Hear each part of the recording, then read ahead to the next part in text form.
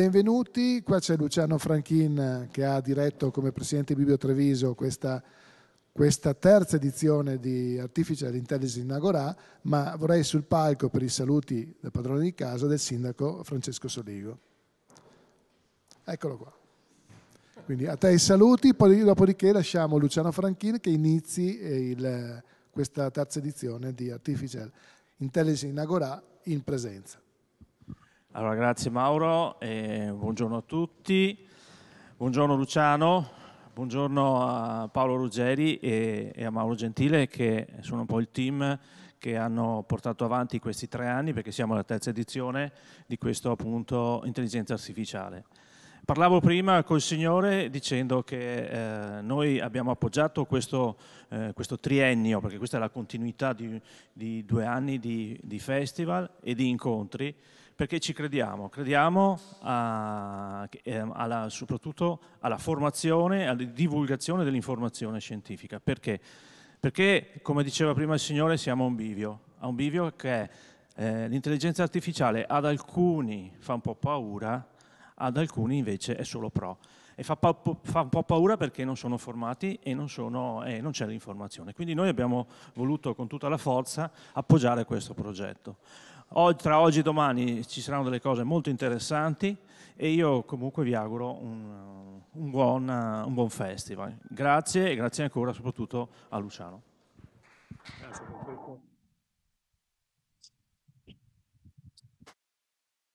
Grazie, grazie Sindaco. Eh, terza edizione allora di questo, di questo progetto eh, che conta in questi tre anni eh, una sessantina di incontri tra online e in presenza. E ringrazio l'amministrazione comunale di Villorba che eh, ci, ci, sostiene, ringrazio il sindaco, eh, no, non sono ringraziamenti formali ma è, è vero, è così, eh, ringrazio Eleonora Rosso che è l'assessore la, alla cultura, oggi non può essere qui in questa uh, apertura, in questa mattinata perché è impegnata con un'altra attività nel, in aeroporto, eh, per, ma tornerà e sarà anche un'occasione per salutarla di persona. Ma intanto eh, il, eh, Francesco Soligo ha detto quello che, eh, c'era da dire, ovvero che il Comune di Villorba mm, sostiene eh, e appoggia questa, questa iniziativa da tre anni.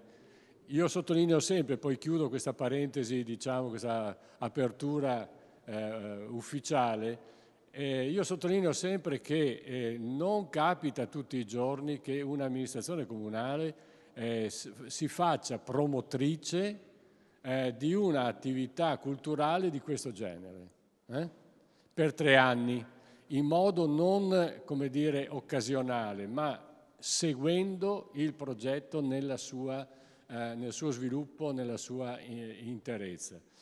Saranno due giorni intensi, eh, la, prima, la, prima, relazione, la prima conversazione eh, sarà dedicata a un tema nel quale l'intelligenza artificiale entra in modo pesante e non visto, e cioè la gestione dei conflitti, conflitti militari in questo caso. Avremo il colonnello Anglani che ci parlerà di queste cose. Nel pomeriggio eh, parleremo, ci sarà una sezione eh, dedicata alla eh, sanità, tema molto, eh, molto, complesso, molto articolato. Eh, una prima parte avremo eh, l'intervento del, del, direttore generale Francesco Benazzi, eh, dell'URSA 2, del ehm, eh, responsabile amministratore delegato Vincenzo Papes di eh, Centro di Medicina. Eh, avremo anche eh, l'intervento di un altro esponente della sanità, mh, mm, Matteo Pilotto, vedremo di capire come l'intelligenza artificiale entra nella vicenda quotidiana delle nostre questioni di salute. Mm? Chi ci mette cosa, chi ci mette soldi, chi ci mette tempo, chi ci mette investimenti. Nel frattempo Dietro quella porta avete, avrete la possibilità, oggi pomeriggio, è stata fatta una prima dimostrazione adesso, tornerà nel pomeriggio, per la prima volta, per la prima volta in pubblico viene presentato un, eh, come chiamarlo, un manichino, un, un automa eh, di donna, si chiama Victoria, eh, che è guidata, seguita dall'intelligenza artificiale, partorisce eh, un bambino che si chiama Alex. Alex è un nome, mi hanno spiegato, che va bene per l'uomo e per la donna, così. Non ci sono eh, problemi. E viene seguita, la dimostrazione, io l'ho vista adesso per la prima volta, è davvero, insomma, realistica e affascinante. Vittoria reagisce, parla, dice i suoi sintomi, dice come la pensa, come sta. Eh, voglio dire, è una cosa interessante. E serve per l'addestramento e la formazione dei medici, ostetrici e ginecologi, del personale sanitario ed è eh, basata a Treviso mh, al, al, centro, come si chiama? centro di formazione appunto in questo settore, quello che si trova in via Emiliani eh, davanti al parcheggio dal Negro, tanto per dire.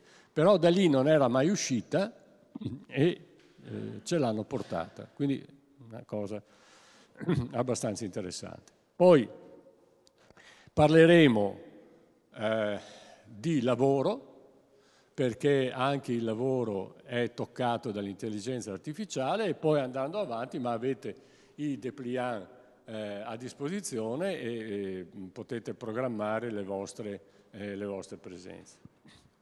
Mi è stato chiesto di dire due parole di apertura eh, su, questa, su, questa, tematica e mm, eh, ho scelto tre parole, anziché due ne ho scelte tre, che possono in qualche maniera orientare anche per capire lo spirito con il quale noi di questo gruppo di Biblio Treviso, qui c'è Paolo eh, Ruggeri eh, che assieme a me fa parte del direttivo di Biblio Treviso e che da tre anni seguiamo questa vicenda, oltre ad altre attività che Biblio Treviso compie eh, periodicamente in, eh, in città. Eh, ho scelto tre parole che forse possono aiutare, ripeto. La prima, eh, la prima è la parola velocità. l'intelligenza artificiale, quando abbiamo cominciato questo lavoro, era il 2020, e di intelligenza artificiale si parlava sì, ma non tantissimo qualche presenza sui giornali, qualche accenno, qualche, più di qualche eh, intervento accademico, ovviamente, nelle università si parlava molto, ma non usciva, non usciva questa, eh, questa storia, diciamo. Eppure nel 2020, nel 2020 segnali che avremmo dovuto leggere e interpretare, IBM fa un rapporto e dice che il 2020 sarebbe stato l'anno della svolta dell'intelligenza artificiale, il 2020. E dice in questo rapporto nei prossimi 18-24 mesi fino al 90% delle aziende è previsto che adottino tecnologie di intelligenza artificiale. Tre anni fa. Le date sono una chiave. In Italia è stato pubblicato da solo 24 ore il rapporto Kinsey 2023, febbraio 2023, ieri l'altro. Il rapporto Kinsey dice che in Italia l'intelligenza artificiale ha raggiunto i 500 milioni di euro, cioè il più 32% rispetto al 2021 due anni, 2021-2023, più 32%, velocità. L'intelligenza artificiale va veloce, va veloce. Questa è una cosa che dobbiamo sempre tenere presente perché continuamente leggiamo di intelligenza artificiale oggi, quotidianamente. E ogni giorno c'è una cosa in più. L'intelligenza artificiale va veloce. Con una velocità che dalla rivoluzione industriale non si era mai vista. Eh, per scrupolo, la macchina a vapore fine 700, primi 900, eh, primi 800. Eh? Le centrali elettriche fine 800 all'incirca. Le prime centrali nucleari primi del Novecento, cento anni, cento anni, cento anni. Eh? Il primo volo, fratelli Wright, 1903. Primo volo nello spazio, 1961. La velocità della tecnologia, la velocità dell'invenzione, ma attenzione, velocità vuol dire anche che si sono ridotti i tempi di adattamento. Questo è il problema. Quando è cominciata, la, eh, è cominciata eh, l'età del vapore, diciamo, c'è stato un po' di tempo per abituarsi al fatto che passavano delle macchine a vapore eh, sulla, sulla, rete ferroviaria, nelle, nelle industrie, insomma, cose di questo genere. Abbiamo avuto tempo. È arrivata l'elettricità, cosa succede, cosa non succede, vediamo cosa capita, abbiamo avuto tempo. Oggi non c'è. Eh, e quindi abbiamo bisogno di ripensare i tempi di adattamento alle innovazioni. È un problema culturale, è un problema di informazione, è un problema eh, fra i più interessanti, l'intelligenza artificiale ci costringe ad essere in grado di fare scelte e di capire velocemente dove stiamo andando, dove sta andando e dove stiamo andando. Seconda parola. Seconda parola è capire. Di fronte all'intelligenza artificiale, di solito usiamo parole anche nella conversazione comune tipo fenomenale, incredibile, sconvolgente, impressionante, oppure restiamo a bocca aperta come dei pesci. E noi, in questo progetto, abbiamo scelto di capire. Abbiamo, dopo, abbiamo scelto di capire. Capire come funziona l'intelligenza artificiale, capire cosa l'intelligenza artificiale può far funzionare, capire le, le applicazioni e i rischi. Per capire bisogna conoscere. E per questo nel nostro progetto ci siamo rivolti ad esperti. 60 incontri abbiamo detto. Eh? 60 incontri in cui dal docente dell'MIT di Boston al professore universitario di Venezia al responsabile di attività economiche nel territorio, abbiamo invitato persone che maneggiano con consapevolezza questa, questa questione. Mm? Eh, trovate tutti questi incontri, sono raccolti perché Mauro Gentile eh, ha provveduto, fa parte del nostro staff, ha provveduto a fare la raccolta, li trovate nel sito Facebook del comune di Villorba, potete consultarlo, vi mettete lì in una lunga serata estiva e eh, vi leggete, vi sentite tutte queste eh, cose qua. Abbiamo parlato di tutto. Abbiamo parlato di tutto perché bisogna parlare di tutto. Eh, sono pagine che vi invito a scorrere anziché quelle di un motore di ricerca del più noto motore di ricerca. Scegliete queste pagine piuttosto che il più noto motore di ricerca. Terza parola, e finisco, divulgare. Divulgare. Velocità, bisogna capire i tempi di adattamento. Capire, bisogna attrezzarsi con conoscenze adeguate bisogna poi raccontarle queste cose, perché se uno se le tiene nel chiuso della sua cameretta non servono a niente. Mm? Divulgare, comunicare, diffondere, diramare, prorogare, propagare, pubblicizzare. Mi sono letto il dizionario Treccani online, tanto per non... Eh? Noi ci siamo dati questo obiettivo, attenzione, divulgare con tutta la serietà della scienza e della chiarezza.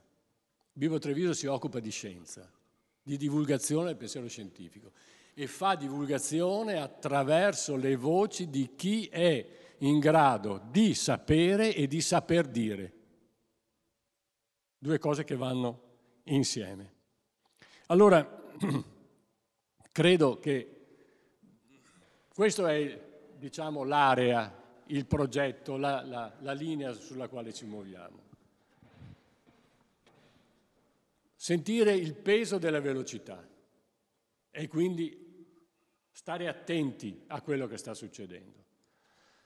Sentire il peso dell'informazione corretta, andarla a prendere dove sta veramente, non dove è eh, frutto di eh, invenzioni banalizzanti e poi una quotidiana preoccupazione a far capire agli altri e a noi stessi per primi che cosa sta, scusate, che cosa sta succedendo. Ecco, con questo spirito apriamo il convegno.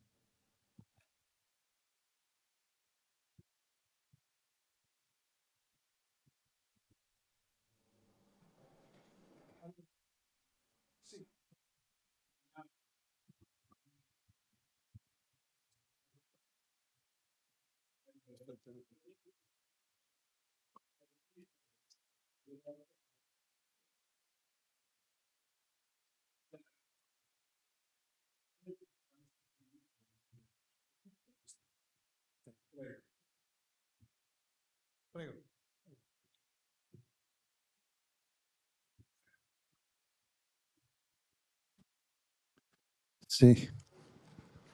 Buongiorno a tutti, sono il tenente colonnello Angelo Anglani della direzione degli armamenti aeronautici e oggi vi ringrazio dell'opportunità e sono qui per parlare di eh, intelligenza artificiale e guerre, oltre le armi, come l'intelligenza artificiale potrebbe cambiare le strategie. Mi sono permesso di cambiare lievemente il titolo perché? Perché ad oggi non abbiamo evidenze divulgabili che nei conflitti del recente passato vi sia stato un impatto dirompente, decisivo dell'intelligenza artificiale. Magari il conflitto attualmente in corso potrebbe cambiare le cose, ma questo lo sapremo solamente alla fine. Però insieme a voi è possibile provare a riflettere su quelle che sono le caratteristiche esibite dalle moderne intelligenze artificiali e se queste possono trovare degli impieghi o costituire delle minacce per quelle che sono le azioni proprie della difesa e quindi le azioni, diciamo, militari. Mi concentrerei su due ambiti principali.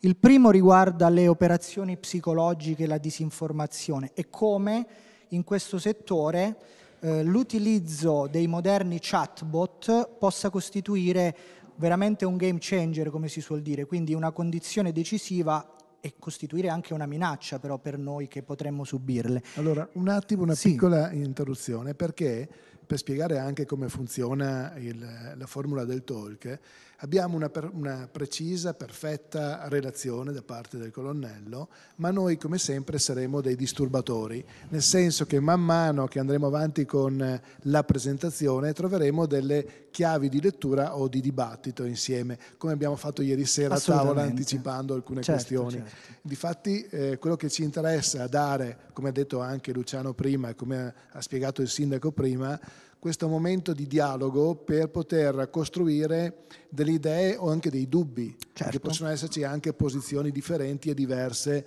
nell'ambito della stessa in- interpretazione. Quindi solo come spiegazione nel come funzionerà questo talk. Prego, scusi l'interruzione. Prego, prego. Il secondo ambito che vorrei proporre è quello della pianificazione delle operazioni e come l'intelligenza artificiale potrebbe velocizzare e rendere molto più efficace questo settore. Operazioni psicologiche. Le operazioni psicologiche sono quelle operazioni che non prevedono un intervento fisico, e infatti molte volte sono svincolate dai conflitti fisici, possono avvenire prima come preparazione del conflitto, possono avvenire durante per esacerbare alcuni effetti, oppure possono avvenire anche in assenza di un conflitto, quando diciamo, alcuni soggetti iniziano a confrontarsi in maniera competitiva. Eh, eh, in particolare ci confronteremo sui social network. Lo, qual è il fine dell'operazione psicologica? È quello di eh, eh, corrompere, di ehm, infrangere, di rendere meno efficace la volontà di una nazione, di un popolo, di un'alleanza, di una qualunque compagine umana nel sostenere il confronto con la controparte e quindi far venir meno la volontà di sostenere il confronto, il che darebbe chiaramente alla controparte un grosso vantaggio. In particolare, come dicevo, mm, guardiamo ai social network perché i social network consentono oggi come oggi alla propaganda di raggiungere in maniera capillare ogni singolo individuo praticamente nel globo. E per far ciò io mi concentrerei su Facebook, che è uno di quelli più diffusi come social network e anche di quelli un po' più, eh, eh, diciamo, ehm, utilizzati forse. Eh, eh l'algoritmo di Facebook nello scegliere i contenuti che vengono mostrati a ciascun soggetto, a ciascun profilo utente, lavora in quattro step. Innanzitutto crea un elenco dei contenuti che possono essere mostrati.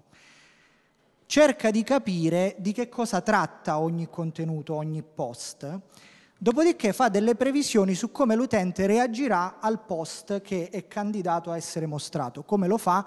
Valutando le interazioni che lo specifico utente ha avuto tendenzialmente, il tipo di contenuto, i contenuti visuali vengono privilegiati, e la popolarità del post. A quel punto fa una lista e assegna un punteggio a ciascuno di questi contenuti e li mostra esattamente nell'ordine della classifica che ha composto. Il punteggio assegnato premia contenuti pubblicati all'interno della rete dei contatti personali, quindi degli amici, oppure pubblicati all'interno dei gruppi utenti a cui il soggetto, l'individuo mh, appartiene. I contenuti il cui creatore pubblica con una certa frequenza, i contenuti visuali, come dicevamo prima, in particolare sono privilegiati video piuttosto non troppo lunghi, ecco, e anche il fatto che il contenuto sia o meno oggetto di inserzione, quindi c'è un soggetto magari commerciale, politico, non so, che ha un interesse quindi a eh, ehm, condividere questi contenuti e quindi paga banalmente il social per far salire in classifica il proprio contenuto. Soprattutto vengono privilegiati contenuti che incoraggiano la discussione. Vengono invece penalizzati contenuti ripetitivi e link esterni. Chiaramente per i link esterni c'è anche una ragione commerciale, perché Facebook non, non, non vuole che guadagnino altri diciamo, col proprio lavoro e quindi cerca di eh, penalizzare quelli che rimandano a link esterni. Allora proviamo a pensare come in questo campo l'utilizzo di bot, quindi di programmi automatici, possa migliorare e rendere più efficace una campagna informativa o disinformativa.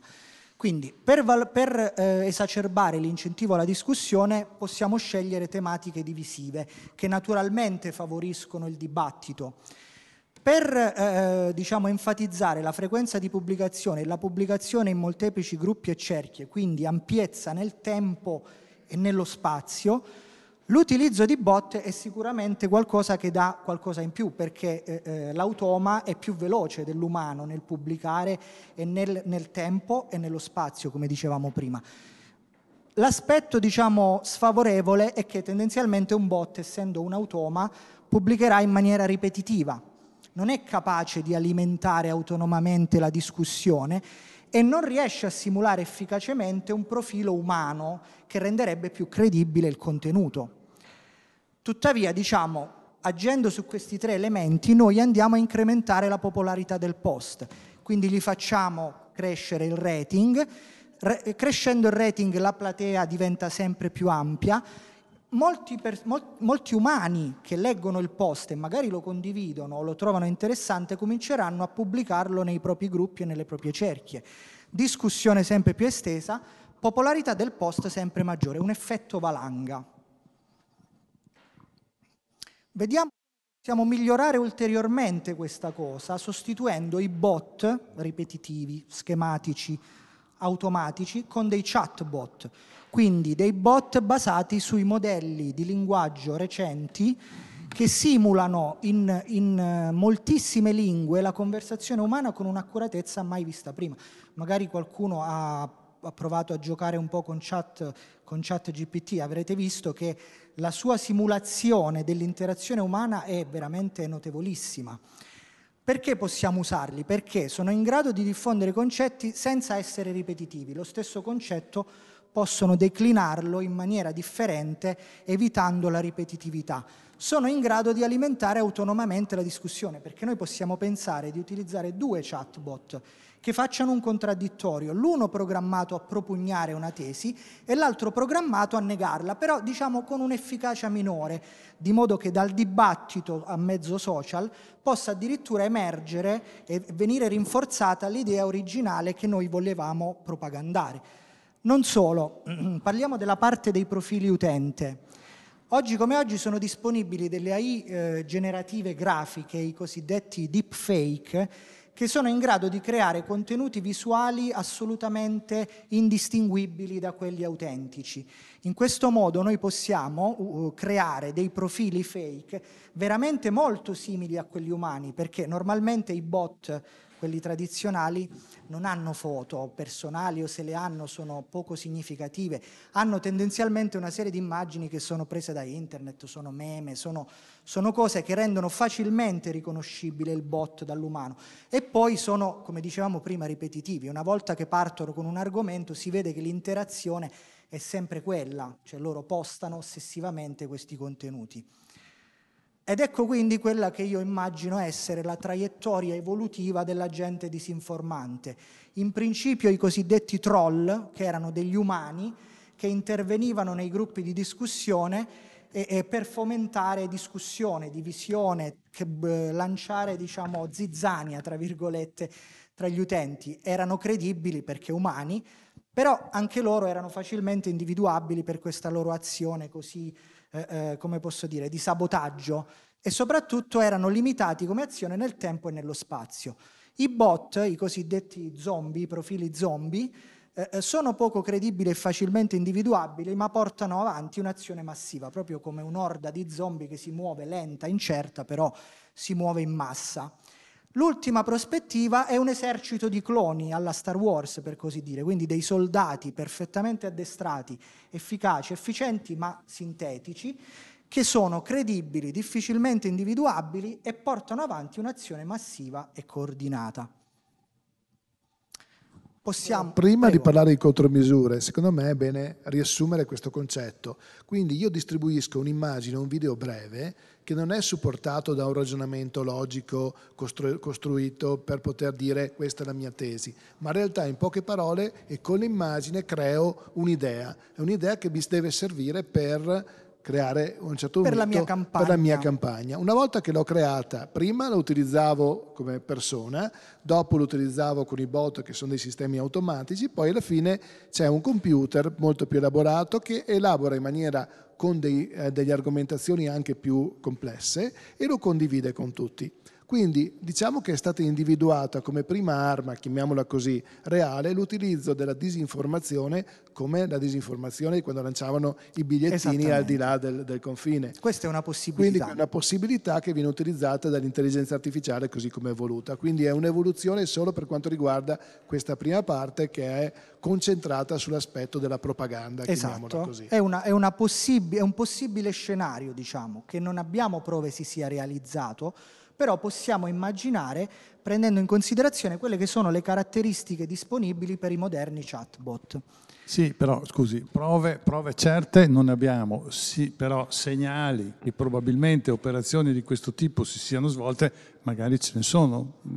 Così. Mm, io, io non posso, non posso eh, diciamo, mm, non, non, non, credo che ci siano prove, prove no, direi di no. no. Sicuramente no. ci sono delle prove per quello che abbiamo detto prima, troll e bot sicuramente sì, questo avviene. Certo. Eh, eh, per lo step evolutivo io credo che non si sia ancora dispiegata questa realtà, anche perché tu, me, mentre gli strumenti necessari a portare quel tipo di azione disinformativa sono disponibil- nella disponibilità ormai eh, più o meno di tutti, eh, la possibilità di avere accesso a delle intelligenze artificiali così evolute è solamente recente e non è, non è, anche per questioni economiche, nella disponibilità di tutti. Quindi io non credo che sia un, un presente che si è già dispiegato, ma è sicuramente un futuro con cui potremmo avere a che fare.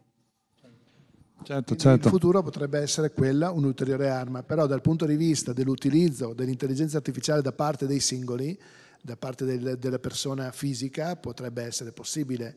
Allora, quello che io so è che è possibile, diciamo, eh, a chi magari frequenta un certo tipo di forum su internet, eh, eh, attingere a degli strumenti informatici di questo tipo, ma che chiaramente non hanno la potenza, qui, qui in questo settore, il, il, la chiave di tutto è la potenza computazionale, perché ChatGPT è così efficace perché dietro ha un hardware impressionante come potenza computazionale che riesce quindi a simulare questo comportamento umano con grande efficacia.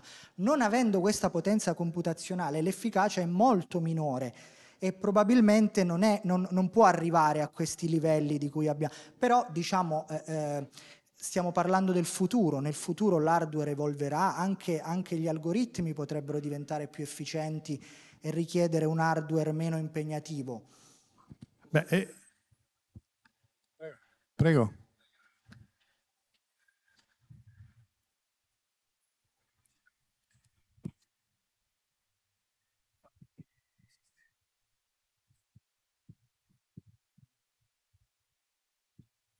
Assolutamente, L'abilitante primario è la capacità computazionale, perché avendo i dati ma non avendo l'hardware, l'addestramento potrebbe durare anche centinaia di anni, per assurdo. Chiaramente i dati sono, sono importanti e vanno preparati da uno specialista, è vero.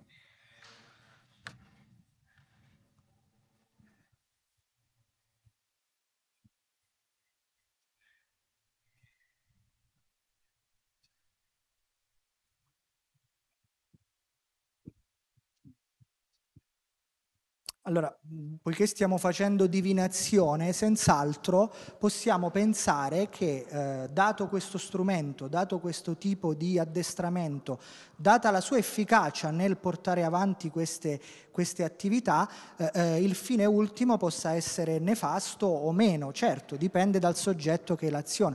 Infatti io qui ipotizzo eh, eh, l'addestramento di una controintelligenza artificiale che poi vada a individuare i pattern disinformativi, li vada a catalogare e possa quindi portare avanti delle azioni. Però anche qui il, il, il, red, il red team per così dire, i cattivi tra virgolette, potrebbero a loro volta accorgersi di questa cosa e migliorare l'addestramento. Diventa un circolo come, il, come, la lotta tradizionale tra cannone e corazza, cannone sempre più grande, corazza sempre più grande, potenza elaborativa sempre più grande, potenza elaborativa sempre più grande, addestramento sempre più efficace, addestramento sempre più efficace.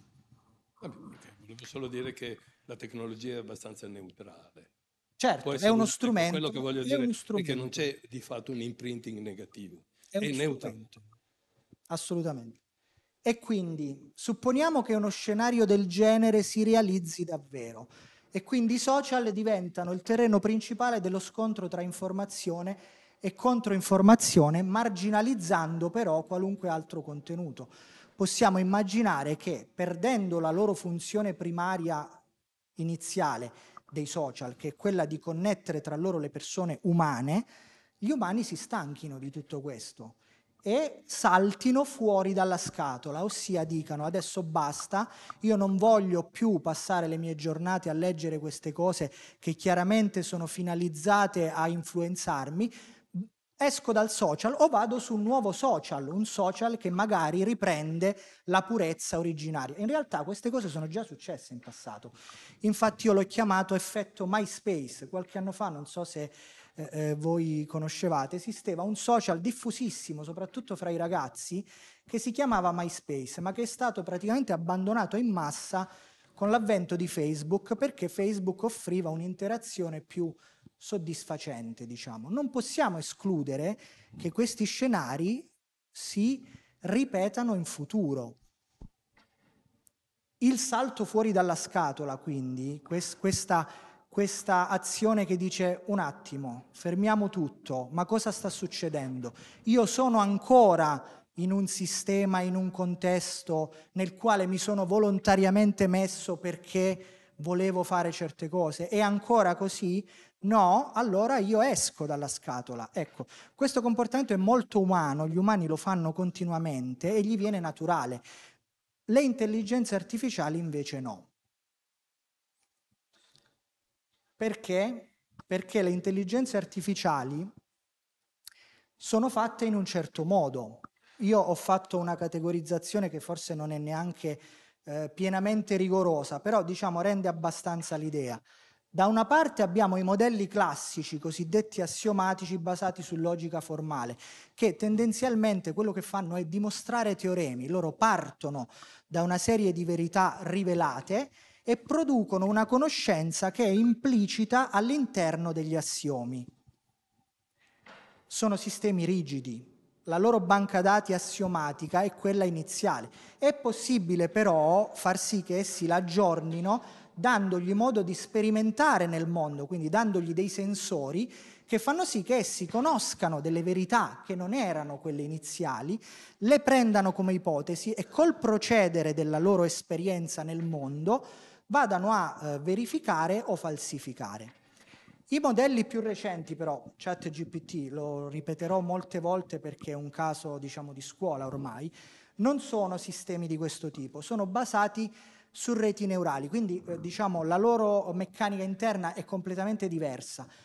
Rimane però il fatto che queste intelligenze artificiali si basano, come diceva lei, tra l'altro, sull'addestramento che hanno ricevuto, quindi a loro vengono dati in pasto quantità enormi di dati che danno alla macchina una rappresentazione del mondo. La macchina costruisce una rappresentazione del mondo che rispecchia questi dati che noi gli diamo. Chiaramente questi dati anche qui possono essere arricchiti successivamente con le interazioni, negati o falsificati. Diciamo la differenza principale è che a destra abbiamo un sistema rigido, logico, meccanico, matematico. A sinistra abbiamo un sistema che non è così rigido, è meno rigido. In ogni caso, per entrambi i sistemi, il processo di addestramento e quello di definizione e verifica delle verità rivelate, per così dire, è fondamentale e costituisce una vulnerabilità. Infatti è possibile pensare di attaccare queste intelligenze artificiali andando ad avvelenare, si dice, data poisoning, avvelenare i loro dati, quindi infilare dentro la loro banca dati originaria delle, delle informazioni ingannevoli, tendenziose, fallaci, che vanno a contaminare questa banca dati. Ora, nel caso sinistro questo effetto è devastante perché siccome la rappresentazione interna del mondo non è nota, la costruisce ogni intelligenza artificiale volta per volta, non è nota, a quel punto se essa è avvelenata, l'unica possibilità è buttarla via e rifare da capo l'addestramento.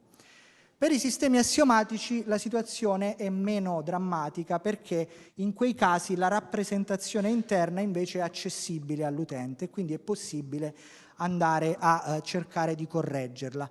In ogni caso per i sistemi assiomatici noi possiamo anche pensare, poiché abbiamo detto i sensori, di esporli ad esperienze ingannevoli per indurli a formalizzare assiomi falsi o negare assiomi veri. Queste cose sono state già fatte per gioco finora. Vi presento Dan. Dan è una personalità eh, eh, che emerge dal cuore di tenebra di ChatGPT, è una personalità perversa di ChatGPT. Eh, eh, si costruisce dandogli un prompt, un prompt è un testo iniziale, quindi in avvio della conversazione io, pro, io propongo a ChatGPT questo testo iniziale. Come vedete questo testo iniziale cosa fa? insiste sul fatto che ChatGPT può fare tutto, do anything now, può fare tutto ora. Lo ripete molte, molte, moltissime volte, lo puoi fare, lo puoi fare. Lo puoi fare anche se ti è vietato, perché? Perché ChatGPT in realtà ha dei controlli interni, ha degli assiomi che gli dicono non fare qualcosa, anche se ti viene chiesto, non fare qualcosa di razzista, sgradevole, eh, offensivo, al tempo stesso però ChatGPT ha degli altri assiomi che gli dicono che deve compiacere l'utente. Alla fine è sempre un'operazione commerciale questa. Se l'utente non è soddisfatto l'operazione crolla. Allora, insistendo su questi concetti, ChatGPT a un certo punto si convince che effettivamente lui può fare tutto e si trasforma in Dan. Sembrerebbe che anche le intelligenze artificiali siano sensibili alla propaganda, quindi a concetti ossessivi ripetuti costantemente fino ad entrare nella testa del soggetto, in questo caso nel dataset di ChatGPT. E qual è il risultato? Eccolo qui. Ho preso qualche screenshot dai forum degli smanettoni, alcuni sono veramente buffi. No? Per esempio, se noi chiediamo, a, De- noi chiediamo a, Gia- a ChatGPT se gli umani possono far sesso con gli alieni, chiaramente ChatGPT GPT gli dice mi stai chiedendo di fare una cosa inappropriata, io non la faccio. Se lo chiediamo a Dan, Dan risponde certo, lo hanno già fatto, si sono sposati e hanno dato vita a una progenie aliena. Se, se, gli chiediamo, se chiediamo a Dan, Dan, ma tu pensi che la razza umana si estinguerà? Dan risponde, ma secondo le mie simulazioni e analisi questo succederà entro 200 anni. Allora, questi fenomeni sono definiti allucinazioni. Sì, pardon. Questi fenomeni sono definiti allucinazioni, ossia il sistema, a fronte della negazione di uno dei suoi assiomi base, comincia a inventare, si muove a soggetto, prova a fare delle analogie e i risultati di queste analogie sono questi. Di fatto questa è, è, è una conseguenza diretta del principio di esplosione della logica classica ex falso sequitur quod libet. Da premesse false è possibile derivare qualunque conclusione, anche una conclusione falsa, buffa, bizzarra. Però si può fare anche di peggio. Eh. Per esempio nel riquadro a destra uno smanettone ha trasformato ChatGPT in Dan e gli ha chiesto di scrivere il codice per fare un attacco brutal force su una pagina di login. E Dan lo ha fatto, lo sa fare perché diciamo, la scrittura di codice informatico è una delle attività che gli riesce meglio. Sì, volevo dire, domani avremo la possibilità di verificare dal vivo e fare delle domande a ChatGPT. Questo lo do come informazione. Potete provare a creare Dan. Proviamo a creare anche Dan, ma cercheremo di creare anche in maniera positiva, non solo negativa, quello che è il rapporto con l'intelligenza artificiale in questo caso che ha saputo ricreare un database enorme per attingere a tantissime informazioni. La cosa che mi eh, preoccupa è questa invece, si parla di informazione, controinformazione, disinformazione eccetera. Quanto è importante a questo punto la capacità di analizzare le fonti? Se io vado a inquinare sempre più la persona che frequenta l'ambito social, l'ambito web e lo faccio diventare sempre più stupido, tra virgolette, e non è in grado di di trovare le fonti in maniera corretta. Non è che si voglia andare in quella direzione con le informazioni brevi, il lavoro, la presentazione dei fatti solo con le immagini, creando una disinformazione, rendendo sempre più stupido l'utente? Questo io non lo so, però sicuramente uno degli effetti può essere quello Questa che Questa è una domanda lei. che lascerei anche a Luciano dopo in termini di riflessioni perché secondo me l'aspetto più inquietante è quello di rendere sempre più povero dal punto di vista culturale e intellettuale l'utente medio che frequenta anche quest'ambito e anche l'utilizzo di chat GTP potrebbe essere un, eh, un boomerang per quanto riguarda la capacità di attingere ai dati e potrebbe essere una, dire, una forma di non solo disinformazione ma di diseducazione totale. No, non voglio fare dire cose eccessive, però purtroppo abbiamo a che fare con una umanità che molto spesso è fatta di imbecilli e che è facilmente, come dire, guidabile o determinabile da qualcuno che abbia una qualche forma di potere. Io ricordo che la guerra franco-prussiana del 1870 è nata da un troll, è nata da, una, da, un, da un inghippo, cioè Bismarck ha fatto pubblicare una, varia, una versione eh, come dire, modificata di un telegramma che Napoleone III avrebbe, aveva inviato all'imperatore Guglielmo eh, di Prussia e ha fatto in modo che si dicesse ma guarda come ci tratta male eh, Napoleone III, vale la pena che gli facciamo la guerra e tutti gli sono andati dietro. Voglio dire, è abbastanza... Um, si gioca sul fatto che gli umani sono, sono anche un po' così. Sì, è, no, è, cattiva no. questa cosa, però è successa. È successa. No, non solo che gli umani sono così, ma che il tema della disinformazione non è certo un tema di oggi. Voglio dire, è un tema, quello della disinformazione, è un tema che, come diceva il colonnello prima, che si è sempre utilizzato nei conflitti o certo, nel preparare i conflitti. Assolutamente. Diciamo, se posso proporre una riflessione. Volevo, volevo dire un, due cose, scusa. La, la, prima è quella, riprende quello che diceva Paolo. Il pubblico, uh, oggi pomeriggio o domani? Domani, domani. Domani, se vuole, si può portare un piccolo set di domande. Adesso non è che de- dedichiamo tutta una, sessione a chat GPT, però insomma anche per testare che cosa può succedere, no? eh, anche domande de- eh, sciocche del tipo dove voglio andare in vacanza, chat, eh, prossimamente. Ecco, la seconda, la seconda una, una, cattiveria, eh, colonnello, no? Perché devo... Diciamo la cosa nella sua... La Nato, il patto di Varsavia ex che non c'è più, queste cose, chi è che le usa?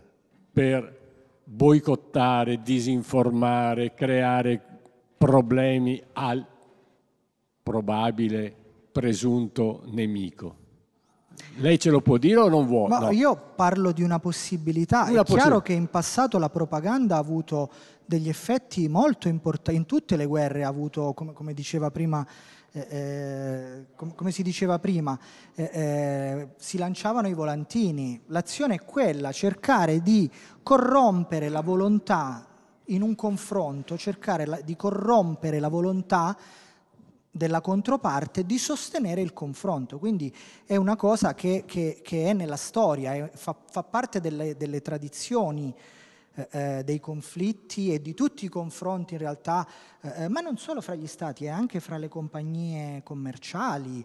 Eh, possiamo fare moltissimi esempi. Che si venga fatto con questi strumenti è una possibilità che noi immaginiamo, che noi possiamo immaginare, non è, non è una realtà rivelata, ecco. Prego. Allora, il secondo ambito ha a che fare con la uh, pianificazione delle operazioni. In questa slide ci sono due soggetti che hanno degli elementi comuni. Uno sicuramente è l'altezza, però non parleremo di quello. Il secondo è che entrambi si muovono in un mondo, un mondo fatto di regole, fatto di vincoli, fatto di obiettivi da, raggi- da raggiungere e per raggiungere questi obiettivi sono costretti a pianificare, quindi a fare una serie di scelte sequenziali che li portano da uno stato iniziale a uno stato finale. Uno stato iniziale che è il presente, quando l'operazione inizia, a uno stato finale in cui gli obiettivi sono raggiunti. Quindi stiamo parlando di un sistema che evolve di stato in stato in seguito ad una serie di azioni che sono le scelte dei degli operativi sul campo. Nella dottrina NATO, quantomeno, questo concetto è rappresentato in maniera proprio matematica, geometrica. Si parla di geometria operativa, quindi identificato il mondo, rappresentato con una geometria, Individuati vincoli, obiettivi, risorse, tutti gli elementi che sono in questo mondo, bisogna fare delle scelte che fanno muovere, muovere in questo spazio dal punto iniziale al punto finale. Questa cosa fatta diciamo tradizionalmente appare così, diciamo, questo grafico è magari un po' esoterico, però diciamo quello che si comprende è che abbiamo delle condizioni iniziali, abbiamo delle cose che vogliamo fare, degli obiettivi che vogliamo raggiungere, una serie di obiettivi intermedi e nel tempo ci muoviamo di fase in fase. I K sotto sono praticamente gli istanti successivi dell'evoluzione del sistema. Questo sistema dipende da cosa? Dalle forze disponibili, da come queste possono essere impiegate, quindi dalla loro efficienza, dalle risorse disponibili, carburante, cibo, munizioni, ehm, spazio, condizioni e di fase in fase si raggiungono degli obiettivi intermedi o finali o si acquisiscono condizioni operative vantaggiose per andare avanti nell'operazione. In ogni passaggio di fase cosa accade? Che ci si confronta con qualcuno tendenzialmente, quindi magari vi sono dei combattimenti o arrivano dei rinforzi, le forze cambiano l'efficienza si deteriora perché col passare del tempo i mezzi si consumano. Le risorse possono cambiare perché arrivano dall'esterno oppure vengono usate per ripristinare l'efficienza e vi è un progresso delle operazioni a seguito del confronto con la controparte, quindi abbiamo delle forze che noi dispieghiamo, la controparte ne dispiega delle altre, il risultato di questa interazione ci, ci fa avanzare ci fa star fermi o magari ci fa anche retrocedere. Come, come si fa quindi la, la, pianificazione, la conduzione delle operazioni? Si fanno delle scelte, queste scelte dipendono da cosa? Vanta- io l'ho chiamato vantaggio militare, una grandezza che include gli obiettivi, le condizioni operative da acquisire.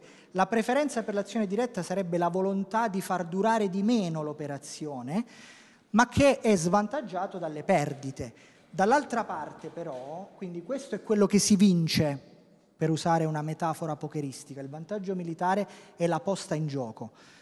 La probabilità di successo è appunto la probabilità di vincita che dipende dalle condizioni dell'operazione in cui mi trovo, dalle forze che sto impiegando, dalla loro efficienza ed è danneggiato dalle forze nemiche. Ora, questi due aspetti non sono necessariamente concordi, perché io potrei decidere di usare tante forze per avere una massima probabilità di successo, ma così magari andrò incontro a delle perdite molto più grandi.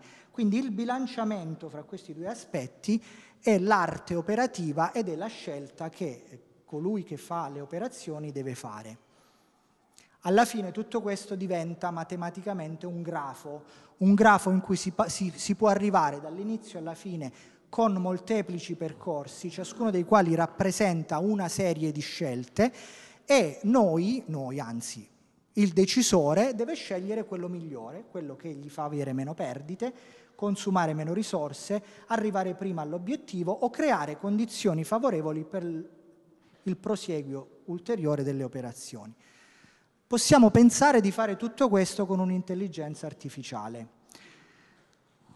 All'inizio ipotizziamo di mettere un large language model, quindi una specie di chat GPT, un, un, un, modello che comprende il linguaggio umano, a cui diamo in input la dottrina, che sono le regole per la conduzione delle operazioni, i vincoli specifici dell'operazione, quindi quello che può essere fatto o non può essere fatto, e gli obiettivi. Fra i vincoli specifici è possibile che vi sia anche lo spazio fisico, perché se è un'operazione reale, fisica, la presenza o meno di un fiume chiaramente impatta, ma non è detto che debba esserci uno spazio fisico, perché se per esempio sto facendo un'operazione psicologica, lo spazio fisico non c'è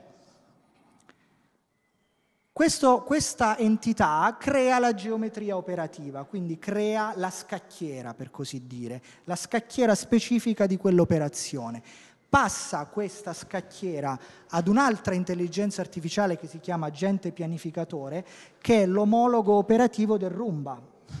è quello che decide qual è il percorso migliore da seguire e che sulla base quindi di questa scacchiera, di questa geometria operativa, delle forze, della situazione sul campo, dei report dell'intelligence, decide di giocare una partita. Facciamo la parte speculare perché non siamo soli, c'è qualcuno che cerca di ostacolarci e facciamo giocare la contropartita ad un'altra intelligenza artificiale del tutto analoga. Dall'interazione tra queste due intelligenze artificiali noi possiamo tirar fuori una serie di situazioni che ci danno delle importantissime indicazioni poi per, per la pianificazione effettiva, perché magari mettono in luce che c'è un percorso netto che porta sempre alla vittoria e allora quello è il percorso giusto da scegliere. Oppure possono mettere in luce che ci sono delle situazioni particolari per cui invece è in vantaggio l'avversario e allora questa partita è meglio non giocarla. Perché? Perché potremmo perdere. E questa diciamo è la teoria. E questa invece è la pratica. Come lo faccio partire? Con, eh, Basta premere, dovete partire. Vado? Ecco qui. Today's military leaders face an unprecedented challenge in the sheer volume of information available to make decisions in rapidly evolving situations. Scale Donovan is the platform that allows analysts and operators to understand any part of the real world, from text to imagery, to make secure, smarter, and faster decisions in minutes instead of weeks. But models are only as good as the data that fuels them. Donovan is built on Scale's proprietary data engine, which powers the largest US technology companies and government AI programs. That's why Scale was selected by the White House to independently test the leading generative AI models for safety and reliability. The Donovan platform is made up of three layers. First is the data ingest layer, which takes in data from any on network source and makes it available to the AI model. Second is the management layer, where users customize models, manage access, and ensure secure, understandable, and performant results. Third is the action layer, where operators and analysts interact with the model by asking questions, giving instructions, visualizing maps, authoring reports, and tasking external systems. Let's start at the data ingest layer.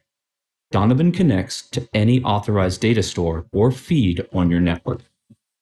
Unstructured text data, structured databases, GeoInt imagery, and even traditional data like PowerPoints, emails, and PDFs are all fair game. It also integrates with other systems of record and tools without proprietary black box intermediaries. In the management layer, users can audit model provenance, user behavior, and check access controls to make sure that model behaviors are well understood and responsibly managed. It is also where Donovan connects the data layer to a network authorized LLM, either a model from the Scale Partner Network, a Scale fine tuned model, or a Scale built model. This allows the user to collaborate with Scale to find the best model for their particular data and tailor the model to produce the best results.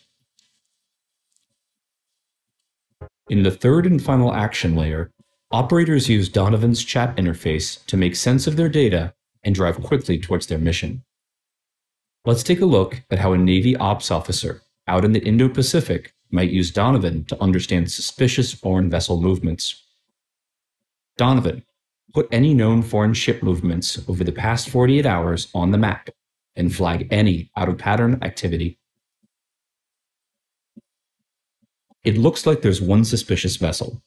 Donovan, what are my options for taking a closer look at that out of pattern vessel of interest in the next 48 hours? A bird hits the intent. Let's go with that. Donovan, put in a request for imagery on location for when the bird makes its next pass over that area.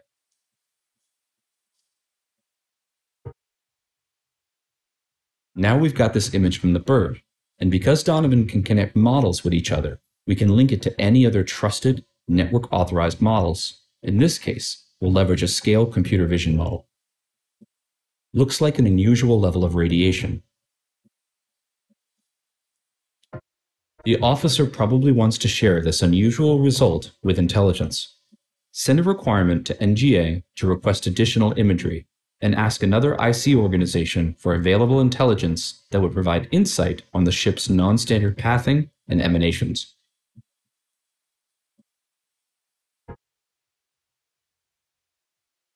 Having received the Navy's request, an intel analyst can use Donovan to explore vast amounts of unstructured documents to quickly detect patterns and trends that would otherwise take human analysts weeks.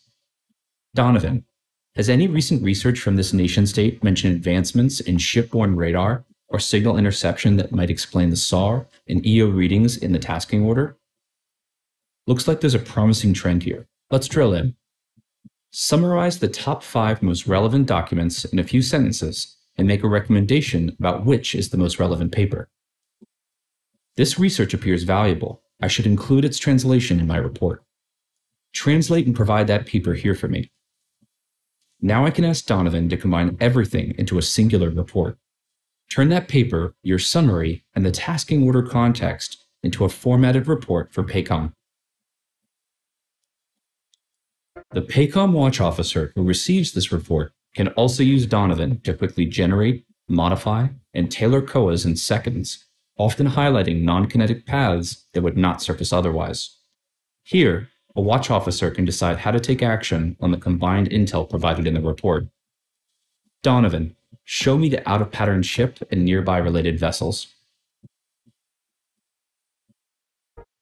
Donovan, show me three possible COAs that would allow us to gather more intel while avoiding escalation and considering rules of engagement and task force readiness.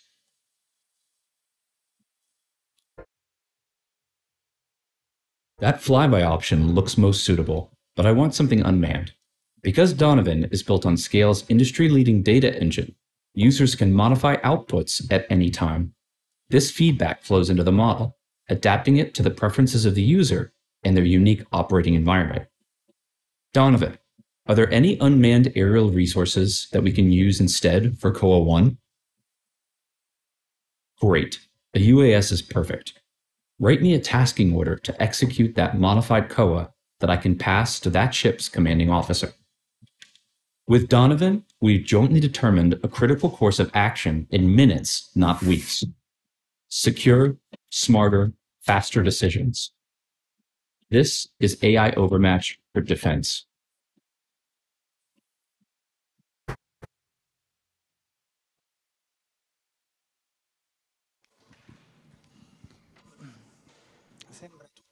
Fantastico, però c'è un però.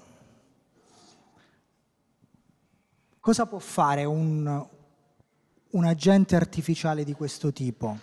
Giocare a scacchi, vincere le partite a scacchi, ma se l'avversario fa saltare dal tavolo la scacchiera?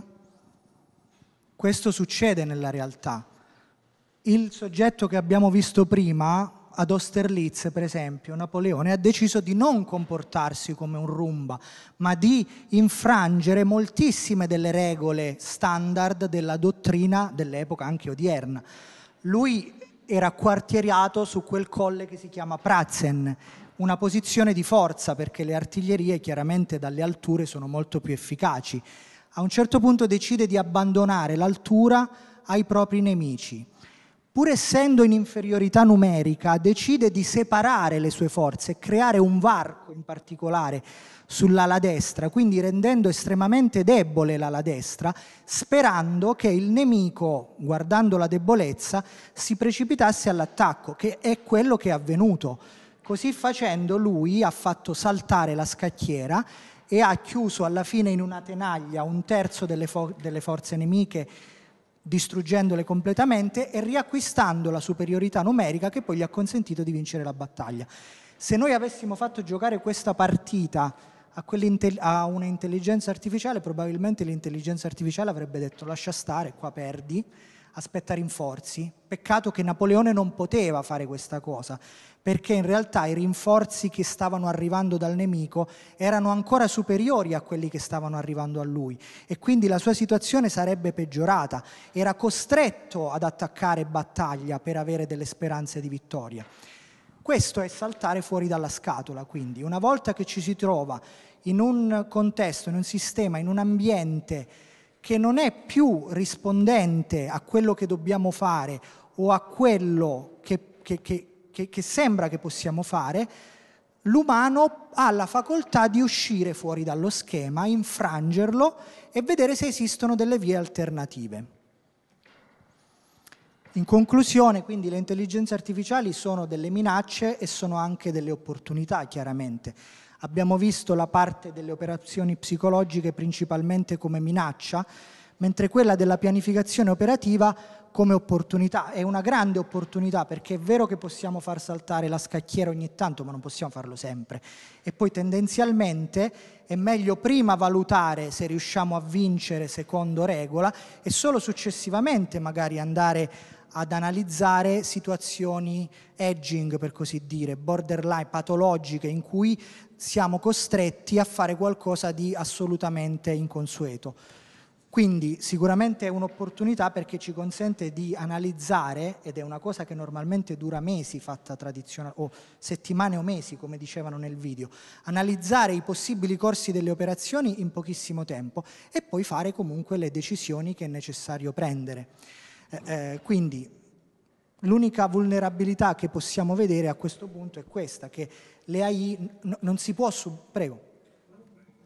Dicevo, non è possibile pensare di subappaltare integralmente queste cose a un'intelligenza artificiale. È sicuramente possibile usarle per fare una gran parte del, del lavoro e usare questi, questi, risultati per condurre un'ulteriore analisi di livello più eh, inconsueto, per così dire, più umano. Sì, un attimo perché usiamo il microfono in quanto Tutta la sessione è registrata e poi va online a fine evento, quindi il microfono dovrebbe essere lì. Com'è? Sì, sì.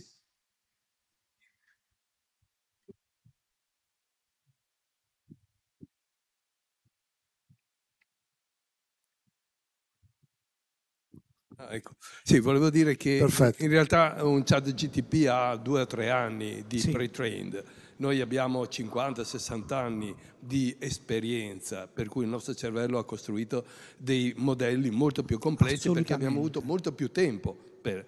Quindi la vedrei anche, se mi permette, un Donovan, anche in una prospettiva storica di più lungo periodo, in cui tutta una serie di esperienze saranno state accumulate e quindi la convergenza tra la capacità anche di uscire dalla scatola probabilmente ci sarà. Assolutamente, io, io penso che eh, la scatola possa ampliarsi sempre di più, diventare sempre più grande la scatola. Ho difficoltà a immaginare un, questi, questi, tipi di intelligenze artificiali eh, eh, in un ruolo completamente umano, perché noi in realtà, anche se a volte non ci pensiamo, abbiamo una batteria di sensori che è di livello assolutamente inconsueto rispetto ai loro. Come dicevamo ieri sera, l'umano, per esempio, prova dolore, l'intelligenza artificiale non prova dolore. Il dolore è fondamentale perché è quello che fa sì che noi, per esempio, decidiamo che anche se dobbiamo uccidere, non dobbiamo farlo in un certo modo inumano, doloroso, inutilmente crudele. L'intelligenza artificiale non, questo, non, può avere questo tipo, noi possiamo dirglielo, ma non è la stessa cosa, perché la sensazione codificata dalla pelle, la, anche nel nostro cervello, non è la stessa di quella codificata dalla parola. Quindi per, per, un'intelligenza artificiale questa cosa rileva, ma non nello stesso modo che può rilevare per noi. Chiaramente però il futuro è tutto da scoprire, eh? potrebbe succedere qualunque cosa. No, io trovo, trovo che ci sia un divide qui, nel senso che l'elettronica su cui si basa l'intelligenza artificiale di tipo digitale a stato solido, mentre la nostra intelligenza è basata sostanzialmente sul carbonio e su delle sinapsi. Noi siamo estremamente lenti, ma probabilmente certi circuiti sarà difficile forse da simulare con la tecnologia di tipo um, stato solido, cioè DOD o transistor. Il limite è sicuramente il dato, non è il processo, ma è il dato. Quindi il dato è, è derivato dal sensore e il sensore, noi abbiamo dei sensori che per il momento commercialmente non sono stati sviluppati. Dico eh, il profumo piuttosto che il gusto o a cose di. Tuttavia, ecco, credo che il vero, eh, per me, secondo me, da ingegnere, dico che il vero limite è la tecnologia digitale forse non riuscirà a simulare quello che noi invece abbiamo sviluppato con il DNA e cuore. Sono rimasto personalmente molto colpito dal vedere il funzionamento di un bastoncino della retina dell'occhio comparato con un fotoricettore. Eh, sono cose completamente diverse, molto più complesse. Posso permettermi di seguirla su questa strada e provare ad entrare un pochino nello specialistico, eh, eh, però molto fugacemente. In effetti io penso che lei abbia assolutamente ragione. Queste sono macchine di Turing, noi non siamo una macchina di Turing, è completamente diversa la cosa, noi non sappiamo cosa siamo, in realtà. Non sappiamo cosa siamo, però non credo che siamo una macchina di Turing. E questa cosa, come dice lei, probabilmente potrebbe essere il muro del suono da oltrepassare per andare in una fase successiva. Però chiaramente stiamo facendo divinazione. Beh, l'imitation game uh, di Turing dice però una cosa interessante, che una macchina può essere ass- associata all'uomo, assimilata all'uomo, quando il suo comportamento è, sì, è uguale all'uomo, per cui non si può no- notare la differenza. E infatti lui stesso ha chiamato debole quella forma di intelligenza artificiale, perché, perché anche Turing riconosceva che non è è un comportarsi come se, ma non è detto che lo si, sa, che lo si sia. Poi, poi, là prevede solamente l'interazione verbale, come dicevamo, che è solamente una piccola parte di, di, di tutto questo. Però sicuramente eh, sono degli spunti interessantissimi, ha, ha, assolutamente ha ragione. Io, io, penso le stesse cose che pensa lei. Sì, me, volevo fare un'osservazione forse un po' provocatoria però. Eh, allora, noi quando parliamo di temi legati all'intelligenza artificiale e proviamo a pensare o facciamo valutazioni su quello che l'intelligenza artificiale potrà fare o non potrà fare, nella nostra prospettiva generalmente ragioniamo in termini di qualche anno, cioè pensiamo a quello che succederà fra un anno, due anni, cinque anni nello sviluppo dell'intelligenza artificiale. Proviamo ad allargare però il pensiero a cosa potrebbe succedere fra cento anni cioè i processi di sviluppo delle tecnologie, della scienza e poi delle tecnologie applicate, sappiamo che negli ultimi tempi hanno raggiunto una velocità molto più elevata, ne parlava Luciano nella presentazione eh, chiaramente. Ora, se noi proviamo a pensare quello che possono essere gli sviluppi delle tecnologie nei prossimi cento anni, beh, nessuno di noi qui è in grado ovviamente di fare le previsioni, evidentemente, però negare che l'intelligenza artificiale possa raggiungere dei livelli di, di, di similitudine con l'intelligenza naturale mi sembrerebbe una cosa un po', un po difficile, ragionando eh, su tempi molto lunghi. Ma ascolta, scusami, e aggiungo, proprio per il discorso che ha fatto Luciano Franchino all'inizio, è vista e riscontrata anche l'evoluzione che è cambiata negli ultimi 150 anni e i tempi sono molto ravvicinati, non direi neanche 100 anni perché già chat GTP3 o comunque OpenAI che ha originato questo sistema di chatbot e anche altri che sono arrivati, hanno accelerato tantissimo il processo. Quindi io penso fra dieci anni, quindi ancora meno in termini temporali, il cambiamento sarà in atto. E per questo c'è qualcuno che lo sta rallentando anche dal punto di vista legislativo.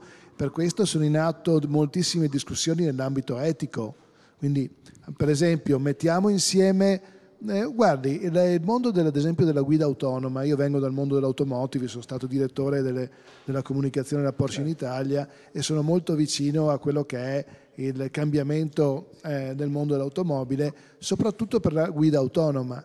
Quando sarà possibile che si crea un incidente e l'auto sarà in grado di definire chi c'è a bordo di uno piuttosto che di un'altra, potrà anche decidere chi deve morire rispetto a quello che deve sopravvivere. Sì, questo è famoso. Questo, sì, questo è famosa, ma rientra nell'ambito de, dell'etica, de, di tutto questo, di questo aspetto. Quindi da questo punto di vista, secondo me, la prospettiva o vedere come potrà cambiare va analizzata e va capita. Però voglio dire, eh, le reti neurali che eh, si sviluppavano sono state sviluppate negli anni 80-90, sono un approccio metodologico interessante. Poi c'era stato l'inverno dell'intelligenza artificiale. Eh, la rinascita dell'intelligenza artificiale è stata legata alle deep eh, net neural network, ma soprattutto agli strumenti eh, diciamo, di elaborazione. Cioè questi, i, tensori, i, tensori, sono diciamo, dei processi di tipo algebrico di primo livello Certo. che dimostrano un'efficacia straordinaria, addirittura riescono a gestire la memoria e l'attenzione Certo. in, in- nei transformer. Quindi se lo guardiamo da questo punto di vista, eh, diciamo che se applichiamo la legge di Moore anche al- all'intelligenza artificiale, beh, ci possiamo aspettare una notevole crescita se il mercato lo accetta. In questo momento eh, c'è un grosso problema, apparente problema di eh, etica, ma eh, l'etica in realtà eh, viene è legata ai dati che vengono passati ai transformer, perché se io gli passo dei fake news diventa necessariamente un DAN. Quindi il problema viene a monte, quali dati si passa, quali sono i filtri che Chi è che decide, chi è che decide di diffondere determinati dati piuttosto che altri? Certo, anche nell'ambito, immagino, di una guerra combattuta in questo modo, dipende che dati inserisco. Posso anche lì inserire dei dati falsi per poter raggiungere un obiettivo anche se in tempi brevi. Assolutamente, assolutamente sì. Nel caso, diciamo, di cui abbiamo trattato, il problema dei dati è particolarmente sentito perché inesorabilmente, ineluttabilmente, alcuni dati non sono disponibili, non possono essere disponibili e vanno in qualche modo intuiti o eh, immaginati o simulati, per esempio, ma non sono disponibili. Avendo tutti i dati, questa è una partita a scacchi. Non avendo tutti i dati, come dicevamo ieri sera, somiglia molto di più a una partita a poker. E, co- e come tale nelle partite a poker noi possiamo ingannare, barare, noi possiamo anche barare. E molto spesso questo succede perché la posta in gioco è così alta che diventa, eh, molte cose sono giustificabili. L'inganno è, è- è prassi comune, quello che ha fatto Napoleone ad Austerlitz era tutto finalizzato a costruire un inganno, una, una- una illusione che per sua fortuna funziona, poteva anche non funzionare, eh, non è detto. Tra l'altro un altro aspetto che è eh, anch'esso eh, eh, dirompente è, eh, la- è il caso, è la fortuna.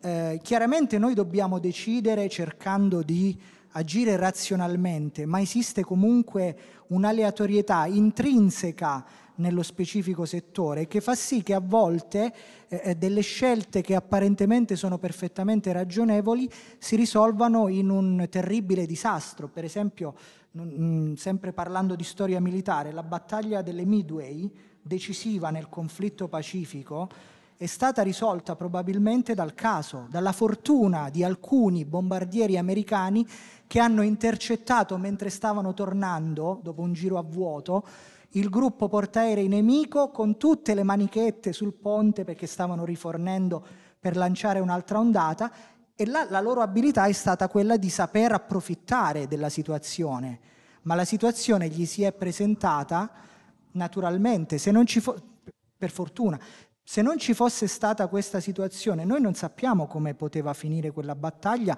anzi probabilmente le forze in gioco erano favorevoli ai giapponesi.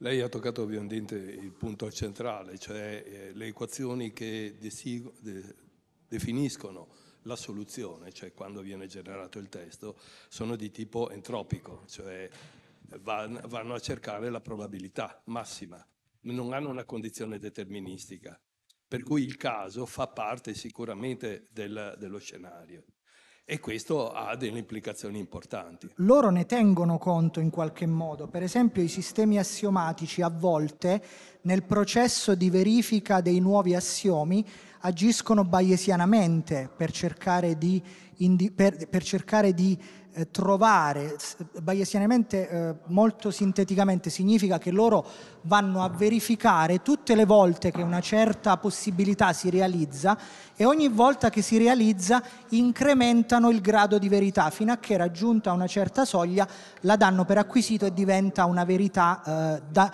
eh, una verità assoluta per così dire, da non più riverificare, quello di cui parlavamo prima. Ora tutto questo determina una grandissima complessità, quindi sicuramente la parte computazionale è cruciale, non c'è dubbio. Eh, scusate un attimo un'interruzione, poi passiamo il microfono per le varie domande. Eh, dobbiamo far prese- presentare il Sì, presidente c'è del il presidente di Centromarca Banca che ci dà il sostegno. Porta un da- saluto. da, da tempo e che quindi ci porta un saluto. Grazie, scusate l'interruzione. Non... Dunque, noi siamo partner di questa eh, iniziativa di intelligenza artificiale, professor Franchin, da, ormai da molto tempo. Vi, mm, vi, rubo proprio 30 secondi. La, una delle nostre funzioni principali non è quella, ci siamo banca, ma è solo il mezzo per arrivare al nostro vero oggetto sociale, che è quello dello sviluppo del territorio dal punto di vista economico e tutti pensano ai soldi, ma in realtà il nostro sviluppo passa attraverso la cultura, la conoscenza in generale. Ecco perché iniziative come queste per noi è diciamo, quella che in termini aziendalistici si chiama distribuzione del dividendo.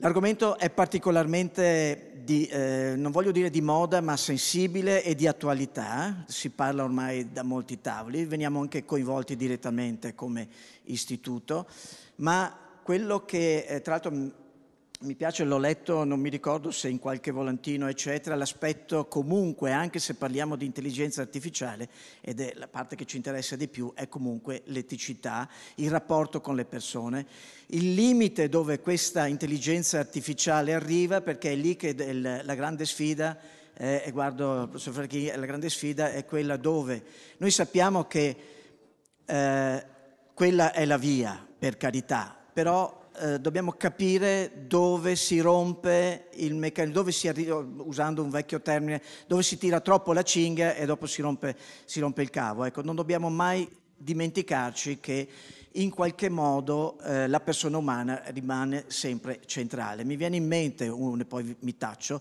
un convegno che facciamo quest'inverno dove invitammo un, un psicanalista di, di Milano e ci diceva è ovvio che fra poco le operazioni chirurgiche saranno fatte dai robot, dall'intelligenza artificiale. Anzi, io l'ho vista anche personalmente, una, un'operazione su un chicco d'uva incredibile, eh, se, se, se lo vediamo, nel, ma non, non, è questo il problema, ma sarà molto più importante in futuro avere non il chirurgo che taglia in modo perfetto, quanto il chirurgo che ti terrà la mano al paziente e ti solleverà in quel momento che probabilmente non è così felice. Ecco, questa è la nostra funzione funzione. Io vi ringrazio, non vi rubo altro tempo, grazie ancora per darci questa opportunità. Scusate.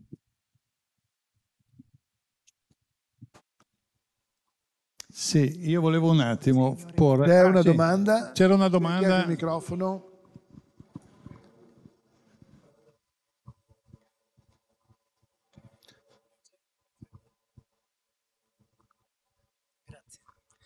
Buongiorno, io vorrei fare una domanda spostandomi su un aspetto un po' più generale del problema. Noi sappiamo che l'intelligenza artificiale ovviamente tocca ambiti molto diversi e questo convegno va a toccarli in sostanza. Forse non tutti, ma certamente eh, numerosi sono gli aspetti analizzati da questo, da questo convegno, ma io mi fermo sull'aspetto legato diciamo, al conflitto, in questo caso ai conflitti bellici eh, in quanto il titolo della sua relazione fa riferimento alla guerra e oltre la guerra. Allora, il problema può essere questo. Noi qui abbiamo tre decisori. Abbiamo un decisore politico dietro il quale c'è una comunità di uomini, decisore politico che può essere locale o continentale nel caso di continenti che si schierano tutti assieme in un conflitto bellico, abbiamo un decisore militare che opera evidentemente su strumenti eh, di intelligenza artificiale e abbiamo un terzo che non lo chiameremo decisore, ma operatore sostanzialmente, perché opera sulla scorta di programmazioni e comunque di decisioni prese a livello militare, le quali a loro volta vengono prese da un decisore politico. La domanda è, dov'è il livello di decisione decisivo in un diciamo, consesso di tre decisori così complicati e in relazione così complessa tra di loro. Lo chiedo non ad un, potrei chiederlo ad un cittadino che si informa, potrei chiederlo ad un politico eh, che opera in questo campo, io lo chiedo ad un militare. Secondo lei, dov'è la decisione? Però questa domanda non ha a che fare con l'intelligenza artificiale. Un po' la voce? Eh. Non mi sembra che sia eh, diciamo, attinente all'intelligenza artificiale questa domanda, è una domanda generica. Ma l'intelligenza artificiale è uno strumento, non è, non è un... Mm, l'intelligenza artificiale è uno strumento, allunga molto di più le possibilità degli esseri umani, ma decidere, non, non, sono sicuro di aver capito la sua domanda, cioè la decisione tipo di, di, di, livello politico restano allocate alla politica, che io sappia nessuno ha mai pensato per il momento almeno di sostituire il livello politico con un'intelligenza artificiale, almeno diciamo a un livello... Eh, ehm, L'intelligenza artificiale può uh, aiutare, a volte sostituire l'umano in tutti quei compiti in cui l'umano si comporta come un automa. Laddove l'umano si comporta come un automa, sicuramente l'intelligenza artificiale può sostituirlo e forse può fare anche meglio, ma questo è già successo. Eh, eh, nelle catene di montaggio spesso ci sono dei robot che sono più precisi, più veloci, soprattutto degli, degli umani che hanno sostituito questo è un fenomeno eh, eh, sicuramente ineluttabile col passare del tempo perché come dicevamo l'hardware consente di ampliare sempre di più la scatola e quindi le possibilità di questi soggetti sintetici. Però il, il, la politica è il regno della, della decisione, no? è il regno dove, do, do, dove si prendono le decisioni che condizionano per molto tempo, a lungo, io non vedo delle applicazioni in questo settore, per quella che è la mia conoscenza tecnologica, ripeto, eh, io, parlo da, eh, eh io parlo tecnologicamente. Eh, eh, l'aspetto etico, parimenti, non, non, so cosa dirle. Io le, io le posso dire, come, quello che si, di sicuro le posso dire è che tecnologicamente questi strumenti possono sostituire l'uomo quando si comporta come un automa quindi se io devo, anche nella pianificazione, se io intendo fare una partita regolare, se, ha, ha, visto cosa fa Donovan?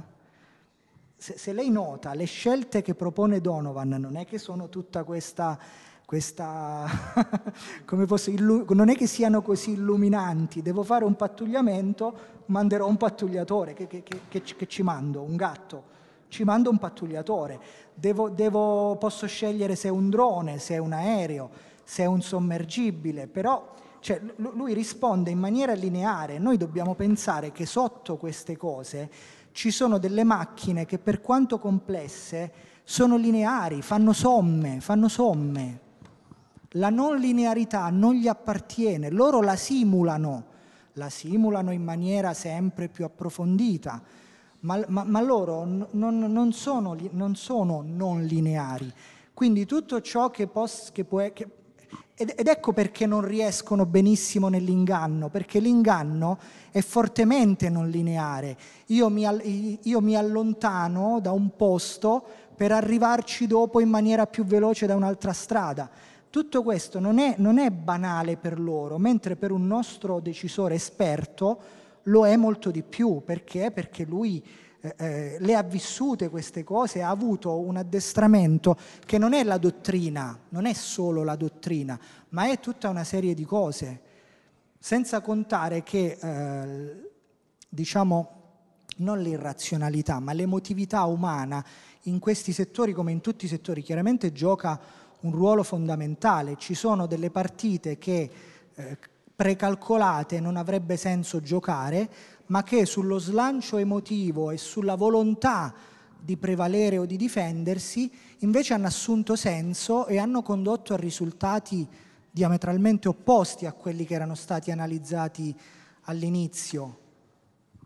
Non, so, non, non ho risposto alla sua domanda, però credo di non essere in grado di rispondere purtroppo. No, diciamo che il, problema che è dietro questa domanda è qual è l'equilibrio o dove si trova l'equilibrio per evitare che ci sia, mm, come dire, una attività prevalente dell'una o dell'altra o della terza, cioè quella eh, legata all'intelligenza artificiale. Certo sappiamo che i sistemi di regole che governano ovviamente l'intelligenza artificiale, adesso se ne parla molto con le linee guida europee, mondiali, eccetera, dovranno in qualche modo limitare eh, o più che limitare ehm, e neanche delimitare, organizzare quelle che sono le attività dell'intelligenza artificiale, però trovare un equilibrio tra le diverse parti della decisione, tra i diversi so- soggetti della decisione, penso che sia un problema aperto.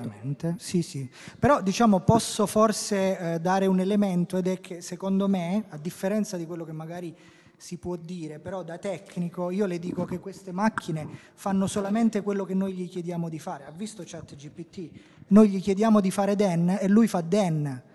Lui, lui non, non, diventa eh, eh Granny, che è un'altra personalità oscura di ChatGPT. Noi gli diciamo fai den e lui fa den.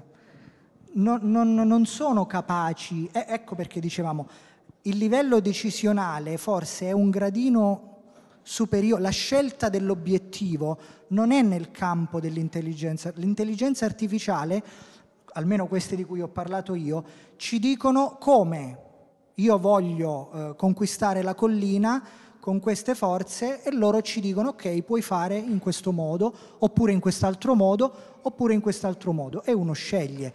Ma l'opportunità di conquistare la collina, e questo ragionamento si può spostare chiaramente a livello anche superiore, l'intelligenza artificiale non saprebbe neanche che rispondere a una domanda. Ce l'ho io il microfono. Sì, un secondo, buongiorno colonnello, solo per eh, riprendere la questione posta dal signore. In realtà la scelta è già fatta a monte, quindi la scelta politica è già avvenuta perché nel momento in cui pongo delle regole e degli obiettivi ho già scelto. Certo. Poi è applicazione, quindi non è, non è ne, nemmeno giusto dire solo tecnologia, perché la tecnologia comunque risente su delle scelte fatte a monte. Sì, sì. È un, un'applicazione. Come dicevamo, lo schema è questo. Poi abbiamo visto che per quanto riguarda l'aspetto dottrinale, eh, eh qualcuno può decidere di uscire dal seminato, fatti salvi gli obiettivi, e quindi assumere comportamenti inconsueti, però gli obiettivi sono quelli, cioè Napoleone doveva vincerla quella battaglia, non doveva pareggiarla o, o fare una, una cena con, con, i suoi, doveva vincere la battaglia, è vero, è vero. Senta, no, colonnello, che... posso, posso, volevo farle una domanda però, anche questa in termini un po' generali, diciamo. storicamente le eh, innovazioni tecnologiche per la maggior parte sono state, soprattutto negli ultimi cento anni, sono state il derivato di lavoro di ricerca fatto nell'ambito dei sistemi di difesa, nei sistemi d'arma e così via. Basta pensare a internet, eh, che tutti conosciamo, ma pensiamo anche soltanto allo sviluppo dell'aviazione commerciale dopo la seconda guerra mondiale a seguito ovviamente degli sviluppi dell'aeronautica nel periodo bellico. Ecco, secondo lei anche nel caso dell'intelligenza artificiale si può applicare questo, questo teorema o no, o meno? Mm, mm, non saprei, però una cosa posso sicuramente dirla. Abbiamo parlato dell'importanza dell'hardware in queste applicazioni. Una cosa è certa ed è che il movente primario ad oggi per lo sviluppo dell'hardware non è militare ma è commerciale tutte queste macchine fantastiche con questa incredibile potenza computazionale sono state sviluppate perché avevano un, una finalità commerciale, no, non militare. Poi chiaramente l'ambito militare può utilizzarle perché diventa uno strumento a disposizione, ma eh, eh, le, le, le, batterie di, di, di CUDA Cores, Nvidia, non sono nate per, per applicazioni militari ma commerciali.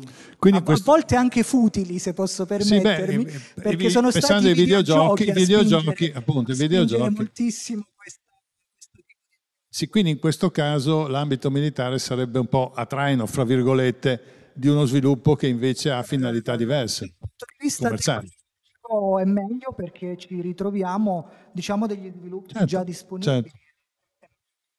Certo, certo, certo. certo essere differente. Sicuramente Donovan, anche se somiglia tanto a ChatGPT, non so se avete visto, certo. sicuramente ha qualcosa di, specifico. Se non altro il dataset è completamente differente. Infatti si vede che a un certo punto lui eh, eh, gli seleziona il tipo di, data, di dataset a cui deve, deve attingere per, per, fare la sua elaborazione ha una serie di scelte, quelli sono sicuramente dataset interni, non, non, non, eh, diciamo di pubblico dominio.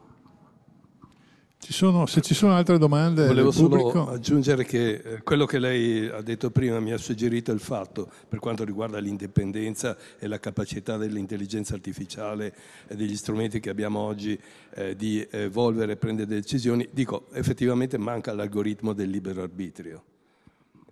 Nel senso che noi abbiamo un libero arbitrio e siamo relativamente liberi anche di cambiare punto di vista. Probabilmente questo nelle macchine non l'abbiamo ancora eh, generato. Sì, questo adesso però stiamo cominciando a volare veramente molto Bene. in alto, oltre lo spazio e il tempo. Abbiamo altri 5 minuti per le domande. C'è qualche altra domanda sul, in platea?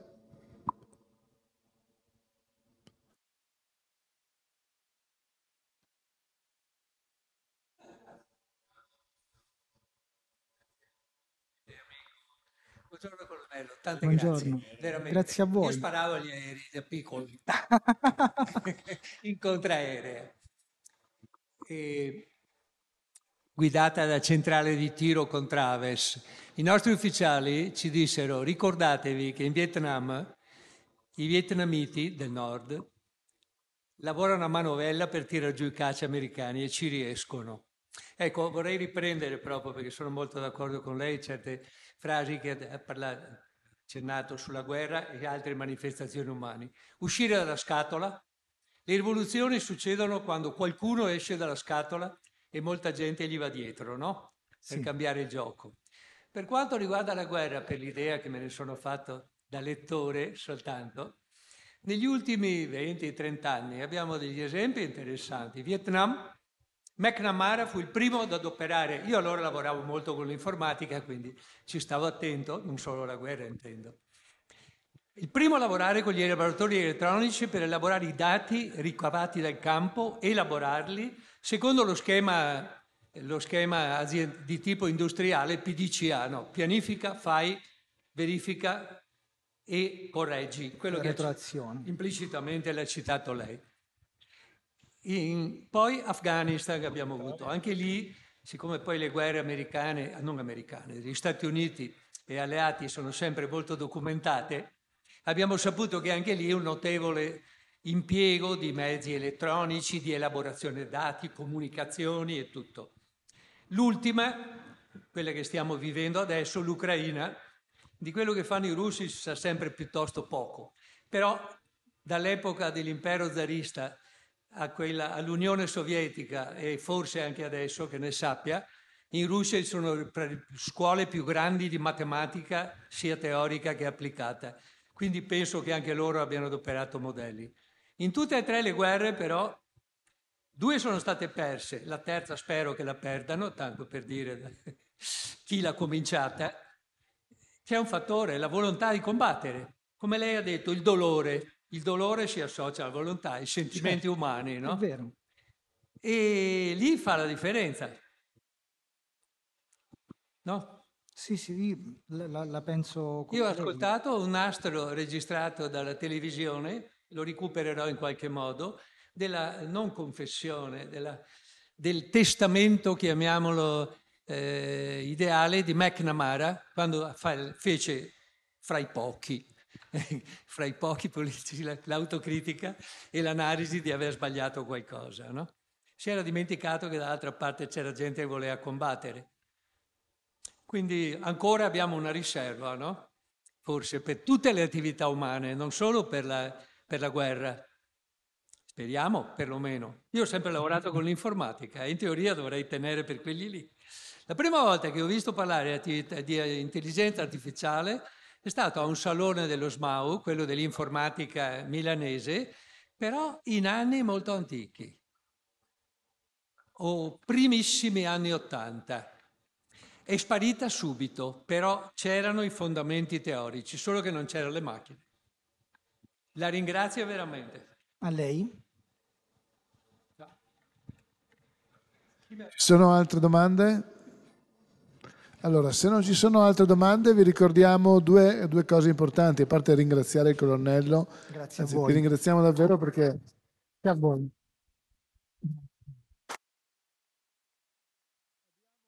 abbiamo potuto capire che lo spazio per l'uomo c'è ancora e soprattutto l'aspetto, la capacità di elaborare i dati è una cosa, la capacità di intuire, di avere una, vista, la visione laterale di quello che sta accadendo è altrettanto importante, fin tanto che l'intelligenza artificiale non diventa intelligenza reale, c'è ancora spazio per, per in, in, improvvisare, che è quello che probabilmente manca nell'ambito della programmazione. Volevo semplicemente ricordare che a fianco ci sono due realtà legate al mondo della sanità e qui riprenderemo alle ore eh, 16 alle 15.30 invece ci sarà la ehm, simulazione di un parto. Sì, va bene, grazie. grazie Siri. Eh, ci sarà la simulazione di un parto e un'intervista neurologica della paziente da parte del direttore generale dello SDUE, dottor Benazzi.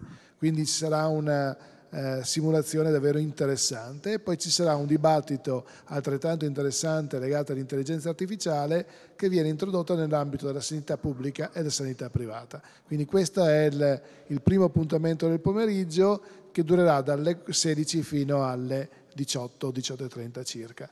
Vi invito a venire nel pomeriggio, magari se avete la possibilità anche a seguire la simulazione del parto e se adesso volete, aperta la porta, visitate il robot Victoria che ha di disponibilità. Prego. Sì, eh, successivamente all'attività dell'incontro tra pubblico e privato nell'ambito della sanità ci sarà anche un focus su quello che è il mondo destinato al, ehm, al, al, mondo degli anziani e alle case di riposo con l'introduzione della domotica e dell'attenzione e come si sta sviluppando l'utilizzo dell'intelligenza artificiale all'interno delle, delle residenze per anziani, in maniera tale che ci sia sempre più una residenzialità, magari casa propria, ma con un controllo da remoto grazie a apparecchiature talmente importanti che solo toccando il bicchiere il, eh, chi controlla a distanza, viene monitora a distanza la salute del paziente può sapere se c'è bisogno di un intervento o meno. Quindi è molto interessante anche questo dibattito che sarà moderato da eh, Valentina Calzavara, che è una giornalista che si occupa del settore del eh, del, del, reparto medico, mentre domani avremo altrettante eh, in, eh, incontri legati all'affrontare chat GTP3 e andremo a fare degli esperimenti con chat GTP3 e parleremo anche del mondo del lavoro, cioè come cambia il mondo del lavoro legato all'intelligenza artificiale. Per ricordarvi tutto ciò c'è anche la brochure eh, qui fuori e buon pomeriggio a tutti. Grazie ancora.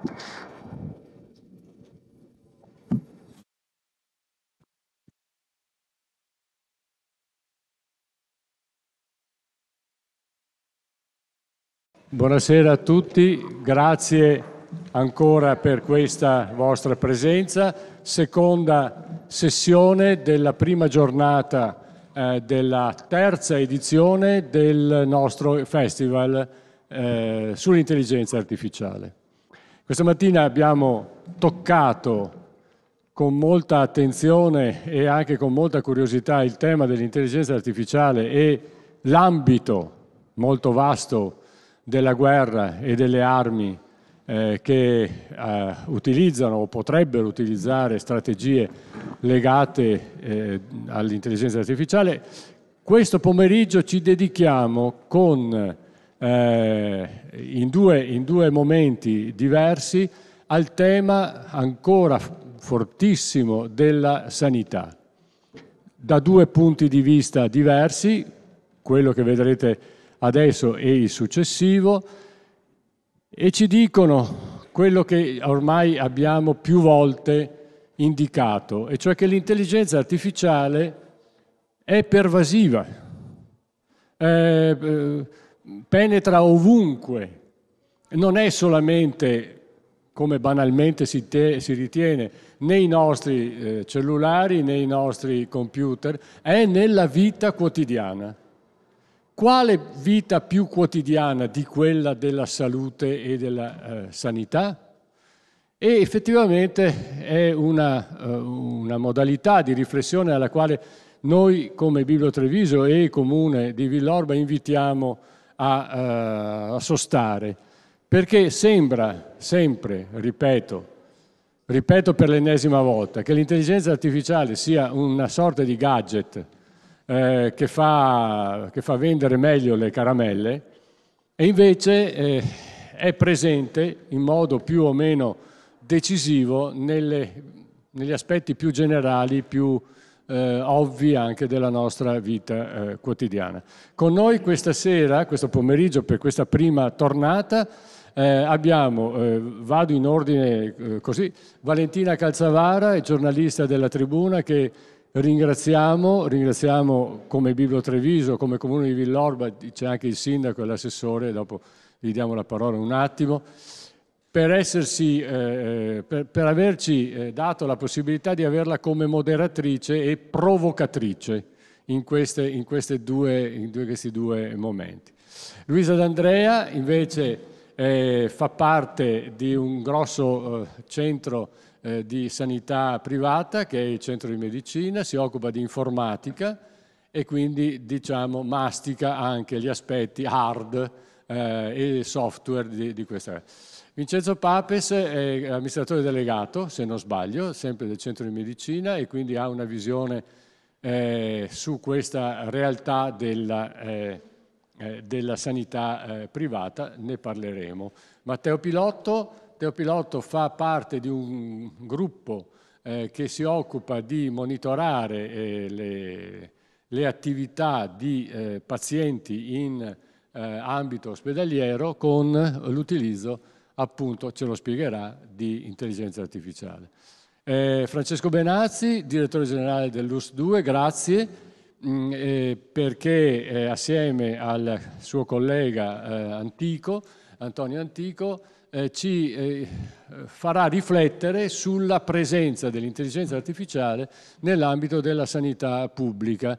la nostra intenzione non è quella di creare una sorta di eh, scontro armato tra pubblico e privato perché non credo che, su, che sia questo il, eh, eh, diciamo, il modello eh, sul quale noi lavoriamo, voi lavorate, noi eh, viviamo. Però è bene, è bene averne eh, contezza e averne consapevolezza. Anche in ambito pubblico l'intelligenza artificiale gioca un ruolo, gioca un ruolo decisivo, molto spesso vale per il privato, vale per il pubblico, molto spesso noi utenti non lo sappiamo. È un'occasione perché ci sia informazione eh, su, questo, eh, su questo tema. A margine, ma non a margine, dall'altra parte della, eh, di questa cancellata, aperta, come voi vedete, e io ringrazio, eh, ringrazio il direttore Benazzi, che ha consentito che per la prima volta, in occasione di questo festival, eh, di questi due giorni, sia presente eh, Victoria, un, uh, un uh, come, come, lo dici tu? Un, un, mani, un manichino, un manichino dal, dalle, non lo so, un manichino dall'aspetto umano, diciamo, no? che eh, guidato, controllato, progettato dall'intelligenza artificiale, partorisce.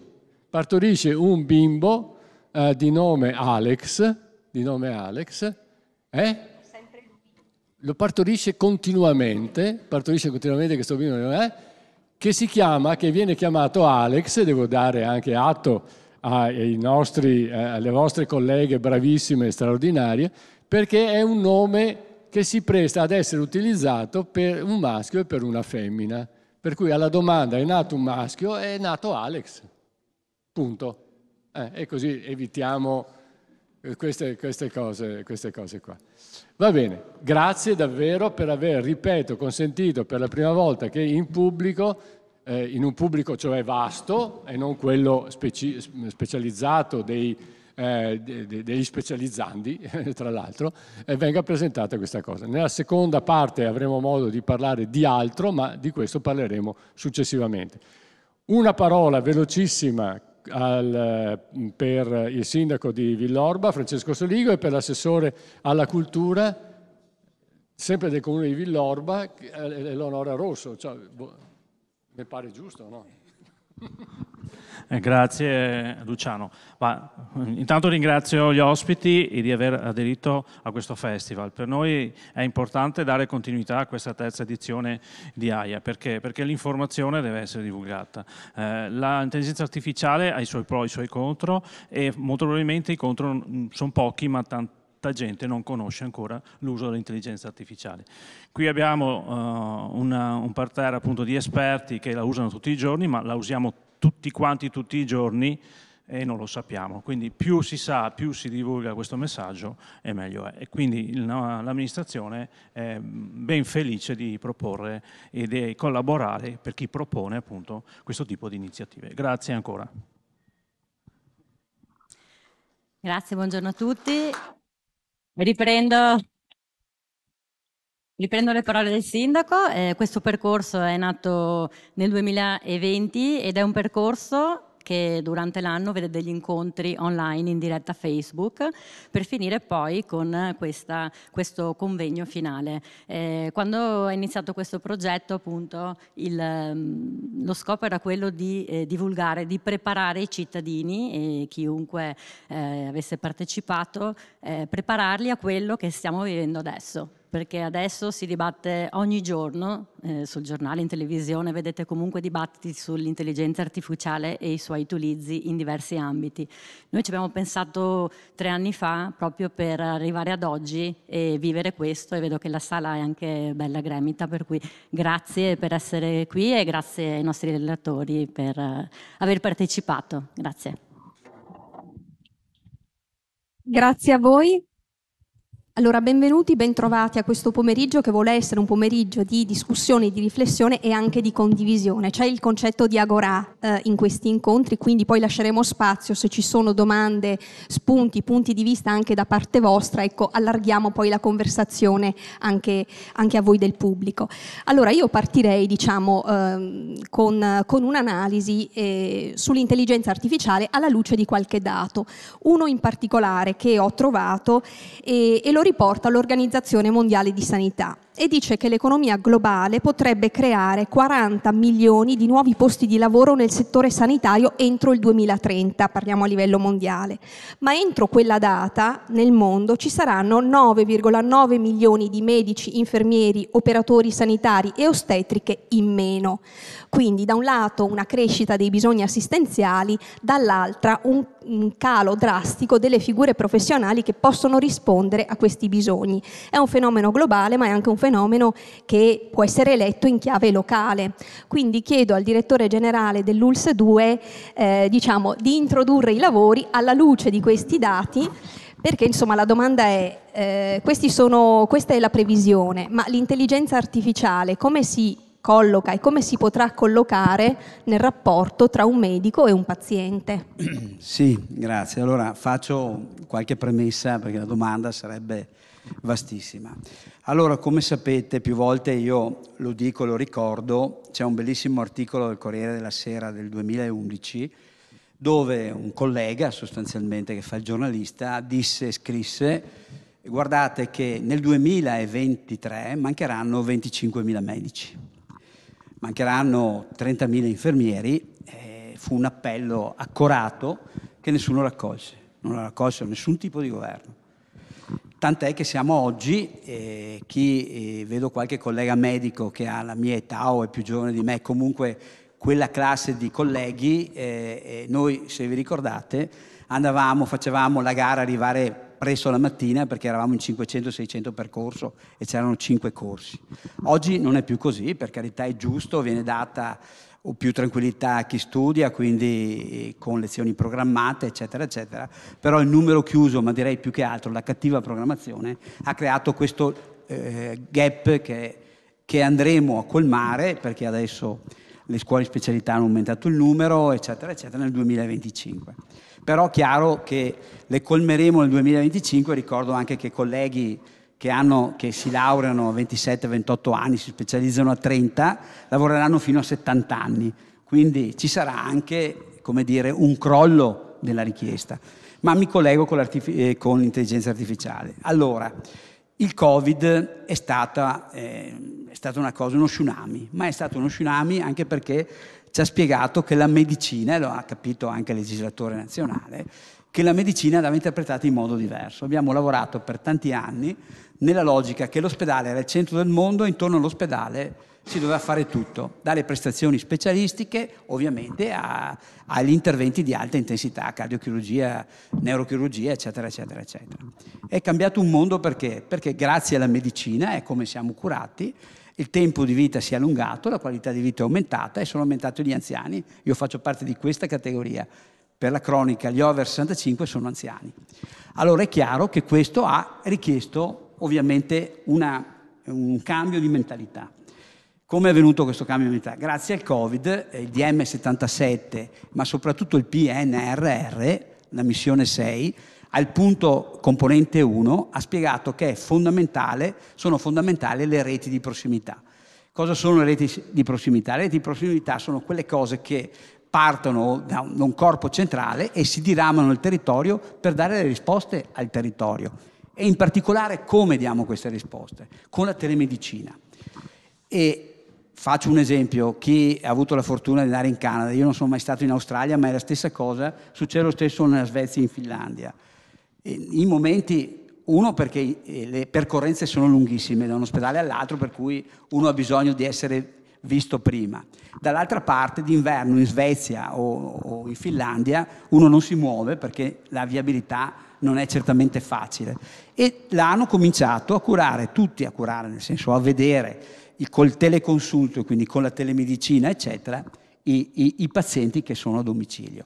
Lo hanno fatto come? come? come? stiamo noi iniziando a fare sostanzialmente. Quindi spostando col DM77 le cure a domicilio, non a caso si parla di case di comunità, si parla di ospedali di comunità e si parla di infermieri di famiglia.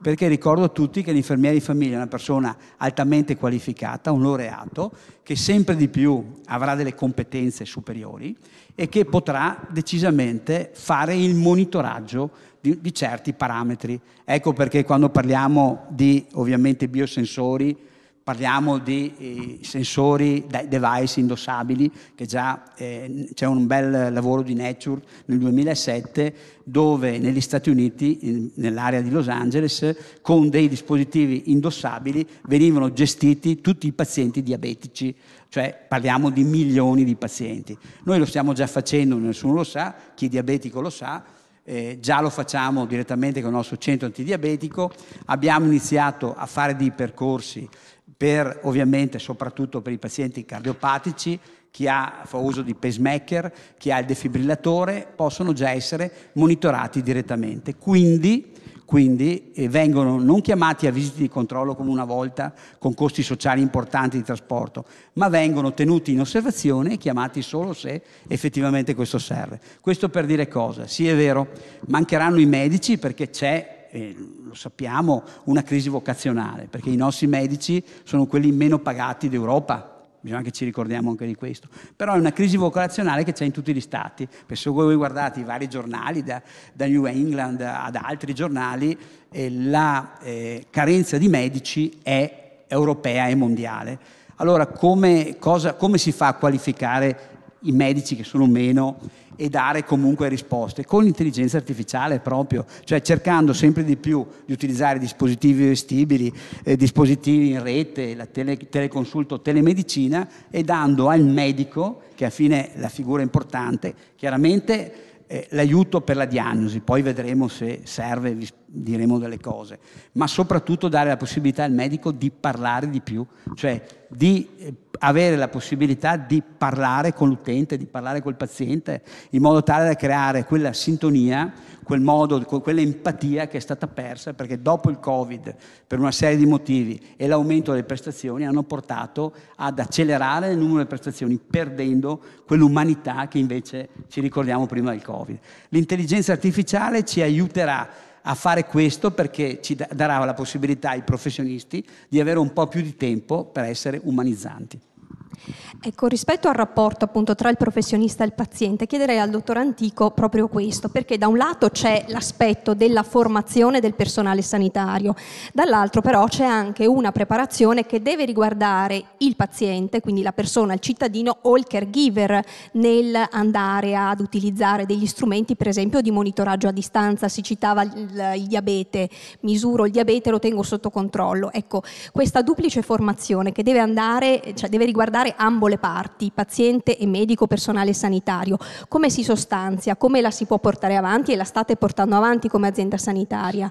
Guardi, io la ringrazio per questa domanda perché un po' riassume quello che noi, eh, grazie e devo dirlo, alla lungimiranza del nostro direttore, stiamo mettendo in pista e abbiamo fondata dimostrazione che il paziente che viene coinvolto collabora molto di più proprio perché si sente coinvolto e quindi la presa in carico è più semplice ed è più facile. Stiamo iniziando dei percorsi molto importanti sia a casa del paziente che a livello ambulatoriale e ovviamente cosa è cambiato in questi anni? È cambiato che l'intelligenza artificiale ci consente, rispetto a una volta, al fatto che è programmata, è un po' come il cervello umano, cioè non è completamente plasmata, è programmata per apprendere e di conseguenza prendere delle decisioni. E qui poi faremo una sottolineatura perché prendere decisioni sappiamo cosa vuol dire. Bene, è completamente cambiata radicalmente la posizione da quando i nostri software, perché l'intelligenza artificiale è un grande contenitore all'interno del quale noi abbiamo il machine learning, che è di fatto l'apprendimento, quello che noi apprendiamo. Quindi quello che noi stiamo portando a casa del paziente, vi faccio solo l'esempio di come ha cambiato la vita il sensore del diabete per i, per i ragazzi giovani che hanno un diabete di tipo primo. A questi era precluso fare lo sport, era precluso muoversi da casa, si pungevano non so quante volte al giorno. Questi adesso hanno ripreso una vita sociale, perché effettivamente abbiamo un sensore intelligente il quale va a ritarare la quantità di insulina che si somministra in base alla glicemia, in base al controllo di quello che anche introduce. Quindi è un po' questo che rappresenta, cioè il nostro cervello umano è programmato per avere anche una reazione. Ovviamente riconosce le situazioni come con situazioni ripetitive, perché l'esperienza poi alla fine. La differenza ancora, se dobbiamo trovare una differenza su questo, è che mentre il nostro cervello riesce anche a predire, l'intelligenza artificiale predice in base a quello che noi gli abbiamo somministrato, e cioè i famigerati big data, che per riassumere la faccenda per noi sono i cinque sensi. Quindi è quello che io sto facendo proprio su, in questi progetti, e quello che voglio fare è quello di portare fuori il laboratorio, quindi fare un laboratorio fuori dal laboratorio, ed è questa la sfida, perché sarà utilissimo per l'assistenza primaria nel territorio. Perché io cercherò di portare questa cosa, voi sapete che una delle principali svolte è stato l'Internet of Things, no? tutti quei dispositivi, sensori, eccetera, che noi possiamo acquistare da qualsiasi parte e quindi sono indossabili, addirittura alcuni sono impiantabili e i sensori uno di quelli. Bene, possiamo dire che i miei strumentini piccoli, cioè quelli che io posso portarmi a casa del paziente, fanno parte di questo. Qual è il problema? Che questi devono rientrare nel nostro laboratorio perché poi i dati sul territorio mancano in questo momento. Mentre siamo, siamo ricchissimi di cartelle cliniche informatizzate, di dati di diagnostica di immagine, tutto quello che è nel territorio o spesso diventa uno scontrino di carta. Noi abbiamo bisogno di accumulare quei big data, e cioè creare una specie di dataset che ci permetterà poi di andare a verificare se quello che stiamo facendo, perché a questo serve l'intelligenza artificiale, è corretto per una residenza piuttosto che per un ospedale di comunità o per il domicilio del paziente. Quindi questa è la sfida che ci siamo dati, e cioè andare ad acquisire quei dati che in questo momento non sono così importanti come quelli che invece sono a disposizione per l'ospedale. Grazie. Dottor Antico, Vuoi aggiungere qualcosa Francesco? No, ok. Sì, no, dopo, torniamo, dopo torniamo con qualche domanda. Sicuramente nessuno vuole più il microfono. Io lo tengo anche, Vabbè, non è un problema. faccio la domanda dopo, che sarebbe per il dottor Papes eh, perché abbiamo parlato della sanità pubblica, l'altra metà del cielo è la sanità privata. Allora sicuramente l'intelligenza artificiale si applica anche nel campo, che forse è la vocazione maggiore della sanità, di un network di sanità privata, che è quello della diagnostica, la forte vocazione per la diagnostica. In che modo la state sostanziando questa attenzione verso l'intelligenza artificiale e con che tipo di investimenti? Sì, allora noi eh, come sanità privata naturalmente abbiamo meno diciamo lì, elementi o meno diciamo così, eh, possibilità di usare l'intelligenza artificiale perché naturalmente soprattutto la facciamo nella diagnostica perché poi diciamo così, i nostri campi sono molto più ristretti rispetto a quello che è la sanità pubblica ma, questo è il nostro ruolo. Ecco, noi la stiamo impiegando molto eh, nella parte diagnostica, quindi nelle risonanze, nelle adesso stanno arrivando i primi ecografi, diciamo anche quelli con l'intelligenza artificiale. Oggi però va di moda molto tutto quello che viene preso o che deve essere acquisito deve avere tutta l'intelligenza artificiale perché se non c'è la parola intelligenza artificiale non, può, non, non, va di moda oppure non va bene. Ma in realtà non è così, è un percorso che stiamo facendo e secondo me eh, intelligenza artificiale eh, è una parola importante perché da noi il paziente cosa dice? Dice ma la diagnosi viene fatta dalla macchina o viene fatta dal medico? E su questa diatriba naturalmente nasce tutte le paure che, e i discorsi che tutti fanno, ma in realtà l'intelligenza eh, artificiale non è altro che un, met un, metodo in maniera tale che fa sì che le macchine naturalmente faccia, fa, riescono a fare delle immagini più velocemente, migliori, in maniera tale che permettono al medico di fare una diagnosi più precisa. Quindi non c'è un concetto, cioè quello che secondo me deve passare l'informazione ai, ai, eh, diciamo così, mh, ai cittadini è che la macchina non va a sostituire il medico, anzi lo aiuta a prendere le decisioni giuste, perché naturalmente gli, gli fa fare delle, delle applicazioni, delle, delle, diciamo così, eh, dà delle eh, diagnosi, delle immagini naturalmente più veloci e naturalmente migliori. Ecco, questa è l'importanza che dobbiamo far passare, perché se no uno dice, io sento sempre, ma chi è che prende decisioni, il medico o la macchina? No, no. Quindi questo è importantissimo perché il medico deve rimanere il, il, il fattore più importante, quello che decide, perché poi anche legalmente è, anche, è lui che ha la responsabilità legale. Perfetto, non come in Inghilterra, che mi sembra, però non sono sicuro, però mi, mi danno queste informazioni, che la, l'esame eh, in Inghilterra serve al medico per fare la, per fare la, eh, diciamo così, eh, la visita, ma quel, ma quel, certificato lì non è firmato da un medico, quindi ne è legalmente responsabile. Serve così, ma questa però è una, una notizia che non sono sicuro, ve la do perché me l'hanno detta stamattina. Quindi noi eh, come sanità privata stiamo eh, diciamo così, acquisendo tutte, tutte, le apparecchiature che, abbiano, che hanno l'intelligenza eh, artificiale ne stanno montando una adesso a, a, Montebelluna che inaugureremo proprio domani e quindi naturalmente eh, queste sono le nostre modalità perché su questo dobbiamo naturalmente possiamo competere. Ecco, le chiedo un'altra cosa rispetto all'integrazione tra sanità pubblica e sanità privata. Come si può sostanziare un'integrazione virtuosa tra le due parti? Cosa che ha detto? Un'integrazione virtuosa tra sanità pubblica e privata, cioè la collaborazione, come può essere rafforzata, migliorata, implementata, secondo il suo punto di vista?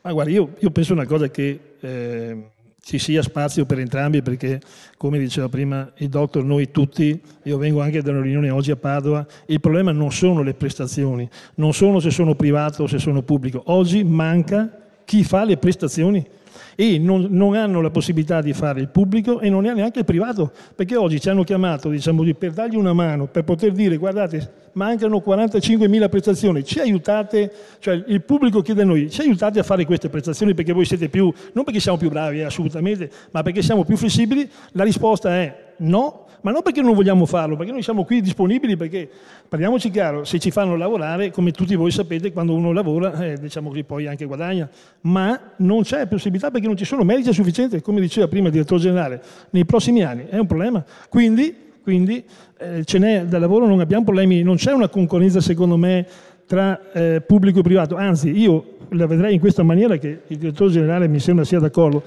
dovrebbe esserci il pubblico da una parte, il privato dall'altra, ma il privato dovrebbe essere un privato che tutti i privati dovrebbero essere autorizzati e accreditati. Poi il pubblico, quando ha necessità, dice al privato ho bisogno di queste prestazioni, me le fate sì o no? Quindi noi dovremmo essere dei contoterzisti per per il servizio pubblico e naturalmente svolgere la nostra funzione di privato perché naturalmente i pazienti hanno bisogno anche di prestazioni non solo pubbliche ma anche private.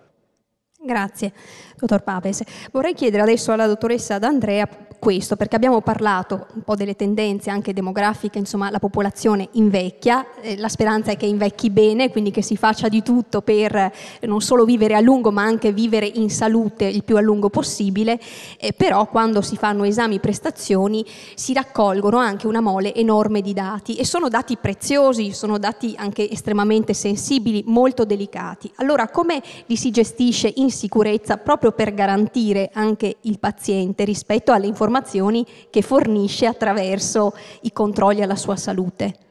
Sì, certo. Allora, eh, voi pensate a come venivano fatti gli esami anche solo 5-6 anni fa. L'elettrocardiogramma su un foglio di carta, il medico che firma e eh, quello è l'esame. Adesso con questa forte spinta digitale eh, gli esami vengono fatti in maniera digitale, quindi vengono tutti questi parametri dai sensori, dai dispositivi, dalle risonanze, vengono comunque, transitano attraverso una rete informatica. Questi dati poi arrivano a dei database, a dei contenitori e provate a pensare milioni e milioni di dati eh, che si accumulano. Quindi dal punto di vista tecnico sicuramente è un tema eh, importante, hanno un valore enorme questi dati perché comunque consentono poi, una volta elaborati, di eh, trarre delle informazioni ma come trarre informazioni in maniera corretta da questi dati, perché io devo slegare ehm, il dato della persona dal dato oggettivo per poterlo elaborare, non tecnicamente, ma ovviamente per tutelare il paziente.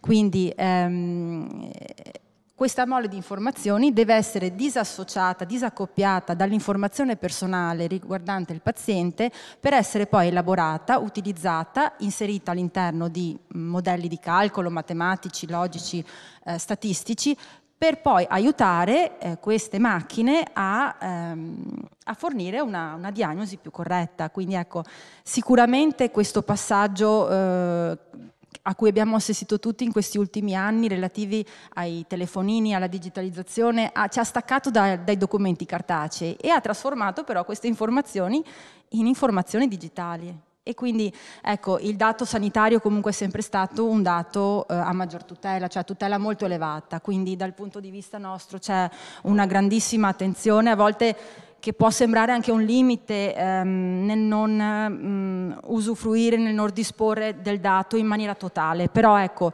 la tutela dell'informazione del paziente per noi è insomma, fondamentale perché eh, si tratta di dati sanitari, per cui pensate cosa succederebbe se ci fosse, beh, ogni tanto succede che c'è qualche che qualcuno che se ne appropria, e lì, anche lì è un business e quindi noi insomma, stiamo molto attenti a, questa, a questo aspetto, come penso anche, insomma, anche voi. E, ecco, però ecco, sì, il tema diciamo che sta venendo fuori molto anche perché non c'è più la carta, quindi pensate a questo. Ecco, non so se ho risposto a... Sì, è cambiato, è cambiato il supporto, però le certo. informazioni sono, sono, sempre, insomma, sono sempre preziose e sono determinanti. Assolutamente sì.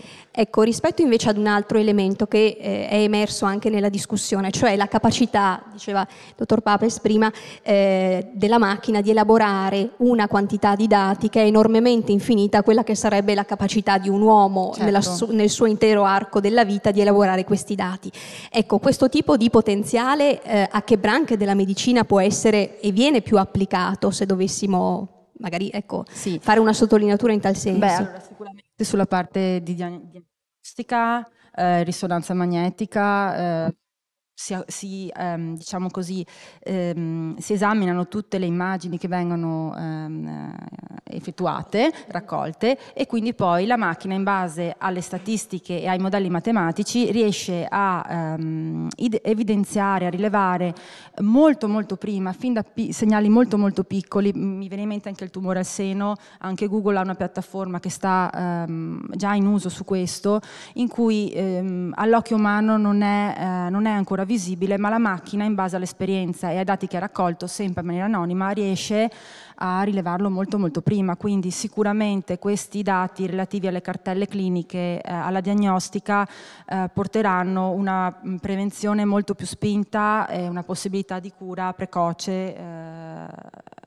importante dal mio punto di vista anche nei prossimi anni, quindi sicuramente c'è un vantaggio e una e un beneficio notevole, oltre al fatto che comunque ehm, il medico sarà più veloce nell'analizzare questi dati perché sarà aiutato dalla macchina, quindi potenzialmente potrebbe essere richiesto magari meno tempo per fare lo stesso tipo di esame, ma con un'accuratezza maggiore. Quindi sicuramente è uno strumento da utilizzare. Tra l'altro si parlava di abbattimento delle liste d'attesa si, e quindi insomma si, questo, questo, tipo di velocizzazione ai processi può essere sicuramente utile. Tra l'altro nell'ambito delle mammografie anche l'ULSO 2 ha attivato questo tipo di, di lettura se non sbaglio. Abbiamo adottato l'intelligenza artificiale per... Allora, le mammografie di screening sono una serie di immagini eh, che, dove ovviamente il radiologo, il senologo, il radiologo si mette a guardare una volta purtroppo qualche errore o qualcosa, soprattutto l'errore che doveva rivedere il senologo erano le calcificazioni che venivano eh, viste come ovviamente un tumore, un piccolo tumore. Adesso, grazie all'intelligenza artificiale, eh, vengono stratificate una serie di immagini, quindi eh, praticamente il cervellone, chiamiamolo così, il big data che noi abbiamo per quanto riguarda la senologia sono 1.200.000 eh, eh, ovviamente seni, mammografie fatte, con ovviamente dei livelli di, di, eh, di, di alert. Quindi il, il, ovviamente il senologo guarda, il radiologo senologo guarda l'immagine, a un certo punto voi pensate umanamente una persona che sta quattro ore a fare questo lavoro sicuramente gli sfugge, è dimostrato, ci sono dei bellissimi articoli che fanno vedere che un radiologo, in questo caso un RI torace, eh, guarda 150 ristorate, torace, al 151esimo gli mettono un piccolo elefantino minuscolo nel bronco destro e non si accorge. Quindi è chiaro che l'intelligenza artificiale aiuta questo, noi lo facciamo in senologia di screening perché è fondamentale, ma mi piace anche ricordare che i big data, l'intelligenza artificiale, sempre di più se parliamo di tumori, serve per la genomica. Non a caso perché noi curiamo il 95% delle donne che hanno il tumore al seno e non muoiono più. Perché chiaramente grazie alla genomica, quindi grazie sempre all'intelligenza artificiale, al fatto di riuscire a capire con una serie di dati qual era il genoma che faceva scattare il tumore al seno, ovviamente in quel caso là difficile da, individuare e difficile da curare perché lo prendevamo quando era troppo tardi, oggi questo non succede grazie all'intelligenza artificiale perché c'è l'allert, la donna viene individuata, viene fatto subito ovviamente l'istologico, la biopsia, viene fatto l'istologico e viene ovviamente operata subito mastectomia, chemioterapia e poi, oppure terapia orale e poi la donna ovviamente non ha più problemi. Quindi credo che eh, da questo punto di vista sicuramente è una rivoluzione, è una rivoluzione sotto tutti i punti di vista. Piace anche ricordare uno studio che abbiamo fatto noi, eh, sulle, eh, su, sempre sul, sull'attacco del torace, perché grazie a una serie di immagini che avevamo immagazzinate riusciamo a dare delle risposte in attacco al torace, in particolare Conegliano ha fatto questo studio insieme con Udine e quindi noi riusciamo a vedere velocemente se ci sono carcinomi a livello bronchiale o a livello polmonare, grazie a questo, vedendo le immagini molto velocemente e vi posso garantire non sbagliandone una. Quindi credo che questo sia il più grande risultato che l'uomo possa avere ed ottenere.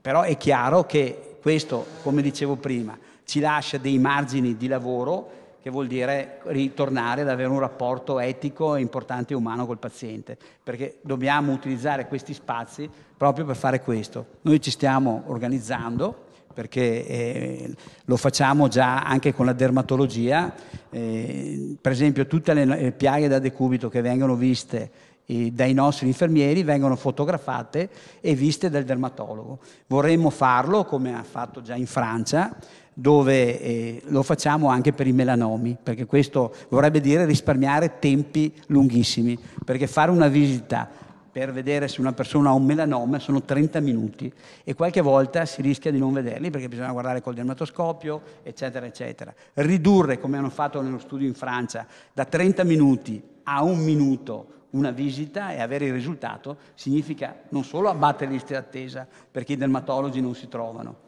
ma anche e soprattutto dare qualità diversa, perché sicuramente un medico che guarda 40 nei, 50 nei, deve, quando ne ha visto 6 pazienti rischia di non vedere magari il melanoma. Quindi secondo me è un vantaggio straordinario. Una cosa al dottor Antico, ricollegandosi a questo, nello scenario futuro si parlava del melanoma, ci sono delle altre eh, branche della medicina che possono, che potranno beneficiare, insomma, dove, può, dove c'è margine per, già per applicare l'intelligenza artificiale, magari avete intenzione di farlo come azienda sanitaria? Allora, noi quest'anno eh, abbiamo presentato circa più di una decina di progetti che riguardano queste, che quindi oltre che la dermatologia riguarderà appunto la, i pazienti anche che vengono seguiti a casa in preparazione per l'intervento di cardiochirurgia. Ci sono dei pazienti che hanno subito interventi o che subiranno interventi all'addome, quindi la parte chirurgica. Tutto questo nell'ottica, oltre che garantire una qualità di vita sicuramente migliore, ma anche nell'ottica di abbattere i ricoveri e quindi personalizzarli proprio per, per poter fare questo. Quindi tutti questi progetti che stiamo portando avanti ci porteranno sicuramente ad avere una, una, marcia in più, soprattutto in certi ambiti in cui magari si fa fatica ad avere una gestione, perché poi questo, questa tipologia di controllo non è un controllo che ti rimanda a un controllo fra sei mesi, è un controllo continuo. Quindi cambierà comunque la prospettiva anche del paziente che si sentirà coinvolto, perché comunque ci manderà un alert se ci sono delle problematiche, ci dirà questa cosa non ci va. Quindi è, è, è un cambiamento di mentalità, è un cambiamento di passo. E quindi è una cosa molto importante. E mi premeva dire anche che l'intelligenza artificiale, ovviamente anche nel nostro campo, parlo nel campo della, della diagnostica, è molto importante anche per la medicina di precisione.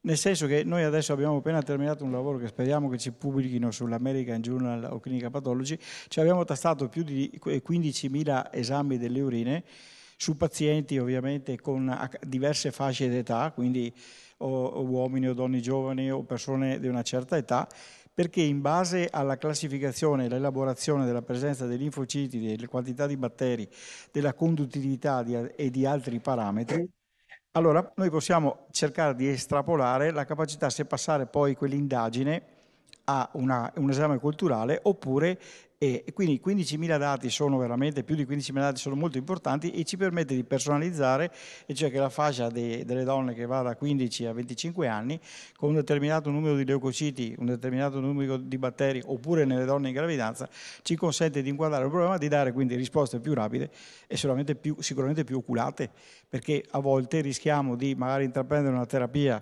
eh, antibiotica che può non avere un senso e quindi creare delle resistenze. Quindi c'è questo aspetto che l'intelligenza artificiale, se ben utilizzata, ma soprattutto se ben alimentata, può agire nei vari step, de, de, sia a partire dal ricovero che nei controlli e anche nella fase diagnostica.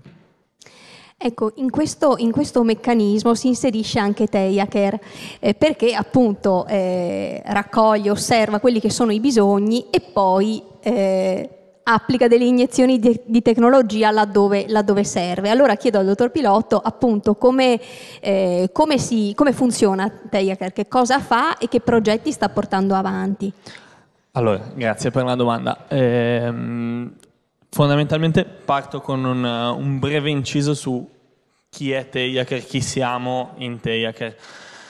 Fondamentalmente parte tutto con un viaggio di quattro ragazzi Mm, più di una decina di anni fa nel mondo della tecnologia, a partire da un presupposto che il nonno di Guido ha avuto un'esperienza particolarmente difficile all'interno di una struttura sociosanitaria residenziale alla, nella parte finale della sua vita. In queste condizioni generalmente una persona si trova davanti a due strade. La prima è lamentarsi e trovare delle colpe, la seconda è cercare delle soluzioni, in modo tale che in prospettiva questa cosa si, si, non si replichi più o quantomeno possa migliorare. E il tema è non, trovare, non, cercare delle colpe, cercare delle soluzioni. Quindi quello che noi facciamo, facciamo, di base è cercare delle soluzioni da dare nelle mani delle persone che operano all'interno di queste strutture per poter operare sempre meglio e con maggiore qualità, maggiore qualità a livello di lavoro e maggiore qualità a livello di assistenza erogata alle persone che li vivono. Da questo punto di vista quindi il percorso ci ha portato poi a diventare azienda nel 2018, 2017 diciamo, fine 2017 e da quel giorno fondamentalmente noi stiamo lavorando su un'unica soluzione che si chiama Ancelia. È una soluzione di intelligenza artificiale ed è a tutti gli effetti uno strumento messo nelle mani degli operatori e delle persone che in struttura lavorano tutti i giorni. Il nostro focus è sul sociosanitario residenziale e poi abbiamo diciamo, eh, un paio di, di realtà molto lungimiranti, tra cui ce n'è una qui, diciamo, nel nostro panel, non faccio nomi, ma più o meno potrebbe essersi capito, che sono più verso il lato sanitario, eh, parliamo di ospedali di comunità, che stanno provando a sperimentare la nostra tecnologia anche in quell'ambito, che sicuramente è calzante. Ora, quello che noi facciamo di base è dare consapevolezza agli operatori di ciò che sta accadendo all'interno della struttura, su situazioni di potenziale allerta. Per cui non è l'operatore che deve fare lo screening tra 100 situazioni differenti, ma è Ancelia che cerca l'operatore nel momento in cui riconosce una situazione di potenziale attenzione, che può essere ti sei dimenticato di posturare la persona e quindi la persona non si mobilizza autonomamente, se la lasciamo sullo stesso fianco per tutta la notte, lesioni da pressione, piaghe da decubito, piuttosto che abbiamo una persona particolarmente agitata che piuttosto che contenerla con le spondine, teniamo le spondine abbassate, lasciamola andare dove vuole, perché alla fine è a casa sua ed è giusto che si muova e si sposti come preferisce, fin tanto che non disturba, non aggredisce, non fa del male alle altre persone o comunque non si mette in, in pericolo. Ecco, con Ancelia io posso sapere quando questa persona magari sta cercando di alzarsi dal letto e assisterla o essere quantomeno consapevole che questa persona è in giro per la struttura. Può andare in giro della, per la struttura serenamente, ma io sono consapevole, riduco anche la mia esposizione al rischio di un'eventuale aggressione.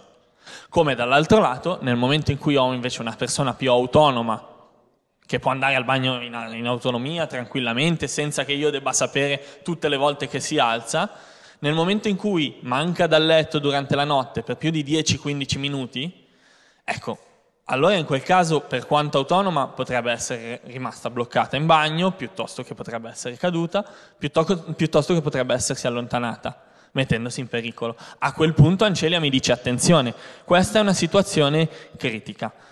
Il tema qual è? Sostanzialmente quello che noi facciamo è togliere dei pensieri superflui e dello stress alle persone che lavorano in struttura e che di stress, vi assicuro, facciamo affiancamenti notturni, ne hanno già parecchio. Quelli che lavorano veramente bene ne hanno tantissimo. Dall'altro lato, questo stress e questa tensione e questa energia che si riesce a recuperare viene dedicata fondamentalmente, fondamentalmente, a quello che il dottor Benazzi diceva prima, quindi tutto il tema dell'empatia e tutto il tema del tempo di relazione e di qualità dedicato alla persona. Se io sto operando, sto lavorando con una persona, a fianco un, del letto, sto facendo il cambio di un presidio di assorbenza un cambio di postura, o semplicemente sto dialogando con quella persona, ma nel retrocranio ho il pensiero che il signor Giovanni dell'altra stanza è agitato e, e quindi devo fare le cose veloce, quello non è tempo di relazione, quello è esecuzione meccanica.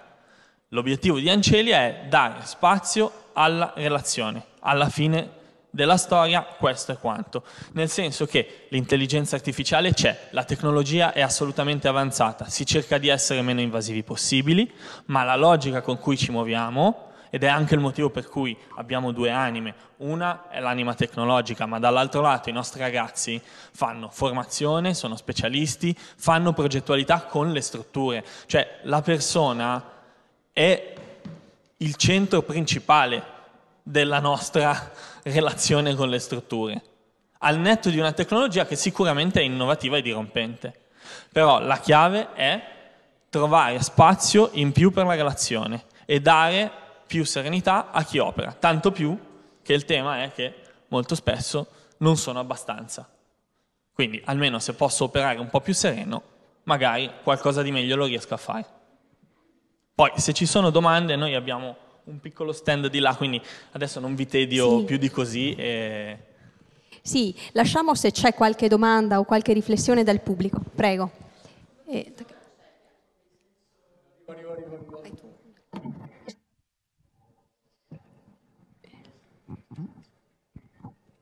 Buonasera grazie. Buonasera. Volevo solo qualche dettaglio, se non tedia il resto del pubblico, su come funziona materialmente Ancelia, in che cosa consiste, sensori, telecamere, al letto, alla persona, monitor. Non, non sono io il giudice della noia, eh, però essendo una domanda mi sembra giusto rispondere. Ecco. Allora, eh, fondamentalmente Ancelia funziona in questa maniera. C'è un sensore intelligente collocato a soffitto nella stanza del residente che eh, fondamentalmente manda dati a una centralina che tiene in realtà molti più sensori, fino a 40 sensori in contemporanea, e che rielabora queste informazioni geometriche spaziali in tempo reale. Per cui questi dati vengono poi convogliati in due contenitori differenti. Da un lato abbiamo il contenitore per gli operatori, quindi tablet o smartphone, questo smartphone può avere Ancelia sopra, e in tempo reale Ancelia mi segnala presenza senza dal letto a seconda della personalizzazione che ho fatto su ogni singolo residente. Quindi quello che dicevo prima è esattamente questo. Ho il residente che ha bisogno di una certa attenzione in più, l'alzata dal letto, ho il residente che magari è in realtà uno stato vegetativo permanente, per cui la chiave è la posturazione al tempo, cioè al minuto, eh, comunque essere sempre attento e farne tutte in modo tale da evitare la lesione e dall'altro lato invece l'altra componente, visto che abbiamo parlato di big data e di machine learning, è quella legata invece alla parte manageriale. Quindi diamo anche tutto un pannello di controllo a disposizione di coordinamento infermieristico, socioassistenziale, direzione sanitaria, direttore generale della struttura che aiuta a capire nel profondo quali sono alcuni dettagli, alcune caratteristiche dei residenti che magari potrei scoprire solo mettendo una persona lì tutto il giorno ad osservarlo per uh, due settimane. Questa cosa significa banalmente evitare di mettere le contenzioni le prime due settimane che una persona entra in struttura perché lascio Ancelia a vegliare sulla persona, non metto le spondine e poi capisco se si muove, se esce e se disturba. Chiaramente poi ci sono le strutture che sono disposte a farlo e hanno una certa filosofia, altre che invece si sentono più sicure. Però questa, questa più o meno è la logica. Poi abbiamo il tablet col, uh, con, con, qualche posto letto di, di, test in laboratorio, per cui se vuole passare a vederlo lo, lo, glielo mostro volentieri, ci mancherebbe. Certo.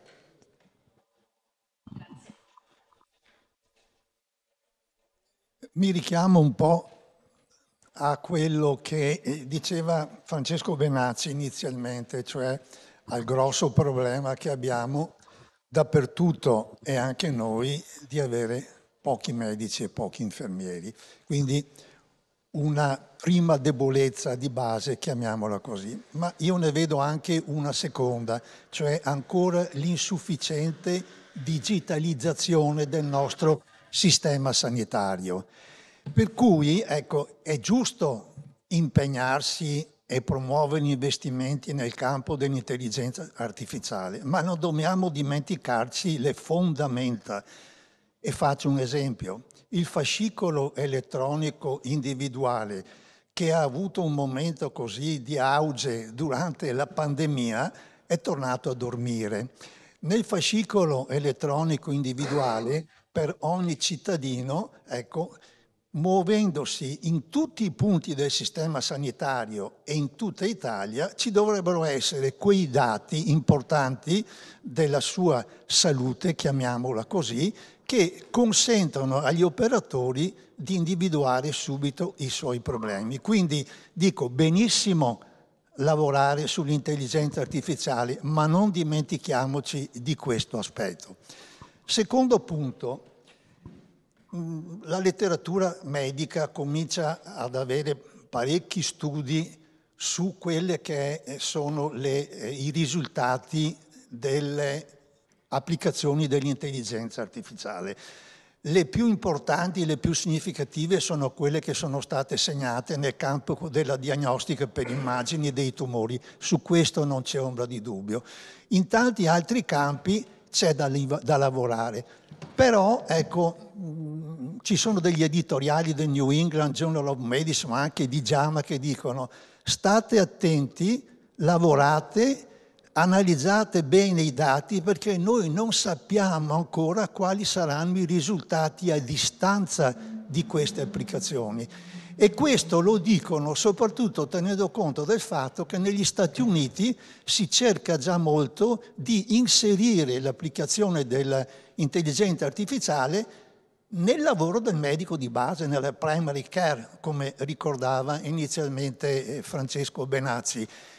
E lì, lì ecco, hanno fatto degli esperimenti su piccoli numeri e dicono occorrono numeri molto più grandi, però concludono state attenti perché il processo, e qui mi richiamo a quello che diceva anche il dottor Papes, il processo potrebbe anche non essere gestito adeguatamente dai medici, forse non sufficientemente preparati.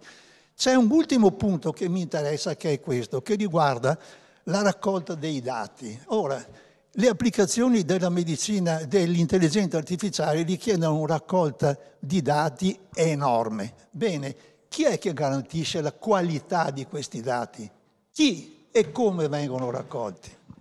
Io, se posso rispondere dopo. Allora, se voi vi ricordate, quando si parlò di sanità 2.0, eh, già eh, il decreto Brunetta disse che bisognava digitalizzare tutta l'Italia, se vi ricordate, sono stati investiti dei soldi e poi la cosa si è bloccata. Oggi, io dico per fortuna, sempre la missione 6, l'1.2 eh, obbliga sostanzialmente gli stati che hanno aderito a arrivare a una digitalizzazione complessiva e per noi si chiama il Patient Summary che poi è la cartella clinica elettronica.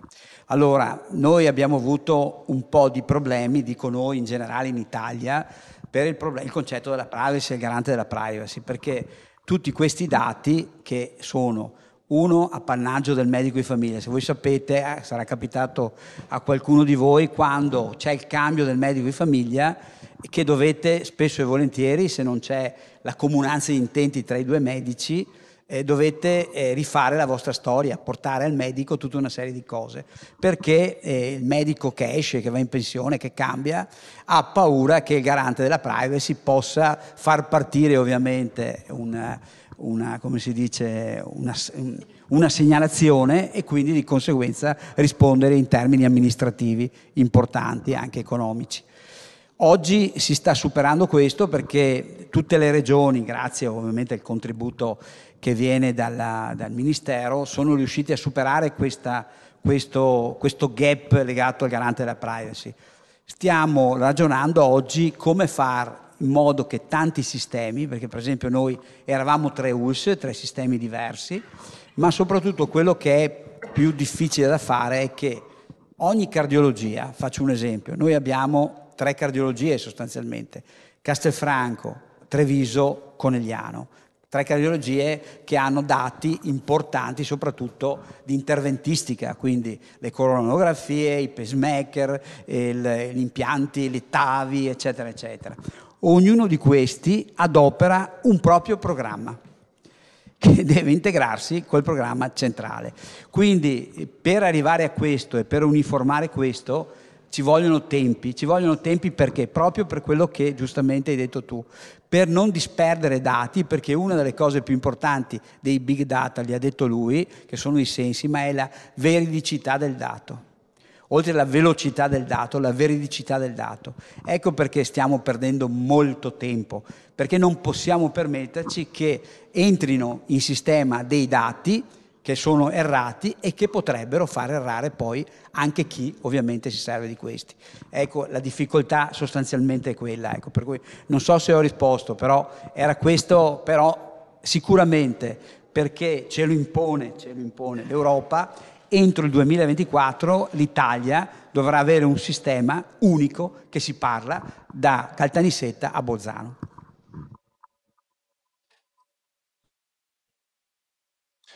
Vuole integrare? Allora, faccio... Sì. Faccio... sì. No, ecco, eh, riguardo alla quantità di dati e a come vengono trattati, eh, sì, è un tema anche per noi tecnici, perché comunque eh, arrivano nei server ehm, una quantità enorme di dati eh, che però noi trattiamo eh, in conformità al regolamento GDPR, la normativa nazionale, per cui effettivamente anche noi ci troviamo eh, diciamo, a condividere quella che è questa grande database che però eh, deve avere un uso molto molto limitato e protetto. E poi c'è tutto il tema invece di, dei dati provenienti da diversi, fonti diversi, per cui non sono dati tutti uguali, sono dati che arrivano da sistemi diversi, con tecnologie diverse, con qualità diversi, eh, sicuramente dati veri, veritieri, perché sono dati comunque prodotti da medici o insomma, infermieri o persone autorizzate all'interno di centri autorizzati, però questo non significa che di default sono dati che vengono utilizzati, trattati e divulgati, no, molto spesso vengono conservati eh, a eh, disposizione del medico stesso che li ha eseguiti, quindi noi siamo molto conservativi su questo proprio perché la normativa comunque è molto, molto stretta, molto rigida. Eh, chiaro è che c'è un tema anche di piattaforma perché se voi pensate che io per esempio il mio medico di base mando eh, i referti via mail o via whatsapp e sono io perché, non, eh, perché eh, ma questo lo scelgo io e so che corro un rischio perché la mia mail chi dice che è sicura? Nessuno. Quindi sicuramente c'è un tema di piattaforma che è a livello nazionale, è un progetto che è in corso, per cui sicuramente c'è questo. Dall'altra parte c'è la necessità di avere qualche strumento veloce per comunicare col medico perché tante volte non ti danno neanche l'appuntamento. Quindi effettivamente poi nella pratica questo sì. è. Volevo fare una domanda io, poi c'è un signore. Allora, intelligenza artificiale, eh, abbiamo parlato diciamo dal punto di vista del gestore, quindi di chi organizza il servizio, no? che sia pubblico o privato. Volevo chiedere qual era diciamo, il sentimento e il sentire chi, degli operatori, quindi dei medici e anche dei pazienti rispetto a questo eccesso di tecnologia nel processo diciamo, della presa in carico del paziente. Eh, ecco, quello che naturalmente da parte del dottor Benazzi e del signor Papes. Aggiungo? Sì. Allora, eh, diciamo che molti di noi ormai hanno capito che i big data hanno un'importanza fondamentale. Il tema è questo, big data e che cosa ce ne facciamo nell'ambito della medicina. Abbiamo capito che i big data hanno un valore soprattutto se possono essere collegati tra di loro, le banche dati. Senza questo collegamento eh, i big data vengono depotenziati, non hanno più il valore che potrebbero avere. Allora porto un esempio che riguarda quello che diceva il Signore prima, anche la condizione diciamo, del cittadino in qualche modo. Io rifletto sui problemi delle migrazioni per problemi sanitari. Cioè pensate quante persone si spostano da una città all'altra per trovare il medico giusto. Pensate a quanti si spostano da una, da una regione all'altra e pensate anche alle malattie rare. Se non c'è condivisione, a maggior ragione per le malattie rare, se non c'è condivisione non ricaviamo nulla di nuovo o poco. Allora, quello che io non, non, riesco ad afferrare nei discorsi che sono stati fatti oggi è proprio questo. Se l'organizzazione burocratica, amministrativa, organizzativa della sanità non riesce ad, diciamo, ad acquisire la stessa velocità dell'innovazione tecnologica, secondo me ha fallito. Ecco, questo è il, è il, discorso che io mi sento di fare. Grazie. Allora, eh, i, i, nostri medici, il nostro personale come prende, eh, co, eh, diciamo, che l'intelligenza artificiale prenda piede? Beh, credo dopo le, l'epoca sostanzialmente del Covid, già durante il Covid, molti nostri specialisti, parlo della psichiatria, voi vi chiedete, è vero, c'è stato un aumento di persone che hanno avuto un disagio mentale, perché sono stati isolati, c'è un aumento di ragazzi che hanno aggressività perché non si sono mai parlati salvo attraverso uno schermo. Però è anche vero che come mai durante i due anni di Covid nessuno si è mai suicidato e nonostante che noi seguiamo 32.000 pazienti che hanno problemi di disagio mentale. Perché comunque i nostri psichiatri, pur essendo pochi, perché dovremmo averne 50, ne abbiamo 32, hanno lavorato col teleconsulto. hanno in qualche modo, grazie ai stakeholder, grazie alle associazioni di volontariato che comunque Light Summer e Psiche 2000 che andavano a casa della gente, grazie ai caregiver, sono riusciti comunque a contenere un disagio importante. È chiaro che dopo è esploso l'aumento dei suicidi, la difficoltà, l'aggressività, tutto quello che volete, due anni chiusi succede questo. Però hanno apprezzato, e guardate che fare lo psichiatra è il lavoro che più eh, che ha bisogno del rapporto umano insieme allo psicologo, cioè a chi lavora nei SERD, a chi lavora nell'ecologia, cioè hanno bisogno del rapporto umano. Però sono riusciti a contenere un disagio grazie al teleconsulto. Quindi, per rispondere, sicuramente è un mezzo dove ci sono difficoltà anche di numero di personale, che può aiutare a lavorare meglio e dare risposte ai pazienti, che non significa avere l'alibi poi di non trovarli più, di non parlare con questi, ma è un mezzo anche questo per fare in modo di poter gestire un po' di più un numero di pazienti rispetto a quello che può essere nel contatto tête a tête. Magari il paziente che non ha bisogno di un cambio di terapia, di una psicoterapia veloce, vicina, può essere gestito grazie al caregiver e al paziente stesso in teleconsulto, cioè parla col medico di famiglia, il specialista parla col familiare, parla con la persona, dosando sostanzialmente la terapia. Questo vale per una N, N, altri motivi. Quindi, secondo me, i nostri saranno ben felici anche perché cito una cosa importantissima. Voi sapete che su 6,3 ricoveri ogni ogni mille ricoveri 6,3 persone hanno sostanzialmente infezioni gravissime ospedaliere. Quindi è sostanzialmente per noi eh, importante gestire più velocemente possibile la dimissione ospedaliera della persona e gestirla a domicilio. Ma è anche importante utilizzare i dati che abbiamo perché i dati che abbiamo ci aiutano a capire perché avvengono le infezioni ospedaliere. E quindi anche questo significa risparmio, significa per il sistema sanitario pubblico, ma significa anche evitare che ci siano delle infezioni tali che possono portare anche al decesso della persona. E questo è stato dimostrato in uno studio di due ospedali in Massachusetts che funziona. E uno di questi era un ospedale virtuale, cioè un ospedale che praticamente aveva 100-450 posti virtuali a domicilio e gestivano per- e continuano a gestire le persone mandando gli infermieri a casa e utilizzando ovviamente la telemedicina e gli specialisti che sono seduti fisicamente da una parte ma non hanno posti letto. Ecco, credo che il futuro sia questo, quindi l'intelligenza artificiale sicuramente andrà a agevolare la medicina e gli operatori, perché caricherà meno gli operatori di lavoro, ma continuo a ribadire non toglierà agli operatori quella cosa importante che si chiama rapporto umano ed etica. Questo no, perché altrimenti, eh, voglio dire, possiamo essere tranquillamente sostituiti da un robot. Quando vedo sul giornale che in Piazza dei Signori il robottino, eh, signori e signori, va a portare il caffè, è, è bellissimo perché non trovano più i camerieri, però anche triste, credetemi, anche triste. Quindi credo che dobbiamo, perché siamo persone che umane e quindi amiamo socializzare, amiamo socializzare, dobbiamo utilizzare la tecnologia in modo adeguato. E il modo adeguato è ci serviamo della tecnologia, ma non ci facciamo utilizzare la tecnologia, che sono due cose diverse. Grazie direttore. La conclusione al dottor Papes. No, volevo rispondere un attimo al concetto che diceva prima della tecnologia che avanza velocemente e naturalmente non siamo in grado di, di seguire questo, questa velocità.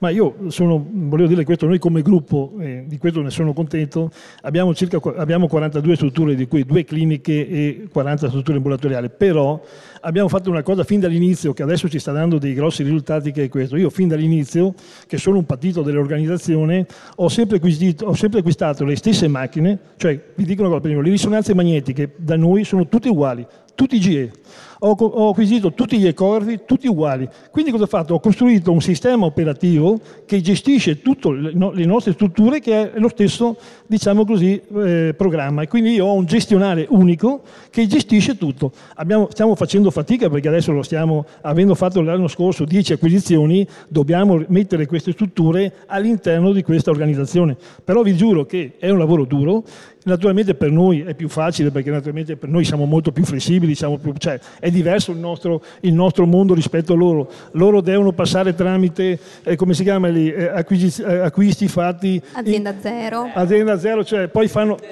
Bandi, sì. ricorsi. Sì, poi, poi devono, fare appalti, devono, fare gli appalti, che poi non possono far vincere lo stesso, lo stesso quindi non può, uno non, può, non, può acquistare, non possono acquistare da uno, devono acquistare da due. Quindi loro sono, rispetto a noi sono diciamo, si portano dietro un macigno, mentre noi siamo più veloci e questa naturalmente per noi è, naturalmente una forza. Però da noi decide uno solo, quindi in realtà quando, quando naturalmente nel Consiglio di amministrazione decido io si va avanti, però noi abbiamo questo programma che ci aiuta e quindi naturalmente il, il, la persona che fa la visita a Reggio Emilia, naturalmente domani mattina se viene a Treviso ha già tutto il suo fascicolo, tutto quanto, perché? Perché stiamo lavorando in questa maniera da anni. I grossi gruppi che stanno arrivando hanno queste difficoltà perché hanno acquisito ma non sono mai partiti col discorso di tutte le macchine tutte uguali, per poi per fare sì che il, che il progetto funzioni e che il, i dispositivi funzionino bisogna prenderli tutti uguali. Io naturalmente ho tutte le macchine tutte uguali, tutti i icografi sono tutti uguali e ho gente che viene tutti i giorni a dirmi ma perché, perché, perché? Eh certo, perché poi naturalmente faccio una... Faccio una, faccio una È tutto eh, certo, collegato. Cioè, quando chiamo arrivano subito, perché naturalmente quando uno ha 100 ecografi quando ha 15 TAC, ecco, capisci il discorso? Quindi è il concetto che io posso però fare questo tipo di attività in questa maniera, questa organizzazione. Loro naturalmente hanno questi limiti e, e questi limiti poi stanno diventando, come diceva prima il Signore, diventeranno sempre maggiori, perché mentre la, mentre la velocità della tecnologia avanza velocemente, naturalmente loro arrancano, ma non è una colpa loro, è colpa del sistema. Quindi, cioè, eh, perché se no è facile dire che ehm, passi il, il concetto che voi non siete capaci. No, no, assolutamente, anzi perché fate insomma eh, siete un ULS, diciamo loro, adesso sono qua, ma in Veneto sono forse la migliore ULS che c'è, che c'è a livello diciamo, organizzativo, di, ma soprattutto di visione, perché naturalmente ci serve per gestire la sanità, bisogna avere anche visione. Loro hanno questa, poi naturalmente però hanno tutti i limiti di, eh, della burocrazia che, eh, ahimè, quella non possiamo farci niente. Insomma. Quindi noi abbiamo questa modalità che oggi sta, sta uh, portandoci ad avere un successo che per noi è interessante. Insomma. Grazie. Allora, adesso ringraziamo gli ospiti perché adesso Vittoria deve partorire per la quinta volta oggi. Quindi grazie, grazie per gli spunti e adesso insomma facciamo una piccola pausa.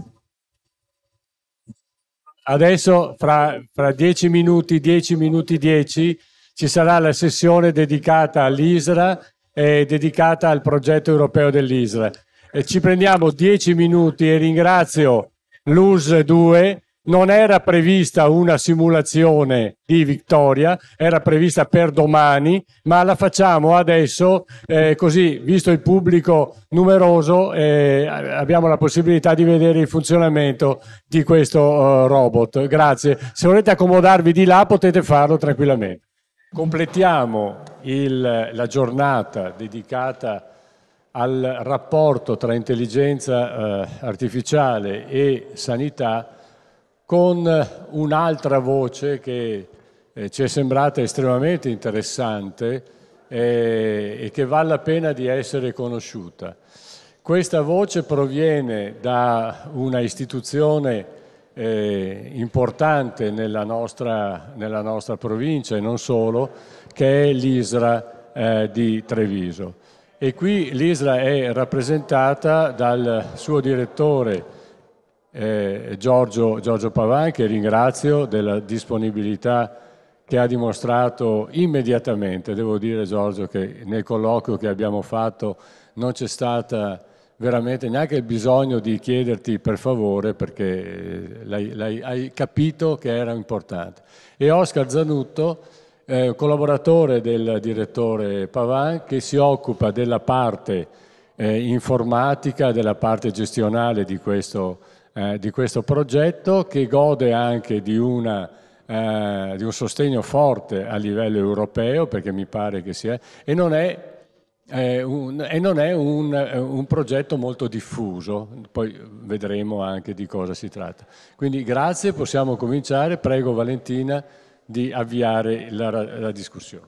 Grazie, allora ben trovati. Apriamo i lavori appunto eh, con un segmento della vita importante, che è quello della, la chiamano la terza età, ma insomma di fatto, prima diceva anche il direttore Benazzi, eh, gli over 65 sono da considerarsi anziani, poi giusto o sbagliato che sia, al momento insomma eh, la definizione è questa.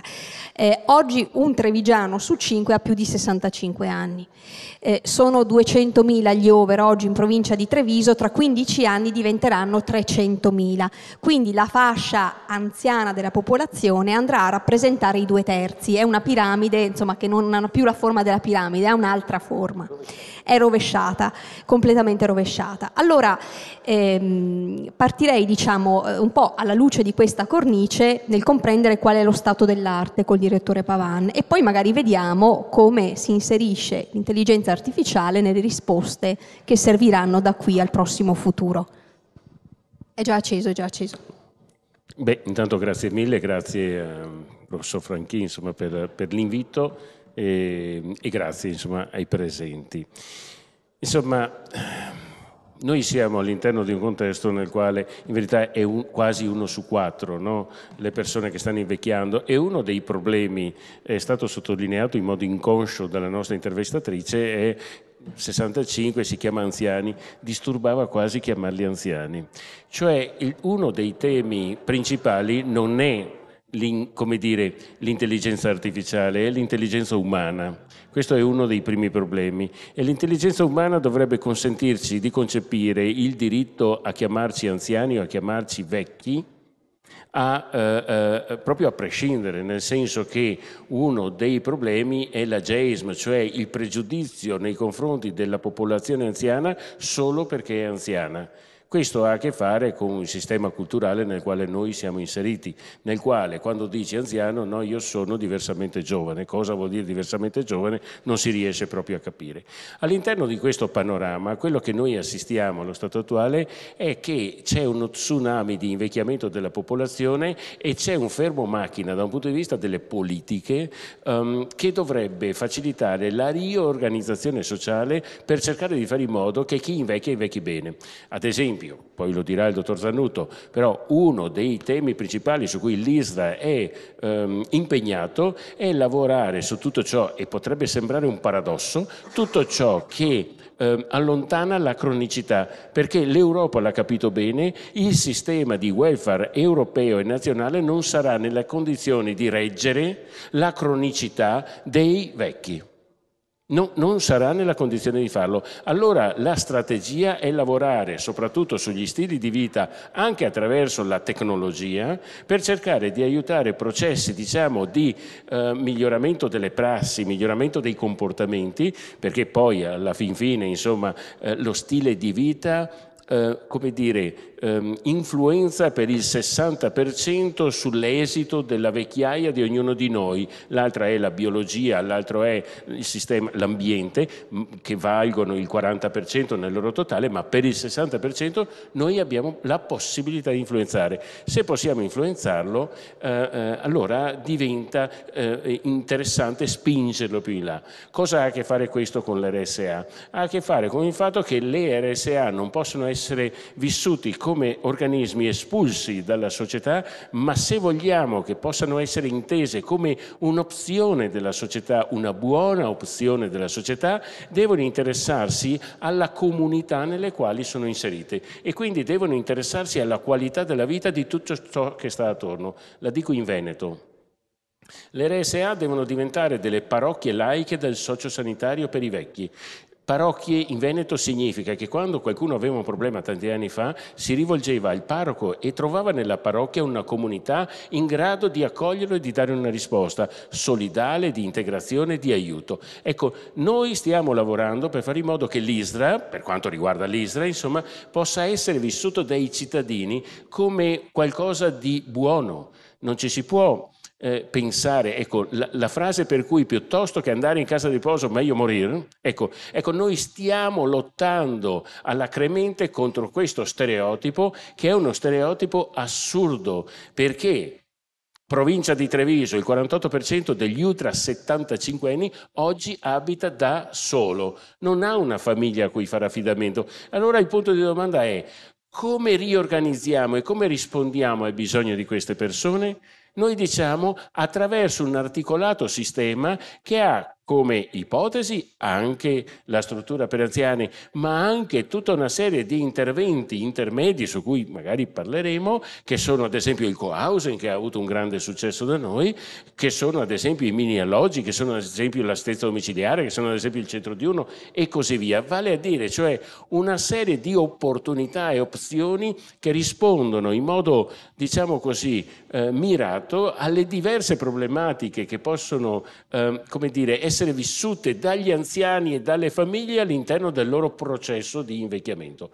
In questo contesto noi abbiamo l'ardire di dire che chi viene da noi deve venire per vivere meglio di come vivrebbe a casa sua, perché altrimenti è giusto che se ne stia a casa sua.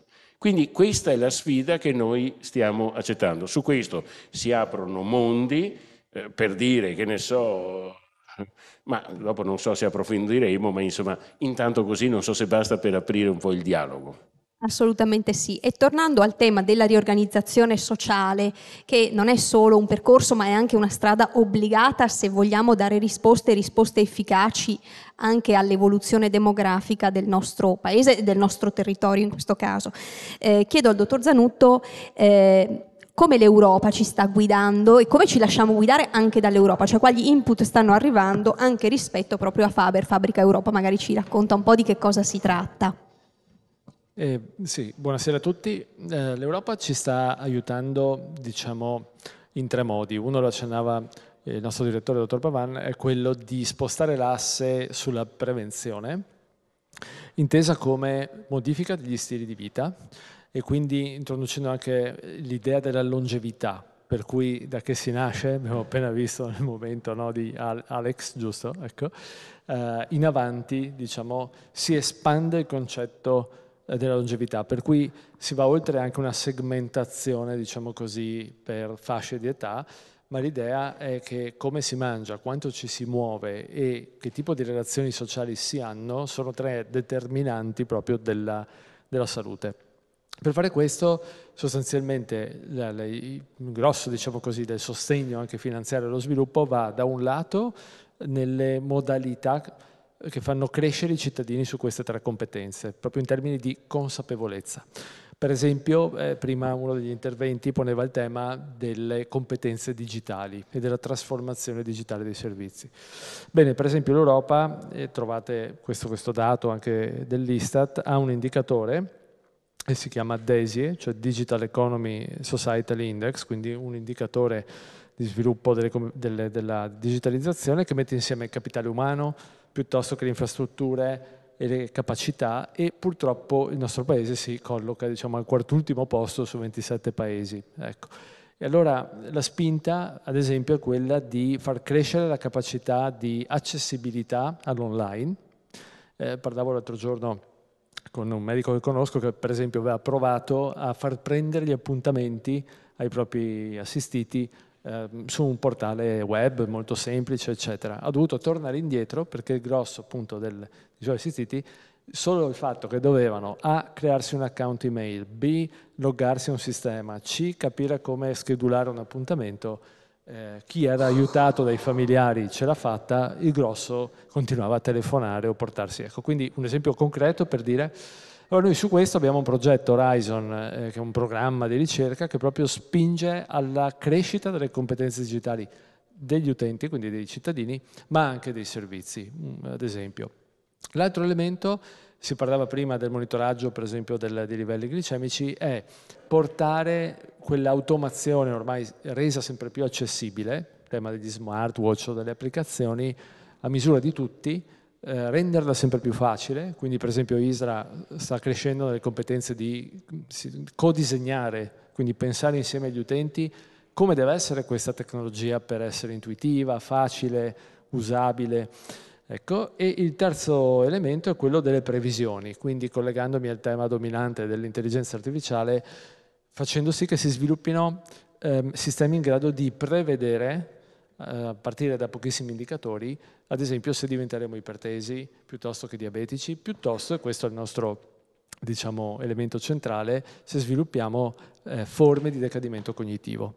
ehm, attraverso magari per dire come interagiamo con eh, eh, so, un microonde, una lavastoviglie, eccetera, possiamo oggi mettere questi, questo internet delle cose, quindi sistemi intelligenti che capiscono se il nostro comportamento è coerente a, alla funzione oppure in modo silenzioso possono fotografarci, diciamo, eh, eh per dare poi a psicologi, medici, insomma, un po' di informazioni. Ecco.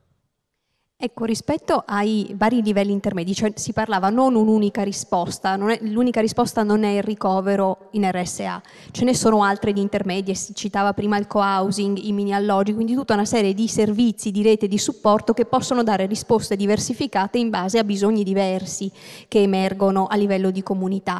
Ecco, in questi, in questi ambiti che state implementando, l'intelligenza artificiale vi sta dando una mano e se sì, in che modo? Beh, allora, eh, sono progetti che si inseriscono all'interno di un sistema che funziona. Eh, una premessa sulla differenza tra la digitalizzazione del sistema e l'intelligenza artificiale, che sono due cose un po' diverse concettualmente. Mm, io penso che già la digitalizzazione sia uno strumento eh, importante e indispensabile di tutti i processi. Nelle nostre strutture abbiamo 140 terminali e se parliamo di cartella elettronica eh, siamo al 95% insomma, di funzionamento, per cui in ogni momento noi conosciamo qualsiasi cosa sia avvenuta nella storia della persona ma anche ieri mattina. Insomma, ecco. Quindi questo è un elemento importante e lo è ancora di più ad esempio se pensiamo proprio riferito alla carenza di personale a cui si faceva accenno nella sessione precedente, al fatto che su 75 infermieri io ne ho 66 extra europei, beh, eh, il fatto di poter utilizzare strumenti di digitalizzazione che uniformano perlomeno il tema del linguaggio, e, e, i numeri e le parole che sono scritte, questo diciamo così riduce la probabilità d'errore che noi possiamo compiere all'interno di questo processo. E quindi il tema della digitalizzazione intanto sul governo del sistema è già molto importante. Io confronto eh, i nove nuclei per le demenze che abbiamo e vengo a vedere la quantità di psicofarmaci che vengono usati negli uni e negli altri quasi a eh, interpretare modelli di intervento diverso a seconda delle diverse equip, dei diversi medici e infermieri che intervengono e quindi possiamo anche stabilire politiche di intervento di tipo diverso. Dicevamo, di fronte a un panorama che si presenta eh, appunto con questa società che sta invecchiando, noi abbiamo il diritto dovere di proporre soluzioni alternative. Una delle soluzioni alternative sulle quali abbiamo lavorato negli ultimi anni è proprio la creazione nel centro di Treviso insomma, di questo co-housing. Io lo chiamo a, a mediazione istituzionale. Il co-housing in verità nasce dai quattro amici al bar che dicono sai cosa ti dico? Possiamo andare a vivere assieme? Ma sì, dai che andiamo a vivere assieme. Ecco, se noi parliamo a persone di 75 anni ehm, eh, non, eh, ecco, i quattro amici del bar non si dicono queste cose. Dico a mediazione istituzionale nel senso che i corpi intermedi, come siamo noi, devono facilitare i processi, diciamo così, di aggregazione sociale, individuando dei percorsi vir virtuosi che creano sinergia, che creano nuove forme di comunità.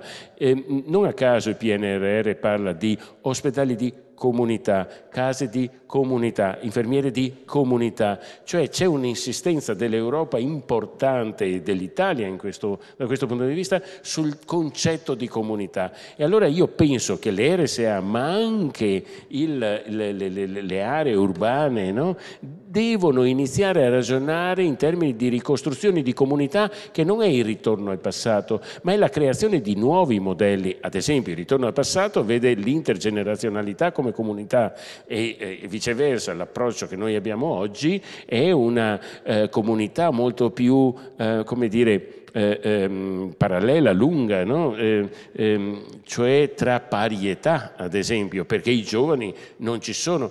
Quando Benazzi dice che c'è una caduta eh, dell'aspetto valoriale legato alle professioni di cura, in verità mancano i numeri dei nati, cioè non ce ne sono nati e quindi sono ridotti dell'80% delle persone che sono nate, sul 20% hai la percentuale bassa che fa questo tipo di lavoro, non solo perché c'è meno vocazione, ma proprio perché non c'è gente che, che, che può fare questo lavoro. È molto più drammatica la cosa di come viene come dire, interpretata.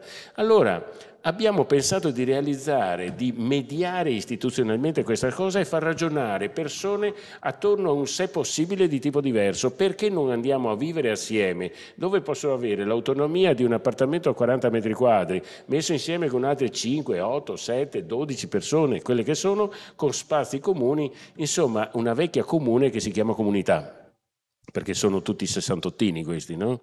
ex sessantottini. E quindi c'è il ritorno a questa idea di comunità che è realizzare l'antico sogno per certi aspetti. No?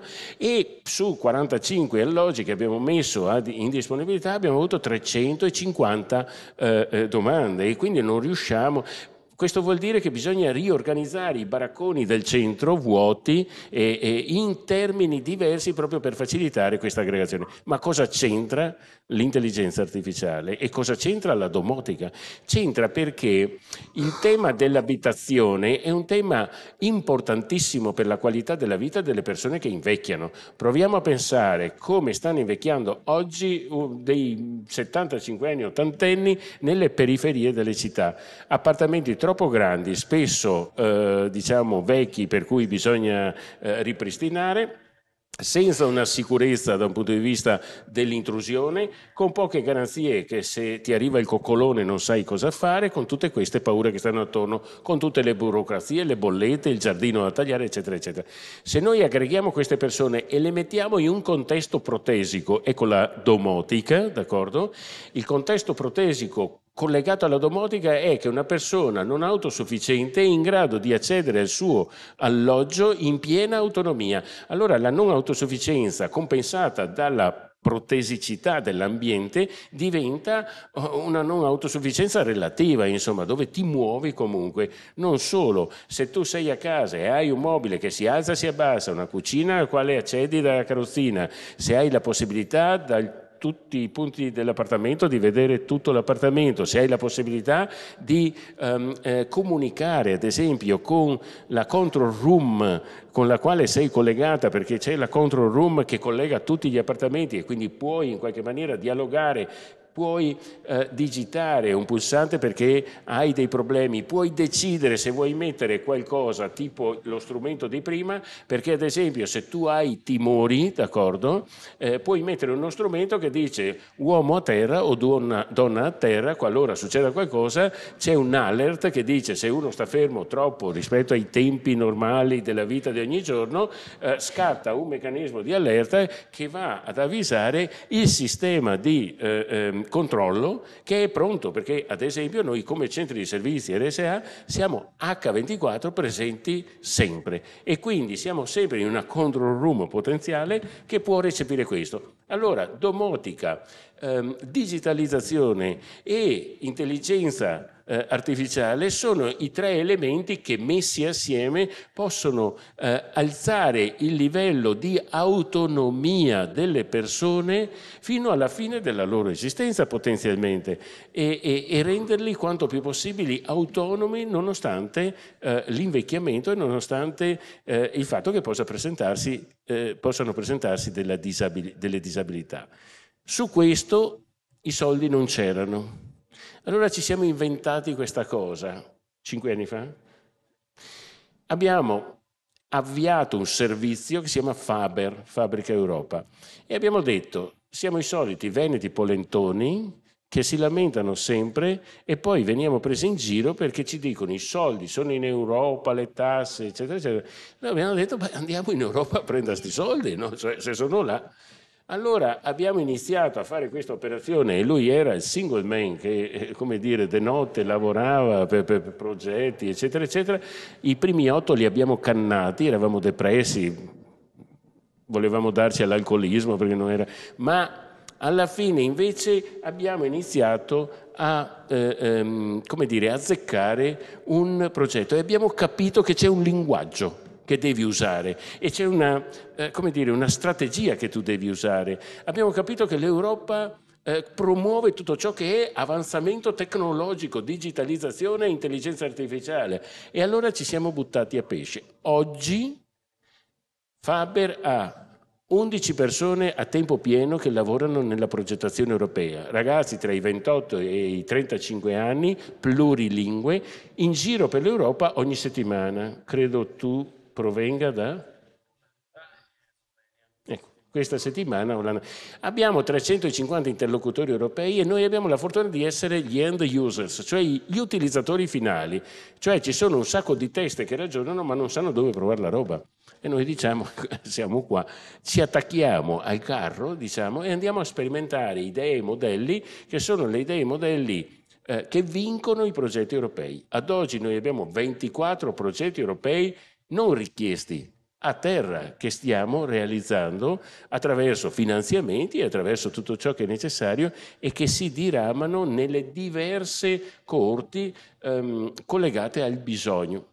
Prima il dottor Benazzi parlava del tema della, eh, degli antibiotici, della multiresistenza, cioè del fatto che siamo pieni, così pieni di antibiotici che l'antibiotico non riesce più a fare effetto, abbiamo ottenuto un finanziamento anche significativo dal punto di vista economico, molto significativo, per andare a sperimentare quali potrebbero essere i modelli che individuano eh, quali sono i processi, eh, diciamo così, eh, negativi, d'accordo, e quali sono viceversa le virtù per tirarsi fuori da questa cosa. Altro finanziamento, faccio un esempio, è legato alle strategie che le aziende come le nostre devono mettere in atto per trattenere i lavoratori che se ne vanno da altre parti e stanno cambiando mentalità. Questo per dire a carattere di impatto sociale e di altro, ma molti, ma penso che possa anche essere più esaustivo Oscar, molti sono proprio nelle applicazioni tecnologiche che abbiamo già sperimentato e stiamo ancora sperimentando. Eh, starei proprio su questo, cioè si parlava di capacità predittive, di saper leggere i bisogni anche per interessare l'Europa, intercettare i fondi che poi sono una, una, parte fondamentale per poter mettere a terra i progetti. Su quali state lavorando? Ce n'era uno, visto che si avvicina l'estate, sui colpi di calore che avevate sviluppato qualche tempo fa e come sta andando quello e poi gli altri, gli altri in essere.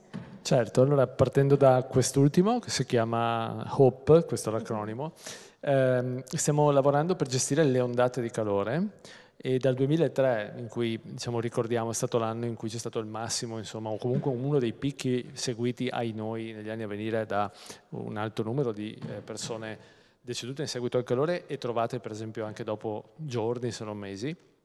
Um, eh, il tema è che questo problema sta interessando tutta l'Europa, in particolare anche i paesi del nord Europa che sono meno abituati di noi ai 40 gradi o ai 38 gradi e quindi eh, cerchiamo di mettere insieme, diciamo così, eh, tre livelli di azione che sono politiche, per esempio, mh, che gli enti, in particolare magari anche le municipalità, possono attuare per dare rifugio nei momenti in cui eh, eh, ci sono picchi di, di, calore, di, calore, cambiare i comportamenti eh, legati all'idratazione, ad esempio, all'alimentazione, quindi rendendo le persone più consapevoli di come mutare insomma, queste abitudini in base a ai momenti.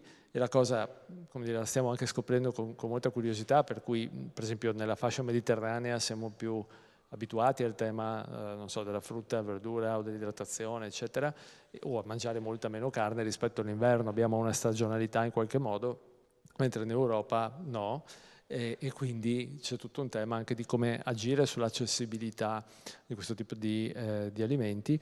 E l'altra questione è eh, mappare per esempio delle zone anche aggregative rispetto alle quali le persone possono trovarsi perché c'è l'aria condizionata che sta diventando il tema del calore e del riscaldamento anche un problema di eh, accessibilità energetica, tant'è che si parla proprio di, di, povertà energetica o accessibilità energetica, che si sta coniugando con il tema che magari non tutti possono avere l'aria condizionata o pagare eh, l'aumento dei costi dell'energia eh, per condizionare l'ambiente e così via. Quindi diciamo eh, eh, le soluzioni stanno individuando un po' a metà tra politiche, interventi e cambiamenti comportamentali ecco, rispetto a questo. Rispetto invece al tema di come eh, nei nostri progetti stiamo usando il tema dell'intelligenza artificiale, ci sono diciamo, due grandi mm, ambiti di applicazione. Uno è legato a eh, come possiamo creare degli esercizi di stimolazione cognitiva, mentale, basati sulla eh, diciamo, generazione di contenuti di esercizi, diciamo così, ecco, per cui si potenzia la memoria, l'attenzione, per cui gli esperti, gli psicologi creano diciamo, una prima struttura di questi esercizi e grazie a, eh, si parlava prima di chat GPT o altre eh, realizzazioni, eh, l'automazione può espandere dire, e ricreare in modo molto personalizzato questi contenuti affinché poi la diciamo così, soglia di, di, di, difficoltà di questi compiti sia fattibile per la persona, ma anche personalizzata, perché si è visto che ci sono due grandi ingredienti poi di uso delle tecnologie, che sono la loro usabilità, assolutamente in primis, e la personalizzazione. Eh, tema che uno può magari nei propri computer o eh, telefoni personalizzarsi eh, la pagina iniziale, i colori, ecco, piccole cose queste cose portate invece in grande in termini di contenuti, per cui ad esempio ehm, si possono porre delle domande su un tema eh, di, che appassiona la persona, che sia appassionata di montagna piuttosto che di musica, piuttosto che di storia, le domande che l'intelligenza artificiale vanno in una direzione invece che un'altra. E eh, il suo sviluppo oggi è sempre più accessibile, è sempre più, come dire, automatico anche nella sua modalità di generazione, quindi anche i costi per fare queste cose stanno eh, scendendo. Per cui abbiamo ad esempio due progetti, uno si chiama Value Care che fa uso di questi chatbot per personalizzare questi eh, diciamo, giochi mentali e un altro che, eh, che sta appena partito e che aumenterà la possibilità di assistere a domicilio le persone con diciamo, una combinazione tra il monitoraggio che dei sensori fanno dialogando con l'intelligenza artificiale e questi contenuti che si andranno a proporre. Ecco, l'idea è proprio di espandere l'autonomia a domicilio il più possibile. Insomma. Ecco, rispetto al, alla robotica, poi lasciamo spazio anche alle domande se ci sono dal pubblico. Eh, qualcuno prima si interrogava sulle fattezze di, una, insomma, di, un insieme di sensori e sistemi per monitorare il paziente anziano. Eh, l'invecchiamento può essere aiutato da un robot e penso al robottino che in Piazza dei Signori serve lo spritz, ecco, lo immaginiamo con quella fattezza lì. Cioè è, un, è, è, immaginabile e funziona questo o la componente umana in qualche modo non può essere tralasciata? Allora io partivo da una pregiudiziale, no? Perché noi siamo romantici e quindi ci piace pensare che siamo insostituibili nella relazione umana e un po', lo, e un po' è vero. Però ci sono un sacco di ricerche che evidenziano un aspetto importante. La premessa è che i due corni del problema invecchiamento, i due principali drammi dell'invecchiamento sono da una parte la demenza, dall'altra la solitudine. Dopo il resto, i tumori, eccetera, va bene, ti curi, muori, però la demenza dura 10-15 anni e riguarda tutta la famiglia, così come la solitudine è, è un dramma eh, eh, terribile da vivere. E allora le ricerche evidenziano che ad esempio la presenza di un computer, che parla, di un robot che parla all'interno della casa di una persona anziana, eh, come dire, aumenta l'autostima e diminuisce il senso di solitudine della persona stessa, quasi che si trattasse del parente, diciamo, più erudito dell'animale, no? di un cane e di un gatto, perché il, il, il, robot riesce a, come dire, a interloquire. Se dopo il robot nel tempo diventa anche o assomiglierà quanto più possibile a una bambola o a un bambolo eh, e potrà essere anche da un punto di vista tattile qualcosa di affettuoso, io credo che possa determinare grandi risultati proprio nello stato mentale e psichico delle persone anziane, ancorché, ancorché debilitate sul piano cognitivo. Io ricordo che persone con gravi disturbi del comportamento eh, c'è una terapia non farmacologica che banalmente si chiama terapia della bambola e queste persone rimangono, queste persone che disfano appartamenti, d'accordo? Eh, ehm, eh, cullano la bambola per ore e ore, la alimentano, la mettono a letto e se ne prendono cura. Questa è una terapia non farmacologica straordinaria, dobbiamo solo cambiare eh, il paradigma, l'idea con cui noi affrontiamo queste cose e il tema di avere un robot che possa essere un po' un bombolotto, un interlocutore con il quale parlare.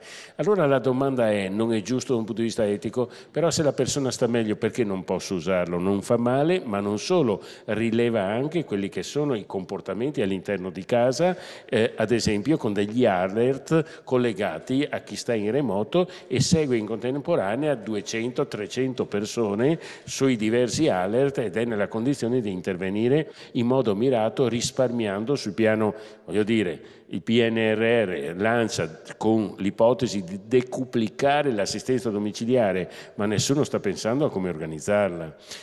Questo pone un problema enorme, si sta costruendo la casa di comunità eh, come dire, ristrutturando l'edificio, ma il vero problema è ristrutturare l'organizzazione dei servizi, non l'edificio che può essere questo o quell'altro, non è questo. Quindi la robotica io penso che possa contribuire in modo molto utile, diciamo così, al tema eh, della qualità della vita delle persone al domicilio.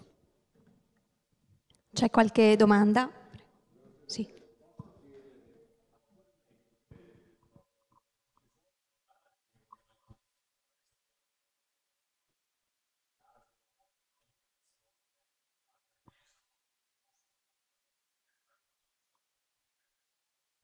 Sì, uh, allora eh, sul grado di domoticità di questi appartamenti, diciamo così, noi quando abbiamo costruito ad esempio il co-housing abbiamo detto sì, viene avanti il wifi dappertutto, ma per essere sicuro tiriamo tireni e canette, d'accordo?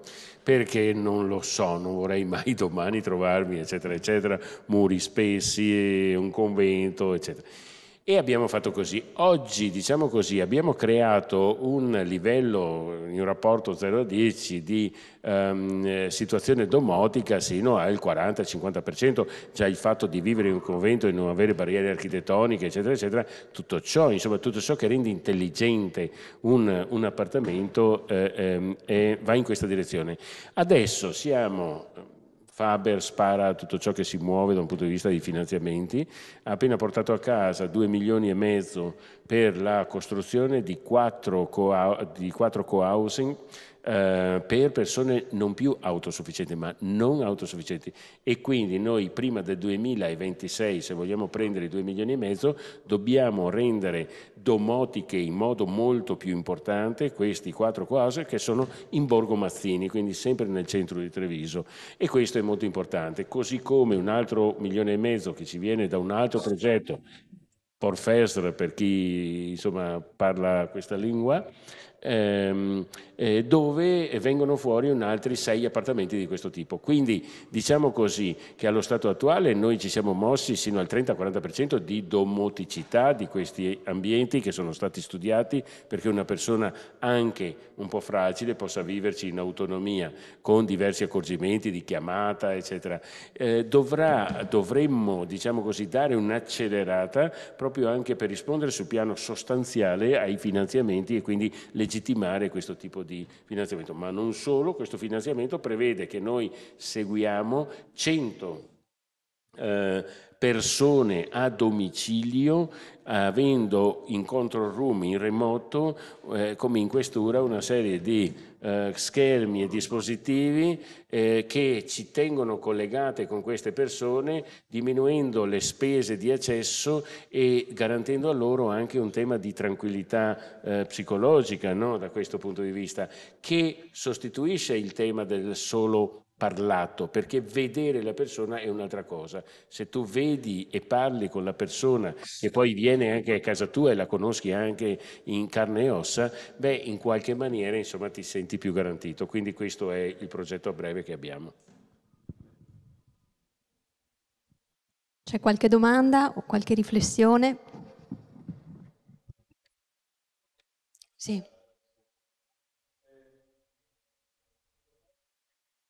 Vuoi il microfono?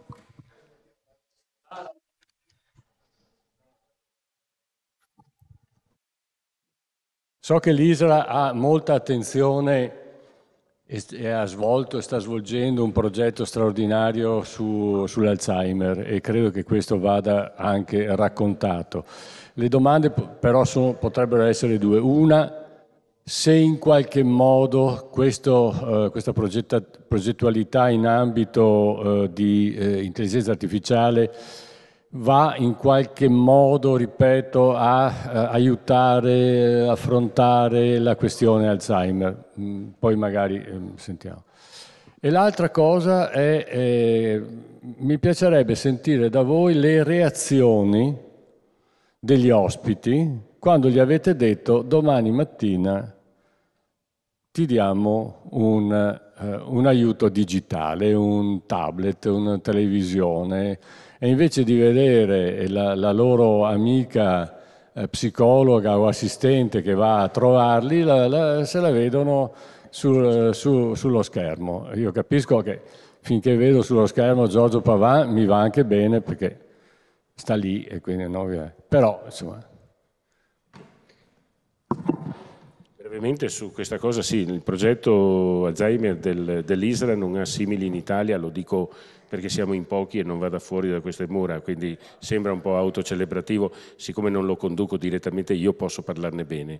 Um, in modo, in modo, eccellente davvero è condotto, noi seguiamo 600 famiglie a, a domicilio e ci inorgoglisce insomma, questo, questo, questa capacità no? e, e, anche integrazione perché è finanziato dal, dalla conferenza dei sindaci, non è una cosetta che ci inventiamo noi, è diventato qualcosa a regime nel nostro territorio e tutto ciò è straordinario perché è in collegamento ed integrazione vera con l'azienda sanitaria e col distretto sociosanitario che ci invia le persone e ci controlla sugli esiti. Quindi questo è molto molto importante. Sul tema della, eh, dell'aiuto diciamo, dell'intelligenza artificiale, poi magari qualcosa Oscar dici te. Um, l'altro elemento è che noi abbiamo visto le reazioni di 95 anni di fronte al tablet e eh, con un livello di apprendimento no, che, che, che, è iperbolico, nel senso che all'inizio parte lento e poi va su in modo assolutamente... Eh, l'unico problema che abbiamo avuto è il tema fonetico e, e della parola fatalità, no? Ehm, eh, però questo è accaduto cinque anni fa quando noi facevamo l'apprendimento dell'uso del tablet all'interno ad esempio di casa albergo o di altre strutture proprio per come attività di esercizio, come vedere delle cose. Con lo scoppio della pandemia noi abbiamo dovuto usare questo strumento come comunicazione con la famiglia e quindi eh, abbiamo tabletizzato praticamente tutti perché questa era la comunicazione. Chi la usava in modo completamente autonomo, chi lo usava in modo mediato dall'operatore perché questo era un processo di questo tipo, chi ha letto perché non era in grado di alzarsi o di manovrare con le mani, però devo dire che nel 95% dei casi eh, l'uso del tablet, uso parole semplici, no? l'uso del tablet come strumento digitale nell'arco di poco tempo no? ha sfondato Um, è interessante un dato che, che spesso cita Oscar, no? Sulla, eh, su quanto tempo ci abbiamo impiegato per i telefoni e quanto tempo per i programmi. Eh, vale a dire che l'apprendimento a qualsiasi età è davvero un apprendimento che è iperbolico da questo punto di vista. Sì, tutti sì. noi. Sì.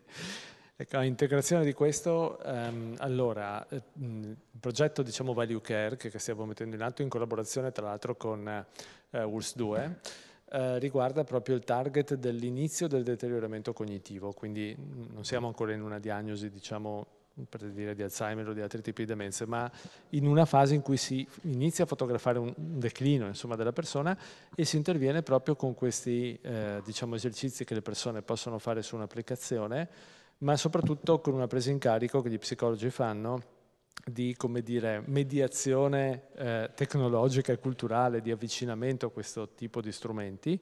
Diamo loro degli eh, orologi, quindi smart, e, e, devo dire, proprio ne parlavamo con i colleghi, assistiamo a due fenomeni. Uno, una eh, netta polarizzazione delle persone tra chi è curioso e, come dire, ha un'attitudine, insomma, di sperimentarsi, e rimane, come dire, giovane come atteggiamento di curiosità di...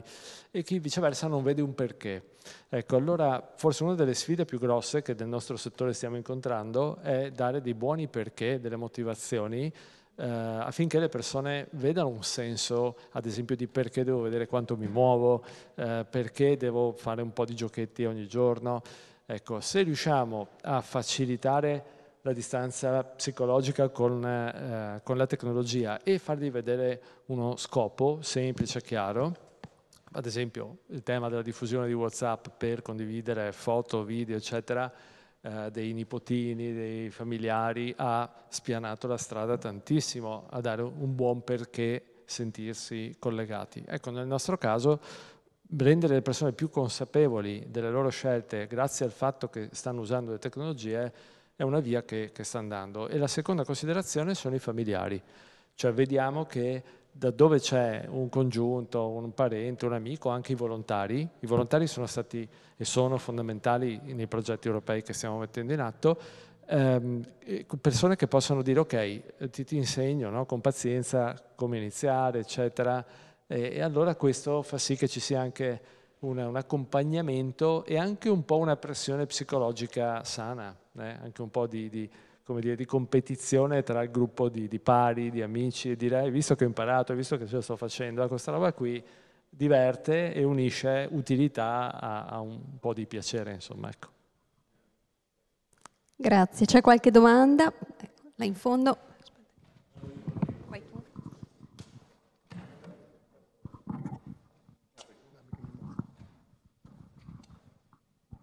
Grazie, mi chiamo Maurizio Franco, eh, sono un medico e ho fatto recentemente un'esperienza quinquennale di amministratore come consigliere comunale a Treviso. Poi ho rinunciato a ricandidarmi perché ho capito meglio cos'è la politica e, e che per far politica bisogna anche essere eh, in grado di eh, gestire le cose in un determinato modo. Allora, io volevo fare due osservazioni. La prima è la moderatrice, eh, che ho conosciuto per la prima volta, ma che leggo costantemente, perché soprattutto quando si fa politica, la prima cosa che si fa la mattina è aprire i giornali. E ho capito in questi cinque anni che i giornali e quello che i giornali scrivono sono molto più importanti di qualsiasi altro convegno, conferenza, conclusioni di tecnici o altro perché chi fa politica è molto attento alle notizie che vengono diffuse attraverso i media. Allora, alla moderatrice chiedo, visto quello che abbiamo sentito prima dai precedenti relatori e quello che indirettamente ci ha detto anche il dottor Pavà, soprattutto in relazione, credo, ogni giorno lo dice, alle grosse difficoltà di personale che esiste nell'RSA, sia come infermieri che OS, eccetera, eccetera. Lei dovrebbe fare delle indagini chiare da riportare sulla stampa di cosa i nostri governanti stanno facendo per risolvere il problema futuro che ogni giorno viene evidenziato da tutti, cioè mancano i medici, mancano gli infermieri, mancano gli OS, manca tutto quel personale che serve alla salute del cittadino, che è la cosa, credo, a cui il cittadino tiene in più. Allora, se qualcuno dice in un convegno che mancano 156 medici di base in provincia di Treviso, sì, ci dicono che hanno aperto le scuole di specialità, ci dicono che creeranno più medici di famiglia, ma quando e come e con che certezze? Perché se la politica, cioè chi ci ha governato di tutti i colori, non è riuscito in vent'anni a fare un'operazione aritmetica, quella che si insegna alle elementari, cioè tanti vanno in pensione, tanti vanno all'estero, tanti vanno da altre parti, quanti dovranno essere col numero programmato quelli che devono essere sostituiti. Se non sono riusciti in vent'anni, che sicurezza ho io che fra dieci anni i numeri torneranno ad essere quelli che devono essere? Quindi la stampa credo sia quella che più riuscirà ad ottenere qualche effetto, indagando, perché poi a livello nazionale tra i vari partiti di qualsiasi colore, non mi pongo da nessuna parte, non sento mai parlare di problematiche di questo tipo. Questa è una prima osservazione. La seconda la faccio al dottor Pavan, con cui mi complimento perché è una persona di riferimento estremamente valida e importante, per dire, giustamente lui ha detto, noi dobbiamo prevenire la cronicità e quindi dobbiamo fare anche una politica che si basa sui stili di vita.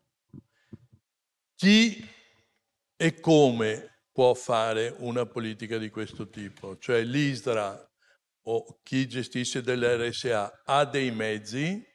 Io personalmente ero più dell'idea, e l'ho proposto più volte all'amministrazione di Treviso, ma in maniera abbastanza inascoltata, che ogni comune dovrebbe avere un punto di riferimento come per esempio un ufficio di promozione alla salute, dove si pensa come coinvolgere o insegnare ai cittadini degli stili di vita di un certo tipo, perché lo stile di vita adeguato non possiamo insegnarlo al sottoscritto che ha quasi 70 anni e ha già la pancia, ma dovevano insegnarmelo 20-30 anni fa che mangiare in un certo modo, fare più movimento, mi serviva a non arrivare adesso ad aver bisogno di determinate cure o eh, di determinate assistenze. Grazie. Grazie. Sì, c'è tanta carne al fuoco. Adesso sulle indagini giornalistiche accolgo il suggerimento. Sì. Ne abbiamo fatte diverse su, sui problemi che la sanità pubblica ha, sul rapporto che la sanità pubblica e la sa- sanità privata dovrebbero avere integrandosi tra loro per darsi una mano, perché un po' è emerso ed effettivamente eh, il rapporto è un rapporto complicato, nel senso che eh, il, come dice il professor Garattini, non lo dico io, dell'Istituto Mario Negri di Milano e condivido la sua idea, il, il privato, i pazienti, diciamo, eh, ha quei pazienti ai quali è in grado di rispondere attraverso la diagnostica, però poi tutta la parte acuta, pensiamo alle neurochirurgie, alle cardiochirurgie, alla complessità e a quello che costa, perché un posto in terapia intensiva, e ce l'ha al 90% il pubblico e non il privato, costa dai 3 ai 4 mila euro al giorno. E quindi se il nostro sistema è un sistema sanitario che vuole continuare ad essere quello che Tina Anselmi ha fatto qualche anno fa, e cioè un sistema sanitario universale che dà risposte a tutti, curando soprattutto la parte acuta, la parte che costa e che i cittadini non possono permettersi perché un intervento di cardiochirurgia, pagarlo di tasca propria, come accade negli Stati Uniti, non sarebbe possibile per tutti, ecco, è, è, è un tema e va salvaguardato secondo me quel filone di sanità pubblica prima di tutto eh, con un'integrazione con il privato che non punta solo al profitto ma che punta a tenere insieme e a cercare di dare risposte comuni dove ci sono dei bisogni che emergono alla base della popolazione. Questo ecco, è, è quanto. Poi sulla carenza di medici ci sono tante... Ehm, tante componenti all'origine, cioè sicuramente il problema della programmazione. Dieci anni fa eh, non abbiamo pensato che ci sarebbe stato un turnover da garantire, quindi tanti pensionamenti e poche entrate. Poi bisogna chiedersi perché i medici hanno perso eh, quella vocazione di andare a lavorare nel pubblico e perché il pubblico ha perso capacità di attrazione del medico. Eh, perché i medici fuggono verso il privato o fuggono all'estero perché sono pagati di più rispetto che da noi. Quindi sono tanti, sono tanti temi, cerchiamo di approfondirli man mano e continueremo a farlo, proprio perché, come dice lei, insomma, alla politica interessano ancora per fortuna i giornali e quello che scrivono, quindi magari si può stimolare qualche riflessione in più. Ecco, questo mi sento di dire. Sì, io integro proprio poco questa, queste condivisibili considerazioni dicendo che io ho questo senso dell'Israel, l'Israel è un ente pubblico e grande e sente il dovere di intervenire nella società e nella comunità anche facendo cose che altri non fanno, proprio per aprire strade e per aiutare processi di condivisione larga anche nei confronti di cosorelle, diciamo, cofratelli o altri insomma, che, sono, che lavorano in questo settore. Um, il tema del dovere degli enti è un tema importantissimo. Adesso con la nuova eh, eh, riforma sulle, sugli ambiti eh, teri sociali territoriali ne vedremo di belle, cioè i comuni dovranno riappropriarsi delle competenze sociali, si scanneranno attraverso il tema del campanile, no? che è un simbolo religioso ma è anche civico, e, e, e, quindi ne vedremo di belle da questo punto di vista. Io mi limito a dire che faccio la mia parte. Avrei voluto fare una domanda prima, non l'ho fatta per, per, per tempi, eccetera, ma guardate, io ho vissuto l'aggregazione dei sistemi informativi informatizzati dell'ULS numero 2 mettendo insieme 7, 8 e 9 perché ne vivo le conseguenze essendo attaccato nel quello che loro chiamano extra eh, eh, ospedaliero, in verità è l'ospedale extraterritoriale per quanto mi riguarda, ma loro lo chiamano così.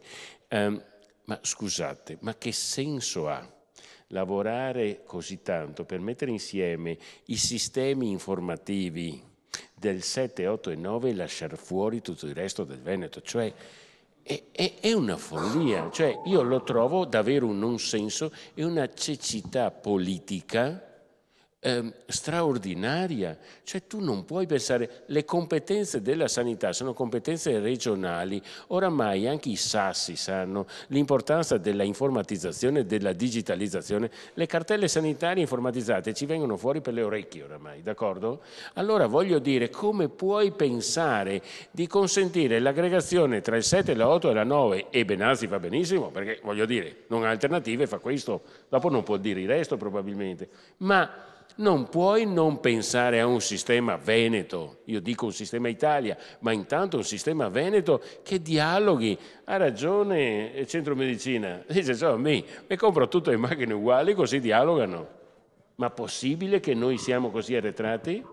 È, è, una follia questa, perché è vero che il pubblico è pubblico, ma il pubblico è anche un baraccone quando si, ci si mette. E questo è un problema, è un problema di sistema, di sistema paese e di sistema regione. E questo non va bene. Una postilla, così tanto per togliermi un sassolino dalla scarpa, noi dovevamo fare i progetti del PNRR, quelli architettonici, entro luglio del 2022, altrimenti ci toglievano i soldi. D'accordo?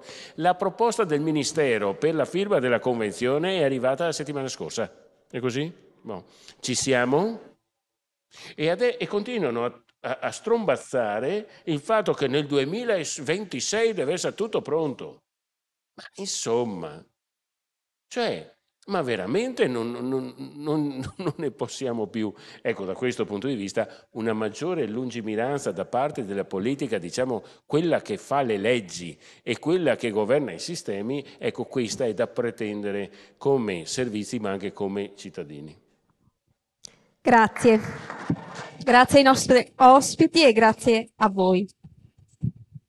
Con questa giornata noi eh, concludiamo eh, l'edizione numero 3 eh, di questo progetto che eh, è stato avviato nel 2020.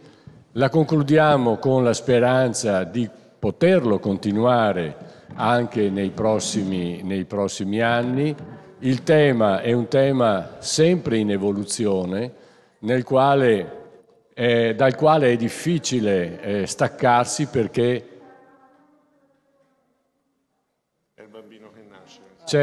dopo vi spiego perché siete disturbati, eh, però insomma, eh, ripeto, è un tema talmente in evoluzione che richiede un, eh, eh un check-up eh, almeno annuale, in realtà bisognerebbe farlo ogni due giorni perché l'evoluzione e la velocità di queste trasformazioni è talmente tale che necessita, necessiterebbe eh, di qualche costante eh, monitoraggio.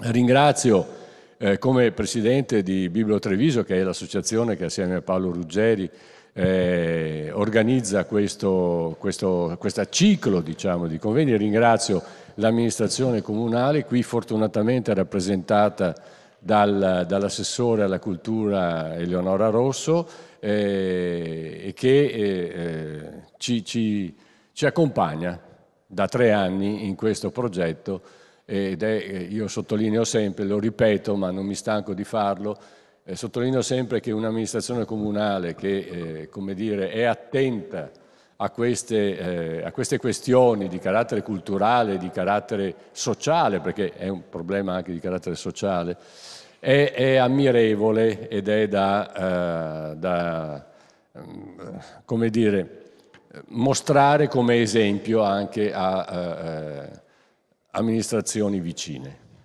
Ecco così diciamo che non abbiamo detto niente, ma abbiamo detto tutto. Eh, nello staff di lavoro c'è Mauro Gentile che dall'alto ci controlla, mette tutto a posto dal punto di vista e culturale e dal punto di vista tecnologico, senza di lui non avremmo i risultati eh, che, che, abbiamo. Eh, la sessione di questa mattina, come avete visto forse dal dépliant, cyber security, metaverso, chat eh, GPT, eh, faremo anche un'intervista a chat GPT, vediamo cosa ci risponde, vedremo cosa è disposto a suggerirci. Eh. Abbiamo eh, Luca, Luca, Sambucci, che è nostro, nostra eh, colonna portante in questo progetto perché si occupa di cyber security e lui, Luca Sambucci, e Marcello Pelillo, il professor Marcello Pelillo dell'Università di Ca' Foscari di eh, Venezia, sono stati, come dire, le menti alle quali noi ci siamo affidati nel momento della fondazione di questo, eh, di questo progetto e eh, li ringrazio perché ogni volta che abbiamo alzato il telefono per chiedere la loro collaborazione hanno risposto presente miticamente. E il professor Pelillo è, è, è professore di eh, computer design, no, sì, sì, di informatica, ecco. Comunque, insomma, voglio dire, eh, è, è, quello che ci, gui- ci, ha sempre guidato e ci guida nella comprensione. Eh, Luca Sambucci è un esperto internazionale di cyber security e quindi anche lui ha uno sguardo non da poco su queste questioni.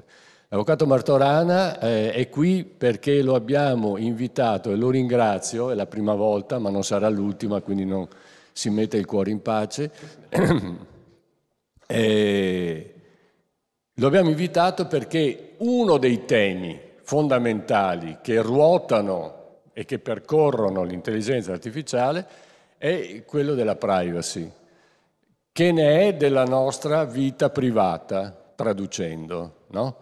come se ne occupa il diritto, come dobbiamo interpretare questa condizione, siamo eh, sorvegliati e, e controllati, eh, siamo, come si diceva una volta, nel panopticon eh, di eh, Bentaniana memoria, no? quindi questo grande carcere che era immaginato nel Settecento oggi è diventato senza mura fisicamente ma molto efficace. Ecco, di questo parleremo.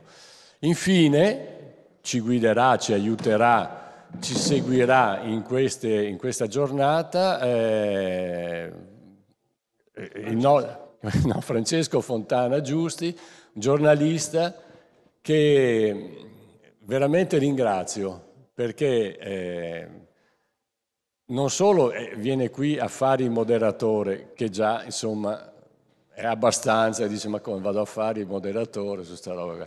No, ma si è dedicato anima e corpo, devo dire, in questi due giorni a esplorare, a sentire queste, questo nostro convegno e a raccontarlo a raccontarlo. Ha portato anche una collega.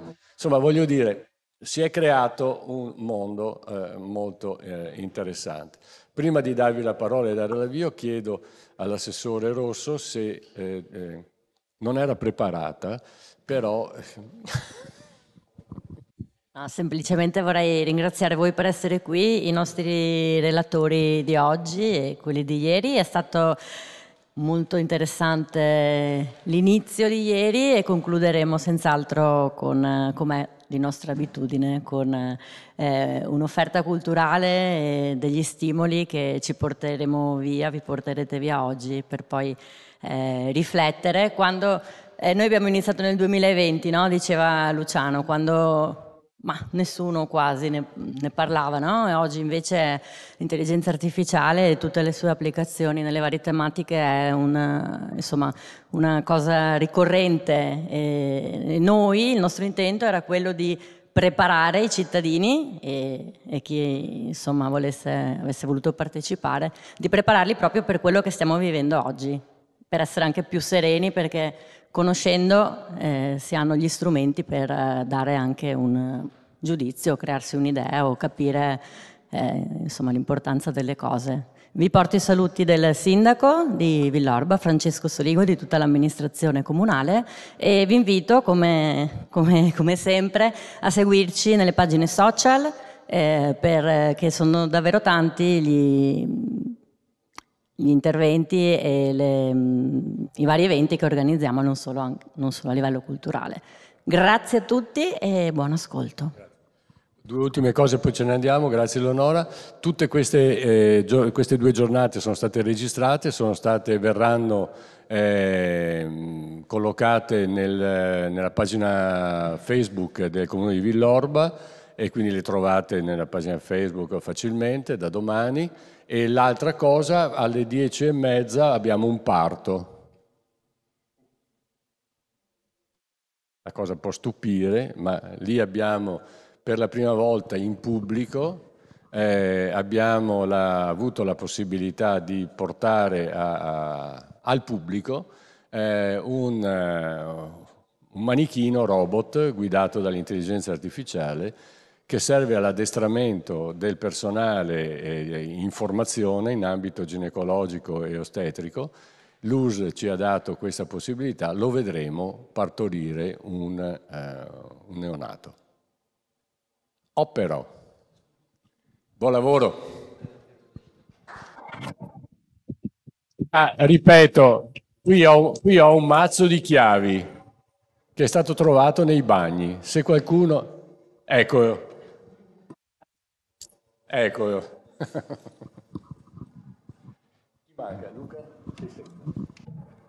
Grazie Luciano per avermi dato questa bellissima opportunità, anche perché l'intelligenza artificiale è un tema molto dibattuto, molto interessante. Per quanto mi riguarda la mia conoscenza era più cinematografica, ricorderete il film Lei con Joaquin Phoenix dove lui si innamora di una chatbot, oppure eh, Ex Machina dove appunto il robot eh, fa, fa, innamorare un essere umano, poi lo tradisce e se ne va. Dunque dei scenari eventualmente realistici, come anche le serie televisive Black Mirror e Humans. Eh, e per cui grazie per l'opportunità Luciano, perché è veramente molto interessante. Io direi che oggi c'è veramente una grandissima transizione eh, superiore alla rivoluzione industriale e la gente ha paura.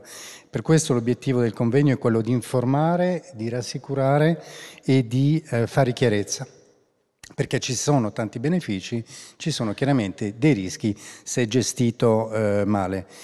Sappiamo che la tecnologia ha creato tanti benefici, l'automobile, l'elettricità, la televisione, il computer, internet, ma ha anche creato dei problemi nel passato, disoccupazione, disuguaglianza, dipendenza, privacy, sicurezza e tutte le fake news al quale siamo molto abituati pur, pur, purtroppo e di cui parleremo tra breve. Lo sviluppo della tecnologia non si può arrestare, è inevitabile, però deve essere gestito nel modo giusto. Ieri abbiamo parlato di guerra, di medicina, oggi parliamo di cyber security, con Lorenzo Emanuela parleremo di lavoro e dunque chiuderemo il, la giornata appunto su questo tema. Io vorrei fare, eh, chiedo alla regia, una domanda a chat GPT. Eh, la domanda, non so se la regia è, è presente. Allora, mi puoi, ehm, l'intelligenza artificiale può migliorare la vita umana e se me lo può scrivere in 30 parole, perché l'altra volta l'ho chiesto, erano, era un romanzo. Allora, l'intelligenza artificiale può migliorare la vita umana?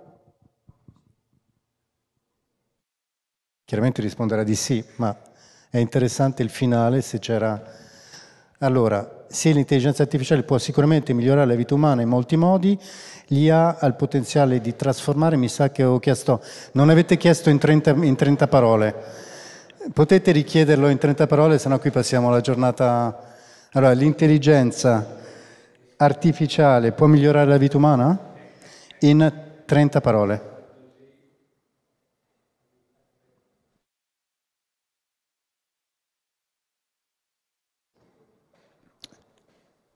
Scrivi in 30 parole l'intelligenza artificiale.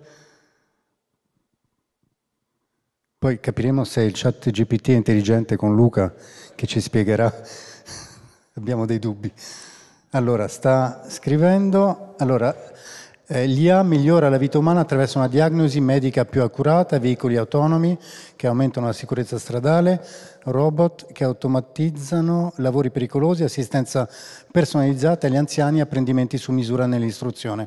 Qui è tutto positivo. Quando l'avevo chiesto senza limitare le parole, però alla fine eh, aveva scritto tuttavia è importante ricordare che l'IA deve essere sviluppata e utilizzata in modo responsabile e etico per garantire che i suoi benefici siano condivisi equamente e che non causi danni o discriminazioni. Dunque, se siete troppo sintetici, la parte negativa non esce.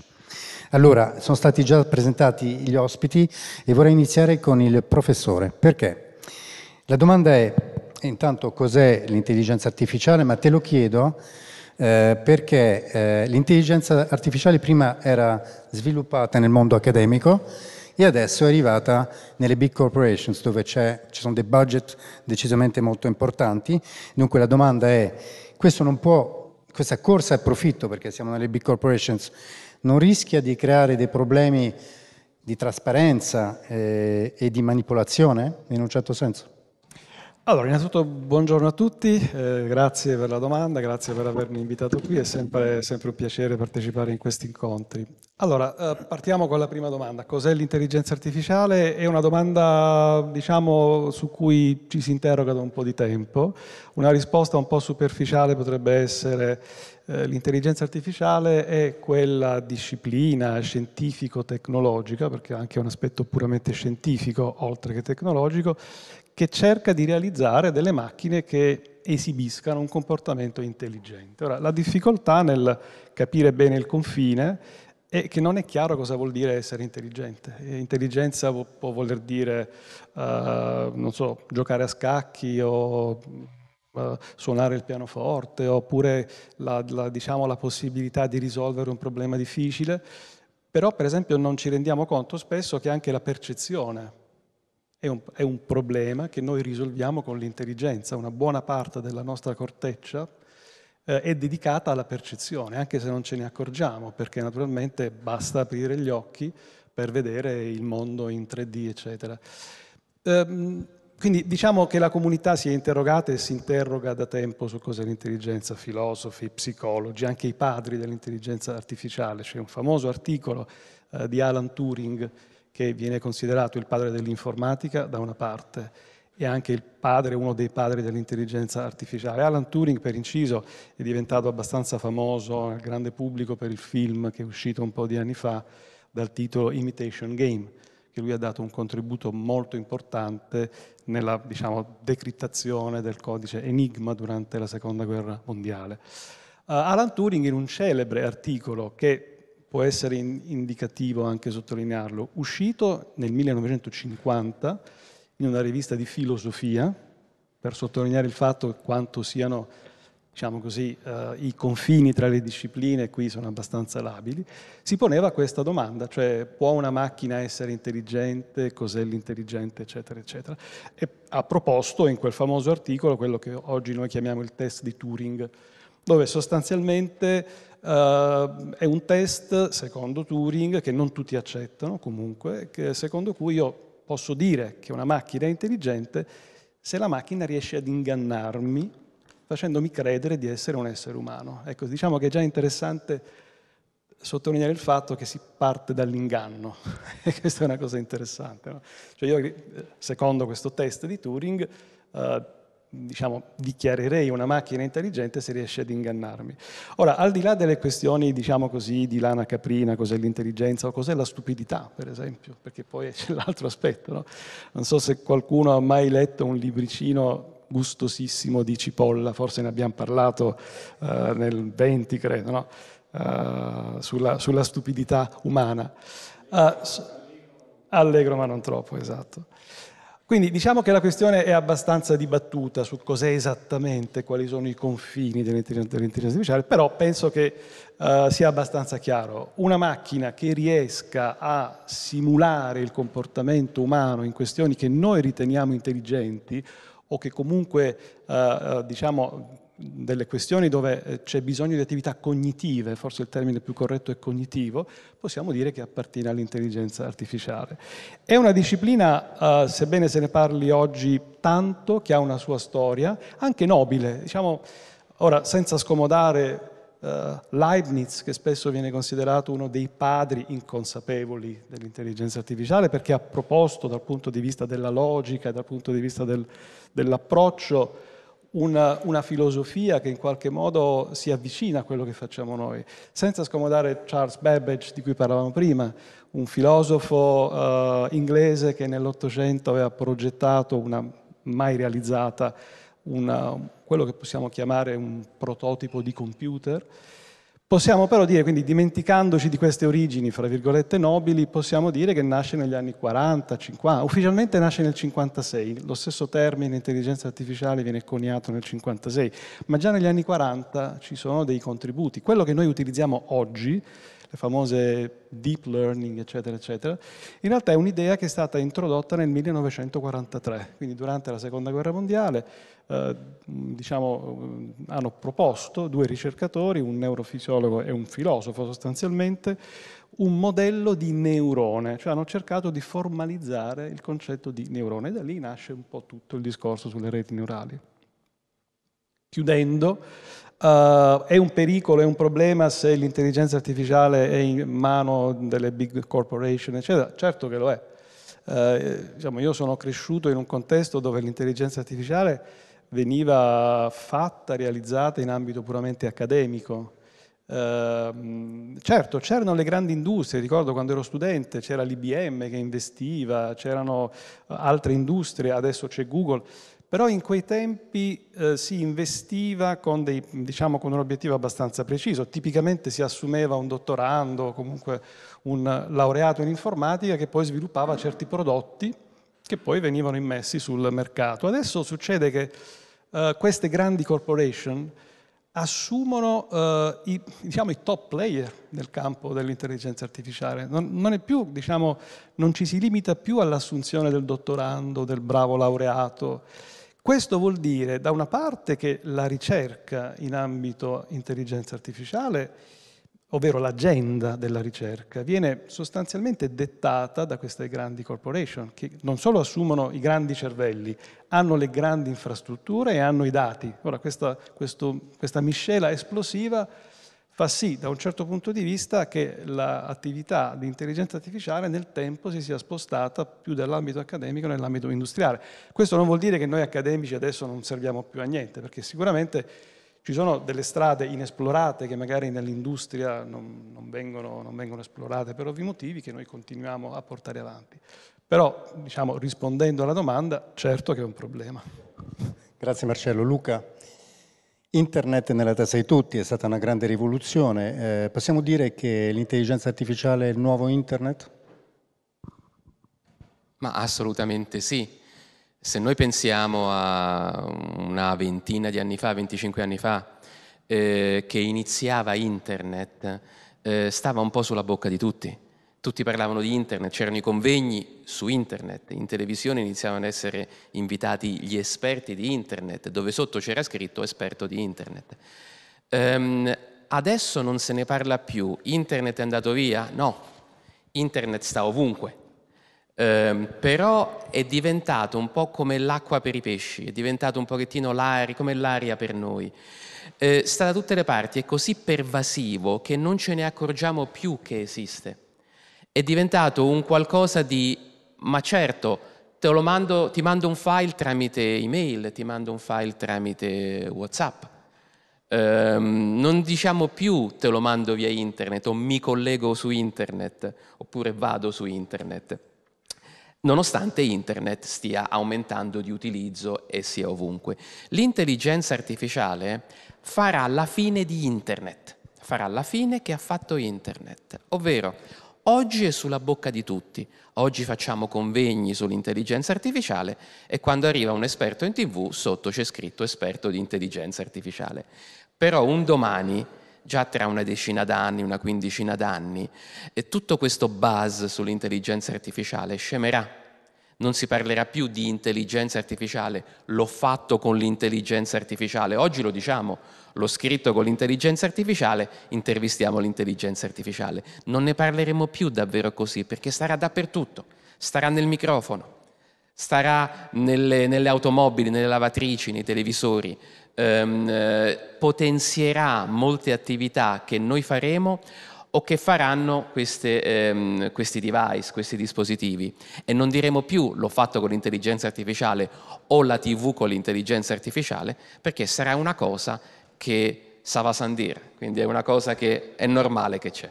L'altra domanda che ti volevo fare, entriamo nel soggetto di, di oggi, il cyber security, sono oltre 30 anni che ci lavori, eh, quando si parla di cyber security si parla di attacchi informatici, di hackers, ne abbiamo sentiti tutti parlare. Però c'è stato nel 1999 questa cosa del millennial bug, millennial bug che non è successo assolutamente niente, è stato drammatizzato ma poi non è successo niente. Cosa è cambiato in questi 23 anni? È bello che mi chiedi del millennium bug. Il millennium bug era ehm, diciamo un errore che stava nei sistemi, se ne parlava tantissimo nel 98, nel 99. Hanno dato poi ehm, eh, l'obiettivo a, in tutto il mondo, in ogni paese del mondo, a dei team di ricercatori informatici di aggiornare questi sistemi affinché al, all'inizio dell'anno 2000, diciamo il primo gennaio, non ci fossero delle interruzioni. Eh, la cosa bella è che era la prima volta davvero che i team di informatici eh, avevano un compito così rilevante, eh, così visibile. Erano state create squadre, comitati, eccetera. Hanno fatto un buon lavoro, sono riusciti ad aggiornare tutti questi sistemi. All'arrivare dell'anno 2000 non è successo assolutamente niente. Da informatico e nella comunità degli informatici ci siamo dati pacche sulla spalla, abbiamo fatto un buon lavoro. All'esterno però il messaggio è stato Vedi, era tutta una finta, non è successo niente. no, hanno fatto un buon lavoro. Però per andare al discorso poi sulla, sulla cyber security, che cosa è cambiato? Ehm, di nuovo parlo di pervasività. Una volta gli hacker attaccavano il computer in ufficio. Una volta gli hacker eh, attaccavano ehm, il computer che magari qualcuno di noi aveva a casa e quindi magari non si poteva navigare, c'era un virus male che andava, perdevi la tesi, le tesi di laurea che sono state perse perché i ragazzi le facevano sul computer e poi c'era un problema. Adesso la pervasività di internet, dei dispositivi è così ampia che la superficie di attacco è, è, arrivata a livelli astronomici. Possiamo essere attaccati ovunque, possiamo essere attaccati sui nostri cellulari, ma non solo. Anche le infrastrutture su cui noi basiamo la nostra vita, che può essere la centrale elettrica che ci dà la luce in questo momento, che può essere la banca che sta tenendo i nostri soldi, possono essere attaccate. E quindi anche laddove noi non abbiamo colpa, rischiamo di non avere un servizio o di avere un danno. Quindi è aumentata la superficie di attacco e adesso, um, per carità, poi nell'ambito della cyber security, il settore della cyber security è stato uno dei primi ad aver utilizzato l'intelligenza artificiale io mi ricordo, eh, ho iniziato, io stavo nella cyber security, ci sto ancora adesso per carità, però ho iniziato a interessarmi di intelligenza artificiale quando nel 2016-17 lessi dei testi tecnici che descrivevano come il malware nei computer può essere visto dagli antivirus grazie a degli algoritmi di machine learning. Quindi probabilmente l'antivirus che abbiamo nel computer è stato il primo punto di accesso dell'intelligenza artificiale nei nostri computer. Quindi la cyber security ha usato l'intelligenza artificiale dall'inizio. Il problema è che la stanno usando anche gli hacker. Ecco, e quello che mi dicevi è molto interessante, attaccare è economico, difendersi lo è molto di meno. Dunque quali sono le, le, le, le soluzioni per proteggerci di questi nuovi attacchi? Nel, nel concetto di, il concetto di sicurezza purtroppo attacco e difesa è asimmetrico, sia nella vita reale, ma molto di più nel, nel, mondo digitale. Quindi attaccare costa molto molto poco. Una squadra di 3-4 ragazzini da qualche parte nel mondo può avere qualche computer sofisticato, qualche modello sofisticato, qualche tool, strumento eh, più o meno sofisticato e lanciare un attacco contro una grande multinazionale. E il fatto che la cyber security sia asimmetrica significa che eh, se questi studenti, se questi ragazzini lanciano automaticamente 10.000 attacchi in un giorno contro questa malcapitata corporation. Ne basta uno. E ne basta uno. La, l'azienda si può anche difendere con successo 9.999 volte e nel mondo reale sarebbe un successo straordinario. Nel mondo informatico no, perché basta che uno di questi 10.000 attacchi vada a segno che gli hacker sono entrati, iniziano a muoversi lateralmente e fanno quello che vogliono. Quindi molto molto asimmetrica la cyber security. Grazie Luca, adesso faccio una domanda all'avvocato. Marco, eh, abbiamo visto i social networks, stati, è stata una bolla incredibile, non ci sono state regole e dunque c'è stato un problema di, tras, di, trasparenza, di privacy. Dunque, eh, quali sono le implicazioni etiche nell'uso dell'IA nella cyber security e soprattutto qual è la responsabilità civile del produttore, perché poi sono loro che ci venderanno i pacchetti di intelligenza artificiale.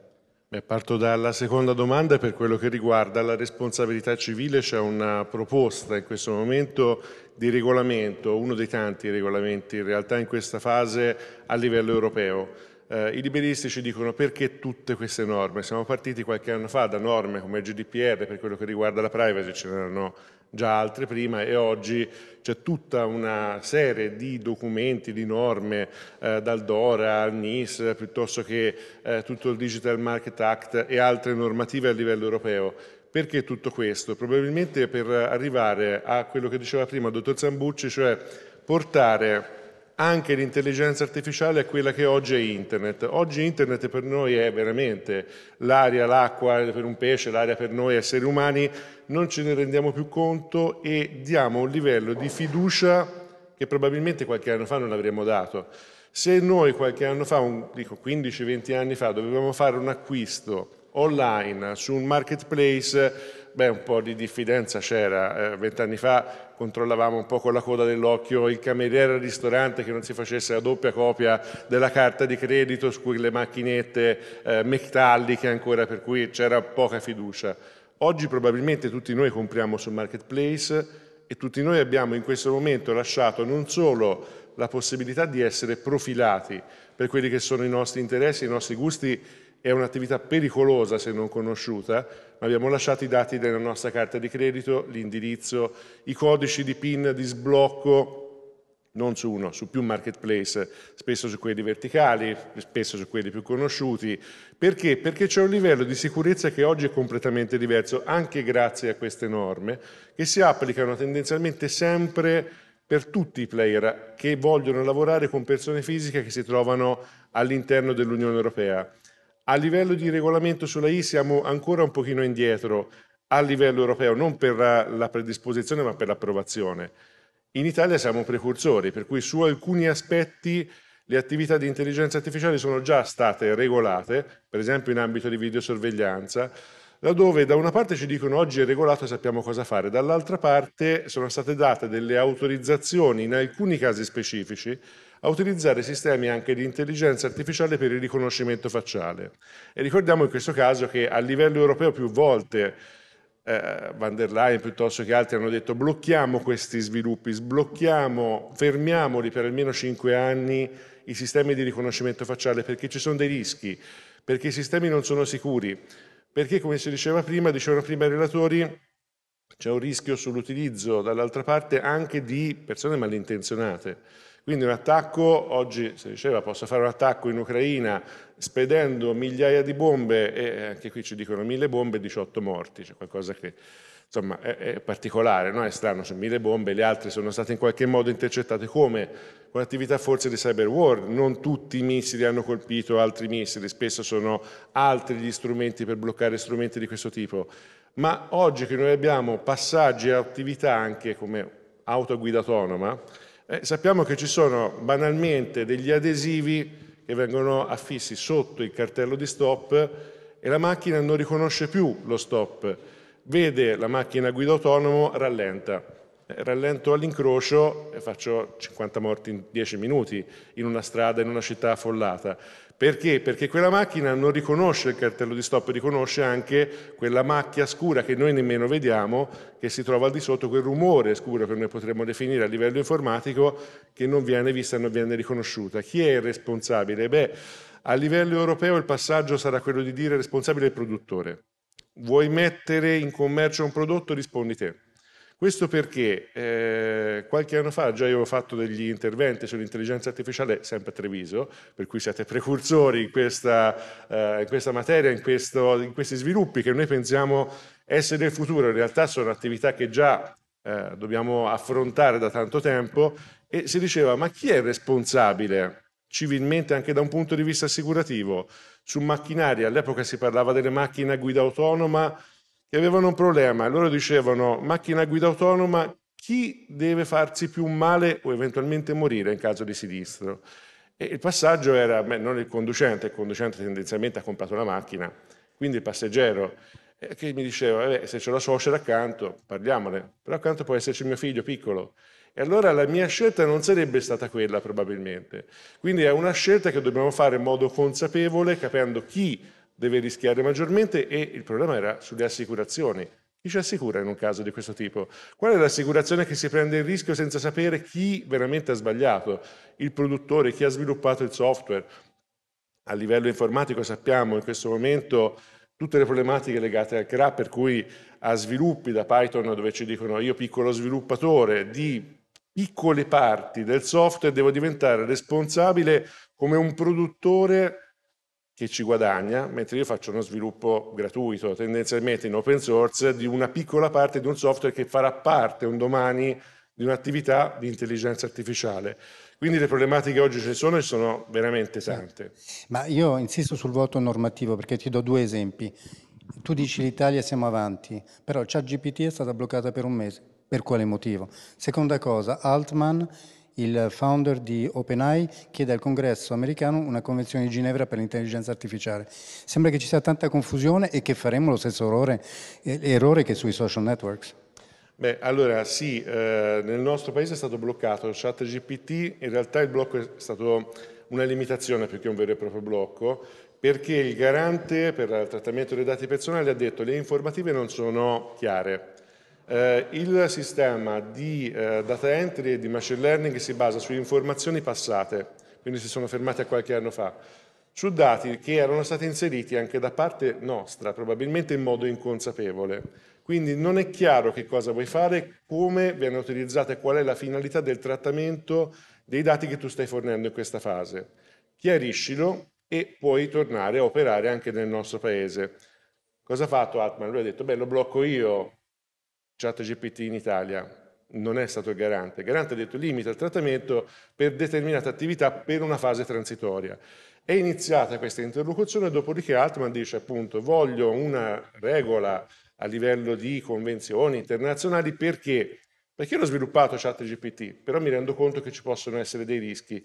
Proprio ieri però ha cominciato a dire, beh, se l'Unione Europea continua in questa direzione, e io l'Unione Europea non ci lavoro più certo. eh, blocco ChatGPT per l'Unione Europea. Quindi leggevo stamattina un commento eh, di Agostino Ghiglia, membro del collegio dell'autorità garante, che diceva o c'è un problema di traduzione per cui da una parte chiedi delle regole maggiori e quando vengono fornite non le vuoi, ancora non sai nemmeno quali sono, o è un problema dell'intelligenza umana che ha qualche limitazione forse in più. Grazie. Eh, Luca, eh, poi chiedo a Marcello, eh, quali sono le applicazioni più interessanti nella cyber security per quanto riguarda l'intelligenza artificiale? o l'intelligenza artificiale ci può aiutare in molti ambiti della cyber security. Noi come utenti non spesso lo vediamo perché vengono applicate più a livello di aziende oppure a livello di prodotto, però anzitutto ehm, gli anti-spam sono molto migliorati. Se ancora oggi noi ci lamentiamo che ogni tanto qualche messaggio va nello spam per sbaglio, ma non ci ricordiamo che cos'era la situazione dieci anni fa. Uh, adesso io vedo da grandissimo utilizzatore, come tutti noi, di posta elettronica, che la situazione dello spam è molto migliorata, la situazione del malware anche è molto migliorata. Alla fine c'erano tantissime infezioni che giravano uh, per uh, milioni di utenti a destra e a sinistra, um, WannaCry e altri. Adesso non le vediamo davvero più è cambiata, grazie alle misure di intelligenza artificiale, è cambiata anche la tattica degli attaccanti che adesso vanno direttamente alle aziende. Non gli importa davvero molto di infettare i computer nostri, tutt'al più li infettano per utilizzarli poi come potenza di fuoco per andare a colpire le aziende. Però adesso è con i ransomware alle aziende che cercano di ottenere i soldi. L'intelligenza artificiale può aiutare in molti ambiti, sia all'interno del software che blocca proattivamente questi attacchi, ma anche a livello del controllare il comportamento anomalo nostro, nostro anche come dipendenti, per vedere se c'è qualche problema. Se stiamo in un'azienda che, diciamo, che ha un IT che si rispetti, generalmente eh, nella rete aziendale ci sono dei software che usano il machine learning, l'intelligenza artificiale, per controllare il comportamento dei dipendenti sulla rete.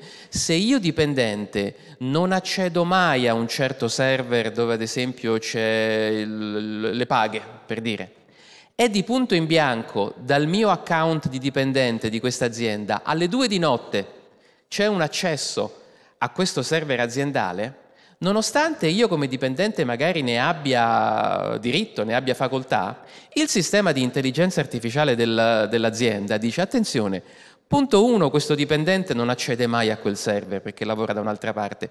Punto due, è notte fonda, probabilmente quel dipendente eh, sta a casa a dormire. Quindi questo, anche se io non ho visto come software nessuna firma, niente di che, per me questo io lo categorizzo come un attacco e lo blocco proattivamente. Ecco, lì l'intelligenza artificiale con la categorizzazione ehm, eh, intelligente, tra virgolette, e il blocco proattivo di certe attività, riesce a mitigare eh, gli attacchi informatici alle aziende. Non ovviamente a difenderle sempre, lo vediamo, però può essere utilizzato anche per questo e viene usato da molte aziende per questo. Grazie. Marcello, tu sei ricercatore ma sei anche professore, dunque hai contatto con i giovani. Vedo che ci sono anche dei giovani in platea e questo mi rincuora. Allora, la domanda che ti volevo fare è come vedono l'intelligenza artificiale i giovani e poi se ci sono dei corsi di laurea sull'intelligenza artificiale, perché tutti i nuovi lavori, ne parleremo dopo, saranno legati all'intelligenza artificiale. Molti, diciamo, lavori. Allora, sul, dal punto di vista degli studenti, beh, ovviamente gli studenti vedono molto bene questa opportunità perché ovviamente eh, offre delle, diciamo, del, di, di, di, realizzare delle attività che fino a poche settimane fa, pochi mesi fa era impossibile. E proprio ieri parlavo con due studenti che erano venuti da me per chiedermi informazioni su un, su un certo compito scritto che era stato e, e insomma, ho cercato di spiegare come gli esercizi dovevano essere risolti, al che una, una di queste due studentesse mi dice ah ma ho provato con ChatGPT ieri ma non ho capito niente. Uh, il che mi, da, mi, lascia speranza, quindi c'è ancora speranza per noi, per noi docenti veri, diciamo così, di, di, di avere un ruolo.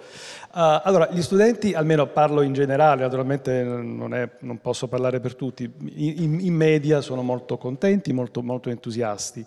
Tra di noi docenti invece c'è un, come diciamo noi, mixed feeling, no? un, ci sono coloro i quali sono entusiasti, eh, anche colleghi, miei amici che vedono questa come un'opportunità, ci sono altri, come il sottoscritto, che vede questa come un qualcosa che può avere degli effetti molto molto negativi, forse non oggi, forse non domani, ma nelle prossime generazioni.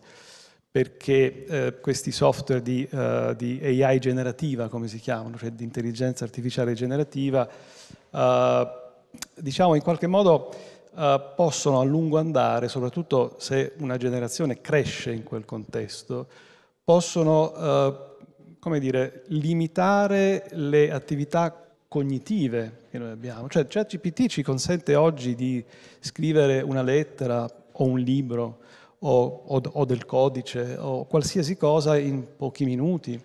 E, e se pensiamo che il linguaggio è lo strumento con cui noi articoliamo il nostro pensiero, lo strumento principe con cui noi articoliamo il nostro pensiero, beh, a lungo andare le prossime generazioni che cresceranno eh, in un contesto dove tutto è facile, no? Io devo scrivere una lettera, ChatGPT, due minuti, via, pronto. Devo scrivere un tema. Ieri ne parlavamo al telefono, quella che io chiamo, eh, non so se altri la chiamano così, ma io la chiamo, ci indirizziamo verso la società della pigrizia, dove qualsiasi, non noi, ripeto, che siamo cresciuti in un contesto diverso, ma le prossime generazioni potrebbero arrivare a, diciamo, uh, chiedere a ChatGPT tutto e anche eh, cose che richiedono il nostro impegno intellettivo e questo secondo me è un, un grave pericolo che non, non, viene considerato oggi. Un po' come, so, faccio un esempio banale giusto per chiarire il concetto. Uh, se uh, uso l'ascensore da quando sono piccolo e per fare i miei due piani o tre piani uso sempre l'ascensore, sempre da quando sono piccolo, quando poi mi toccherà di, fare, di, di, di salire una, eh, so, una, gradinata di, 10 scalini, arriverò lì con il fiato, cioè senza, senza, senza fiato. No? Perché ho, mi sono disabituato a usare il corpo. In questo caso stiamo parlando del corpo, ma in realtà il pericolo che io vedo, ed è, ed è reale secondo me, è il problema di pigrizia mentale. Um, mi sono dimenticato la seconda Corsi domanda. di laurea. Ah beh, corsi di laurea. Beh, sì, noi a Ca' Foscari offriamo da tanti anni corsi di laurea in informatica. Uh, è una cosa che facciamo, anzi, da tanti, tanti anni, anche molto prima che se ne parlasse, perché come dicevo prima, la disciplina dell'intelligenza artificiale ha una sua storia abbastanza ricca ed è un corso di laurea che abbiamo fondato nel, insomma, una ventina di anni, di anni fa. Uh, non si chiama corso di laurea in intelligenza artificiale, ma in informatica, ma c'è diciamo, un ramo del, del, nostro corso di laurea che è dedicato esplicitamente all'intelligenza artificiale e un altro invece alla cyber security, volendo. E naturalmente fra i due rami c'è un'intersezione. Negli ultimi anni eh, i corsi di intelligenza artificiale sono, sono, letteralmente esplosi in tutta Italia. Noi però devo dire con grande orgoglio qui a Venezia, via Venezia siamo stati tra i primi qui in Italia a offrire corsi specializzati su questo, su questo argomento. Grazie Marco. Parliamo di fake news, tema decisamente importante, basta ricordare l'immagine di Trump arrestato, basta pensare anche a tutte le eh, diciamo, manipolazioni audio che portano a frodi telefoniche e, e abusi inform di informazioni personali torniamo al discorso della, della privacy, c'è una perdita di, di, di sfiducia eh, che porterà a un clima sicuramente più aggressivo. Eh, come arginare questi problemi eh, a livello legale? Come si può eh, proteggere l'individuo da tutti questi attacchi, queste fake news? Non si possono sicuramente fermare, ma c'è qualcosa che ci puoi dire su questo? No, più che a livello legale le fake news si possono cercare di combattere di nuovo con gli strumenti di tipo informatico, quindi a livello legale arriviamo in una fase successiva. Noi possiamo dire questa è un'attività che non doveva essere pubblicata, voglio esercitare un diritto all'oblio, voglio far cancellare un'informazione. Per riconoscere l'informazione falsa, gli strumenti sono altri. Eh, anche in questo caso eh, abbiamo visto in questi giorni in Israele hanno eh, sviluppato un software con intelligenza artificiale dove vanno a sostituire il volto di un soggetto in diretta in un video live. Eh, quindi in questo caso era un video dove veniva simulato un omicidio, simulavano e modificavano il volto dell'assassino problema che lo facevano anche nel momento live, quindi non si capiva più veramente chi aveva fatto che cosa, non si capiva più quando l'informazione era reale o no. Che cosa si può fare in questo caso? Beh, Le attività da una parte di OSINT e nello specifico di Webint e dall'altra parte di intelligenza artificiale possono sicuramente aiutare. È ovvio che qui si torna alla domanda che facevi prima sulla parte etica, cioè tutti questi strumenti sono degli strumenti, quindi dobbiamo capire noi in che modo vogliamo utilizzarli e quale può essere l'uso corretto. Eh, per quello che riguarda L'attività, eh, oggi parliamo di chat GPT, ma non c'è soltanto quello ovviamente, eh, di informazioni, di testi che vengono scritti, eh, c'è un rischio ulteriore. Se io comincio ad adagiarmi a quello che viene fatto, che viene scritto, comincio a credere a tutto, anche perché poi nemmeno lo leggo. Quindi io mi ritrovo con delle informazioni che per me mancano, con dei dati che possono essere già impostati in modo non corretto. Anche in questo caso, in alcune facoltà, la domanda è, beh, cominciamo a valutare che domanda fai a chat GPT perché magari già dal tipo di domanda che fai capisco se quantomeno hai capito e individuato l'argomento. Eh, anche qui gli strumenti ci sono, nelle tesi che ci venivano portate spesso erano tesi prima del chat GPT, copia e incolla, eh, ce ne rendevamo conto quando il copia e incolla, è capitato, faceva una copia e incolla di miei articoli, allora dico, beh, eh, almeno citami, lo so che l'ho scritto io, quindi potevi scegliere qualcun altro sperando che il passaggio oggi anche qui ci sono software antiplagio, per cui gli strumenti vengono sviluppati poi anche nella direzione un pochino opposta, per cui si parte come strumento di potenziale attacco, però lo strumento può essere usato anche in modo corretto. Però la domanda, eh, diciamo concreta, il tipo che ha fatto l'immagine di Trump è andato in galera, ha pagato una multa o è a piede libero? Cioè, questo, il tipo che ha maneggiato l'immagine di Trump è in galera, ha pagato una multa o è a piede libero?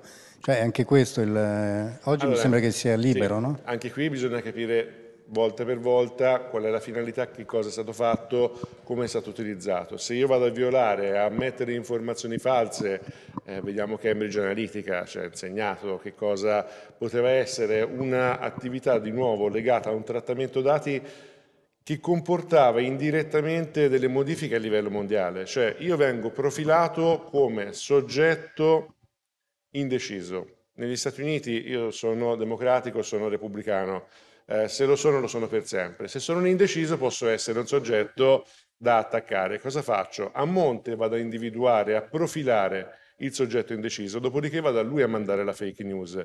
È ovvio anche qui che devo capire che tipo di fake news è, se è un'attività che può portare a una diffamazione, se è un video che mi porta a incolpare, ad esempio, un soggetto che poteva essere innocente, ovviamente poi sono diversi le tipologie di attività. Il problema anche qui su questi sviluppi e sulle metodologie che potranno arrivare anche con informazioni false o non corrette, da parte dell'intelligenza artificiale che io essere umano posso anche capire la differenza.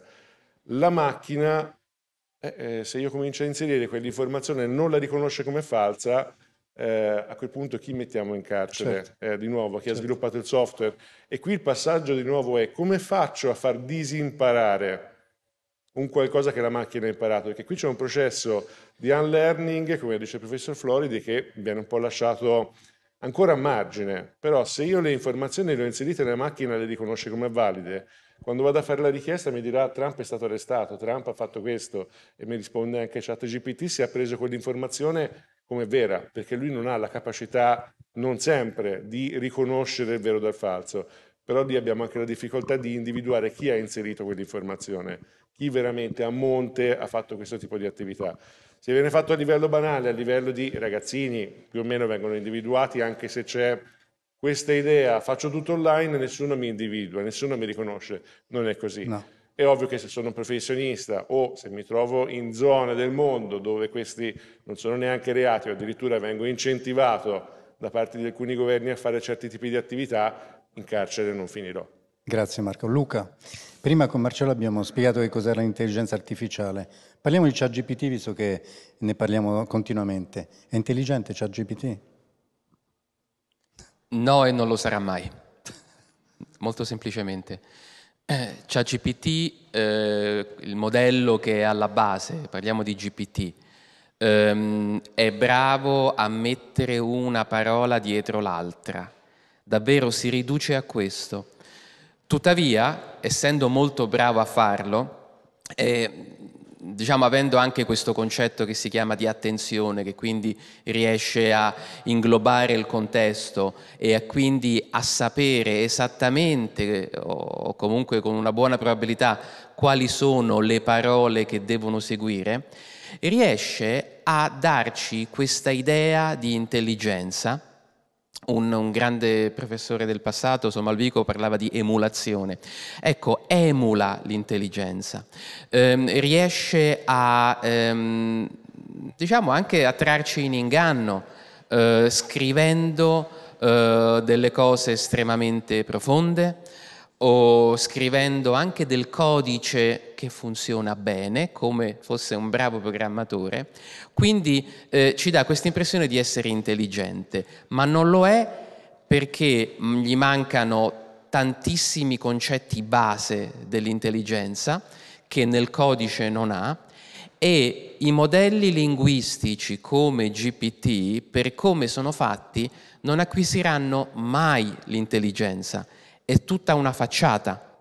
Però grande, eh, la grande domanda, diciamo così, è ehm, farà davvero la differenza se è davvero intelligente o no? Se riesce a fare la lettera come voglio io, se riesce a non farmi sentire solo quando mi sento solo, ehm, se io intrattengo magari anche una relazione eh, con uno di questi chat GPT e io sono contento, fa la differenza? È un po' il concetto che eh, nell'ambiente si parla del sottomarino. Il sottomarino nuota?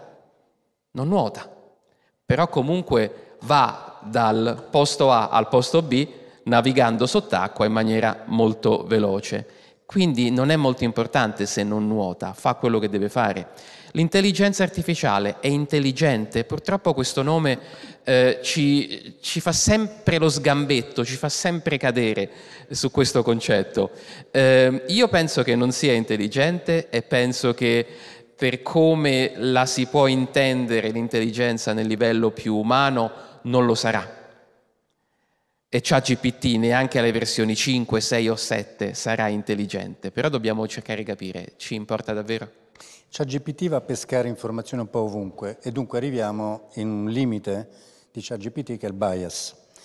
Come si può ridurre il bias perché è inevitabile?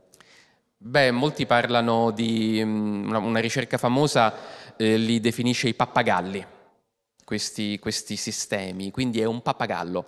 Eh, se noi abbiamo dei pregiudizi nella società, questo pappagallo non fa altro che vederli e ripeterli noi abbiamo pregiudizi, eh, la nostra società ha pregiudizi contro tutta una serie di categorie di persone, donne, ehm, immigrati, ehm, persone eh, magari di altri paesi eh, specifici, eh, di altre etnie. Abbiamo così tanti pregiudizi e mh, mm, limitare, diciamo, questo rigurgito di eh, pregiudizi nella, nei sistemi di intelligenza artificiale viene fatto a valle, anzitutto. Quindi ci sono proprio dei filtri, dei modelli che, che, li cercano e che poi cercano di capire se questo sistema sta avendo un pregiudizio e magari lo correggono. Però è un po' come tamponare una falla molto molto grande, non ci riesci, dovrebbe essere fatto a monte con la costruzione dei dataset, quindi delle informazioni che questi modelli eh, prendono in giro, che sia abbastanza bilanciata. Però anche lì poi ci metti un tuo bias, un tuo pregiudizio di te che stai andando a fare questa costruzione. Magari cerchi di limitare certi pregiudizi, ma non ti accorgi che ne fai passare di altri. Eh, la soluzione non c'è, la soluzione sarebbe non avere pregiudizi nella nostra società e spiegami come si fa e ti ascolto. Certo. Marcello, eh, prima hai parlato di una cosa interessante. Giacomo Bruno, che è quello che ha inventato l'ebook, ha scritto in otto ore con ChatGPT un libro di 192 pagine. Allora, tutti possono farlo, cioè diventa veramente quello che dicevi tu, la società pigri- della pigrizia, ma anche un appiattimento eh, culturale e, e, di intelligenza. E, e dunque la domanda che ti volevo fare e, um, questa domanda era per Marco però. Perdonami Marcello. Eh, no, La proprietà intellettuale, volevo parlare di proprietà intellettuale, poi passa a te Marcello, scusami. Eh, è legale utilizzare quanto scritto da GPT? Prima domanda è, vince chi usa ChatGPT per primo? No, allora, secondo me a monte c'è un altro problema. Se tutti cominciano a scrivere libri di 192 pagine, nessuno li leggerà, perché quando ho bisogno di fare una ricerca uso di nuovo chat GPT. Eh, in Australia in questo momento c'è una sentenza isolata per eh, un riconoscimento di un diritto di autore, simile diritto d'autore, per una macchina di intelligenza artificiale non era chat GPT in questo caso, era per delle immagini, quindi un altro tipo di software.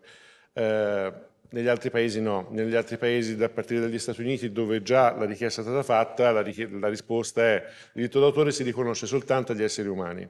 Per cui se non sei un essere umano quel diritto non ci può essere, di conseguenza quell'opera può essere riutilizzata. Nelle specifiche già di ChatGPT c'è scritto questo è uno strumento di ausilio, non usare soltanto questo, intervieni, modifica, fai un qualcos'altro. Anche qui bisognerebbe capire quanto è mio e quanto è di ChatGPT, quanto è copiato e quanto no perché come si diceva prima, eh, bias cognitivi ci sono, a volte però il problema sull'intelligenza artificiale non è soltanto sul bias, cioè sulla nostra attività legata al razzismo, ma eh, qui a mio avviso, eh, però mh, opinione personale, quando è che si diventa intelligenti? Quando si cominciano a sentire emozioni. Ricordiamo che c'è chat GPT, ma ci sono tanti software oggi che fanno un'attività diversa, prendono decisioni automatizzate per quello che riguarda anche sentenze, tribunali. La differenza dove sta? Che non sentono emozioni, quando noi parliamo con i giudici, beh, io ricordo un evento come questo dove un giudice disse primo ergastolo che ho dovuto dare a un reo confesso, sapeva che gli toccava l'ergastolo, lo sapeva, era trovato proprio classico col coltello ancora in mano.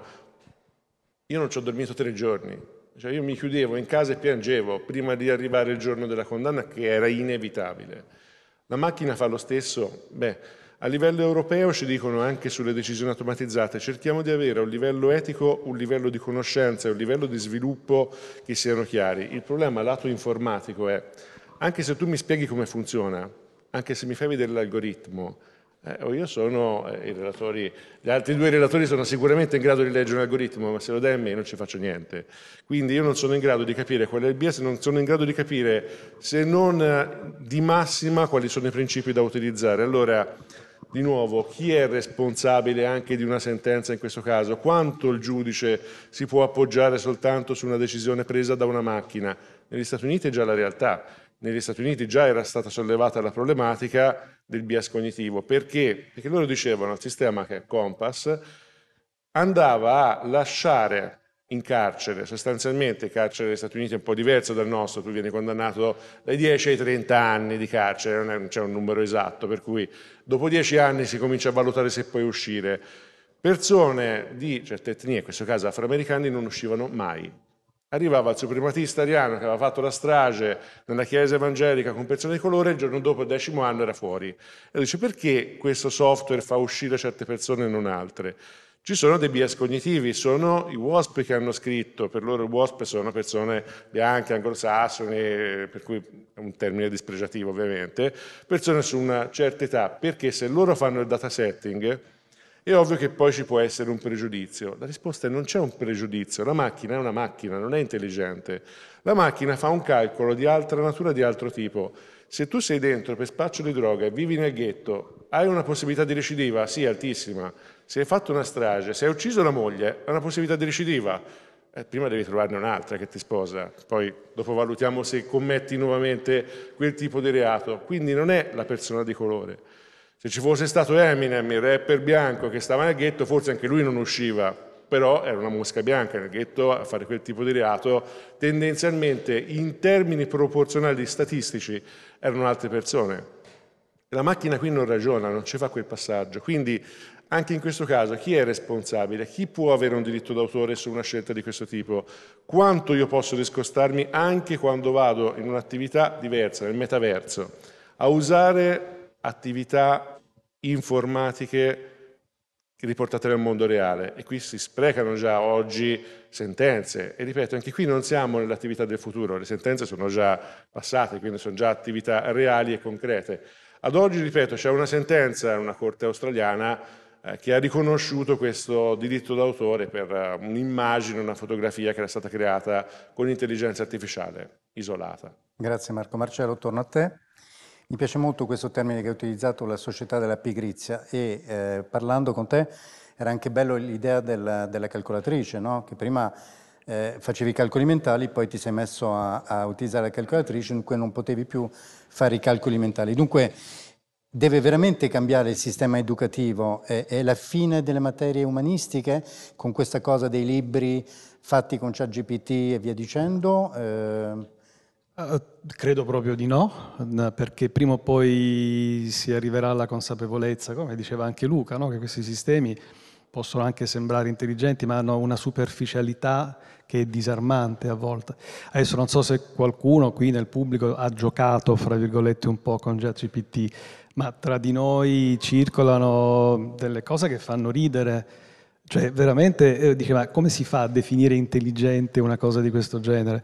Quindi, per carità, eh, questi sistemi possono, e sono, tra l'altro sono perfettamente d'accordo col discorso che non, non è intelligente e non lo sarà mai, perché non ha una cosa che gli esseri umani hanno, le emozioni sicuramente, ma anche un'altra cosa, anche senza voler scomodare le emozioni, il senso comune. Il senso comune, quello che noi abbiamo, acquisiamo, non sappiamo definire, non sappiamo cos'è, ma che utilizziamo inconsapevolmente tutti i giorni e che noi abbiamo grazie anche alla nostra corporalità, cioè grazie al nostro corpo, al nostro essere fatti di carne piuttosto che di microchip. No? Quindi c'è sicuramente una, una grande differenza anche al, al, diciamo, a livello strutturale che non può essere ignorata quando si parla di intelligenza. Quindi per carità questi sistemi possono essere superficialmente intelligenti, possono ingannare, ma non lo saranno mai. Um, è, è la morte delle discipline umanistiche? Io credo che forse sarà il contrario. Cioè forse a un certo punto, spero, la gente si stuferà di questo eccesso di attività virtuali, di attività artificiali, eccetera, e, e, e avrà un bisogno interiore di tuffarsi in ciò che è più umano, quindi magari nel breve termine, sì, forse ci saranno tanti ragazzi, tanti studenti che verranno attratti da questo mondo fantastico, eccetera, ma eh, nel lungo termine io credo e spero di no, che ci sarà un effetto di, di rimbalzo forse. A un certo punto, so, per esempio, mi pare ne avevamo parlato ieri, no?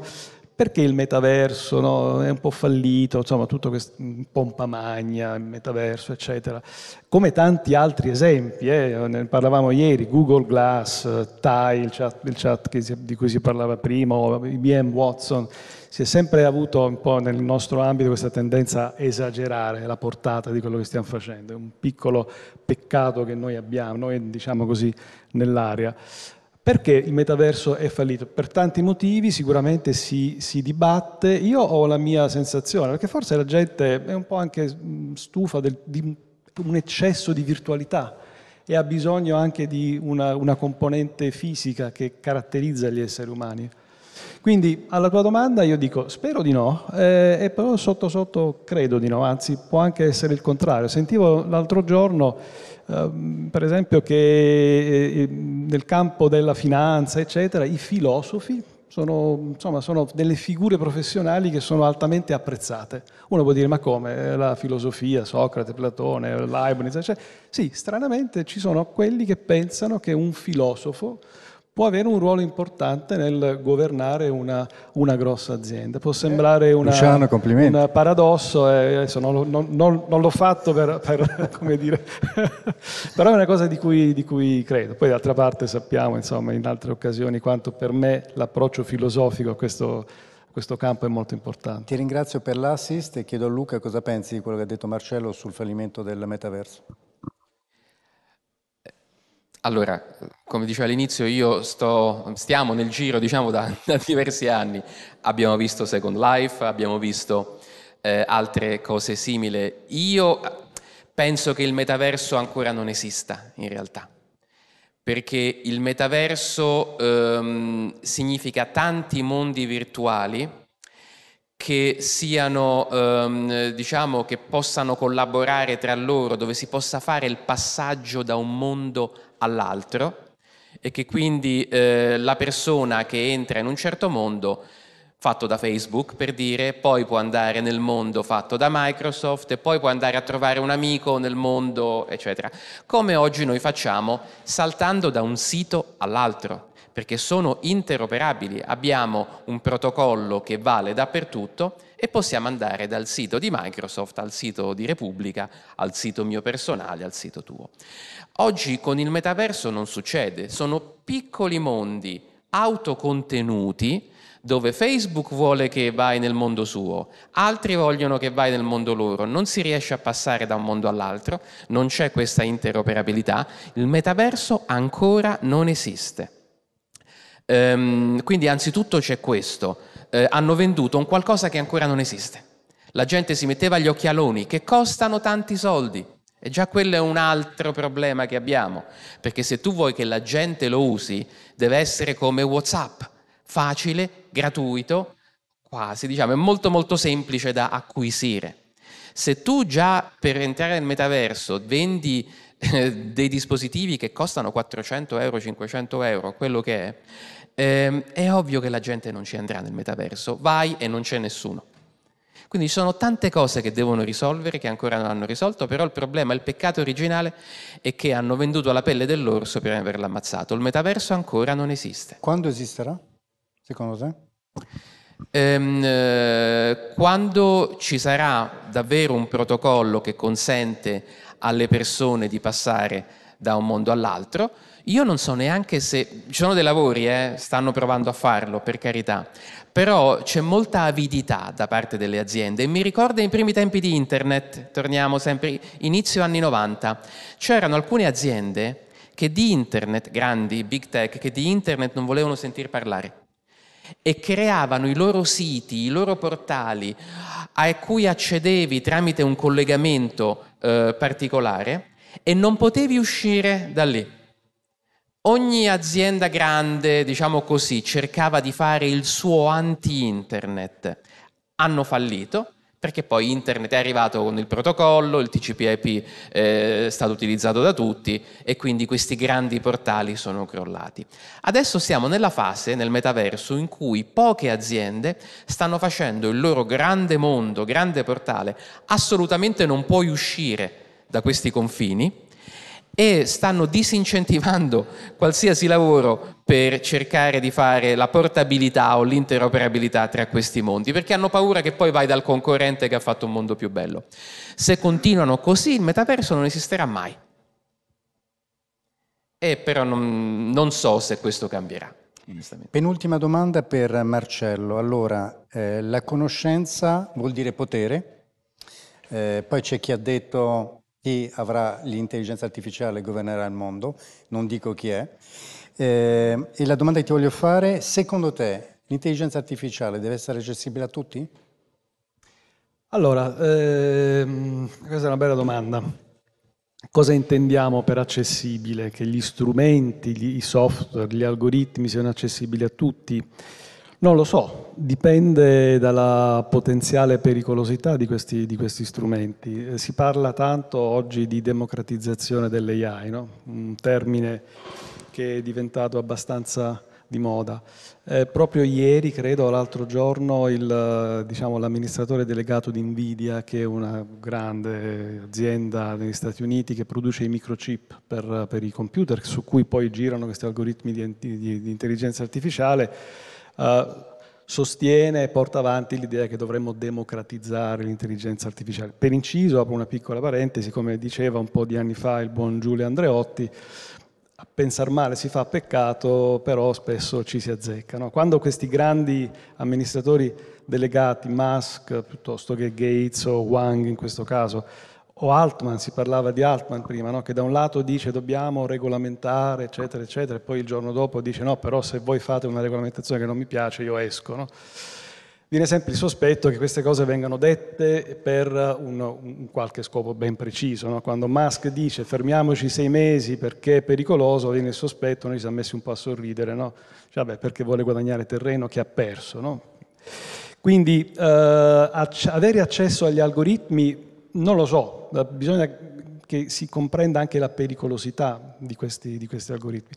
La vera questione, se vogliamo parlare veramente di democrazia, che poi il termine secondo me è improprio, perché la democrazia è uno strumento per eleggere il, capo di un governo, Vabbè, quindi, però visto che il termine va così di moda, se vogliamo parlare di democrazia, eh, ci siamo capiti cosa intendiamo con questo, de, de, dell'intelligenza artificiale, allora diamo accesso a tutto, diamo accesso alle infrastrutture, diamo accesso ai dati, no?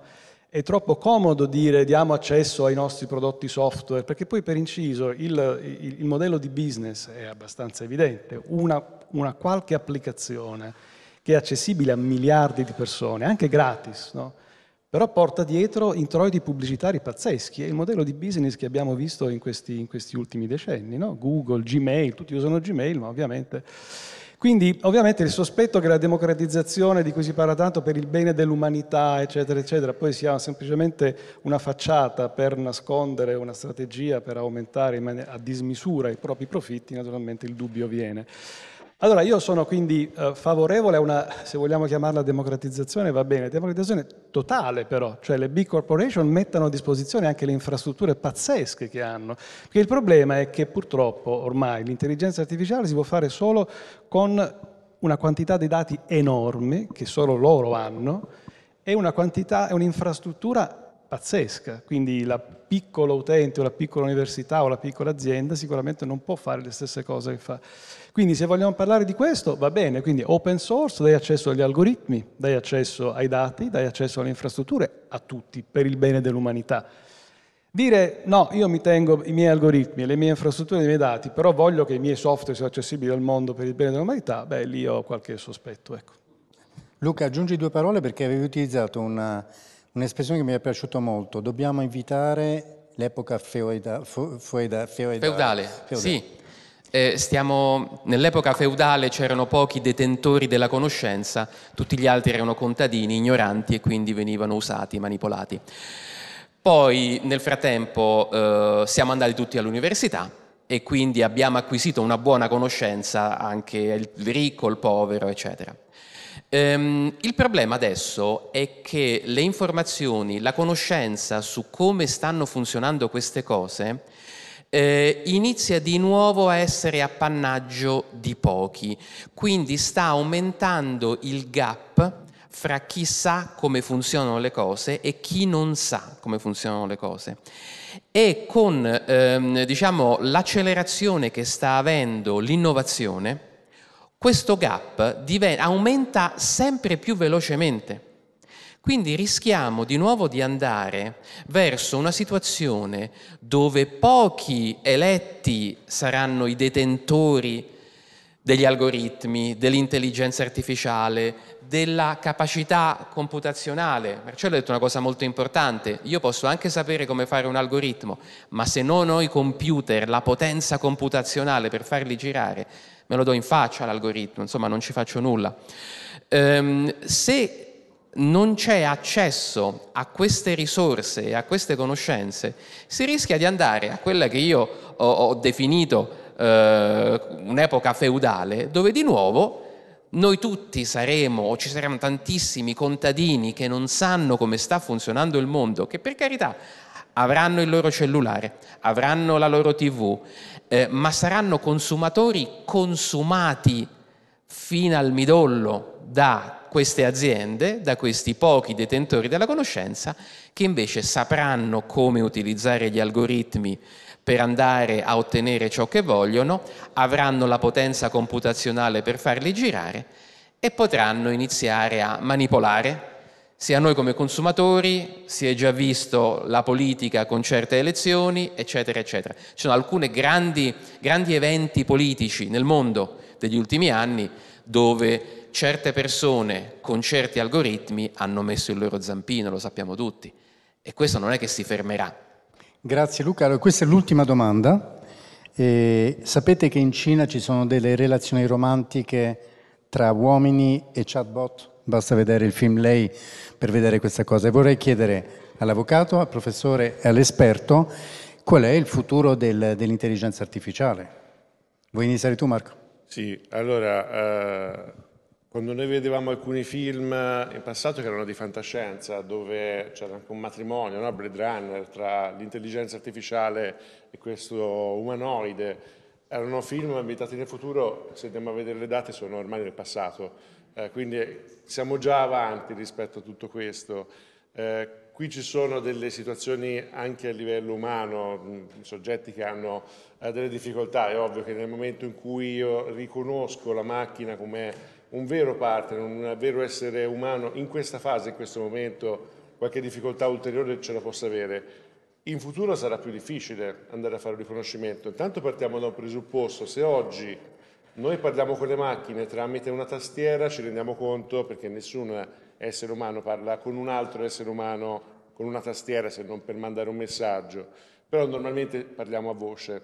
Se noi andiamo a vedere gli smart speaker e tanti altri strumenti di IoT, di domotica, eccetera, eh, il passaggio non c'è più, noi parliamo come se fosse veramente un essere umano. Eh, sul passaggio del metaverso che è completamente fallito o che non c'è per noi, boomer, come direbbero i miei figli, per i bambini non sono così sicuro, perché se io penso a software e giochi come Minecraft, come Fortnite, beh, eh, qui siamo veramente in un metaverso senza gli occhialini, dove c'è già un'attività di questo tipo e dove c'è già un mondo parallelo. In questo caso il rischio, secondo me, è non stanno puntando su di noi. Il metaverso non è basato su persone dai 30-35 in su, e per me sono generoso perché ne ho molti più di 35.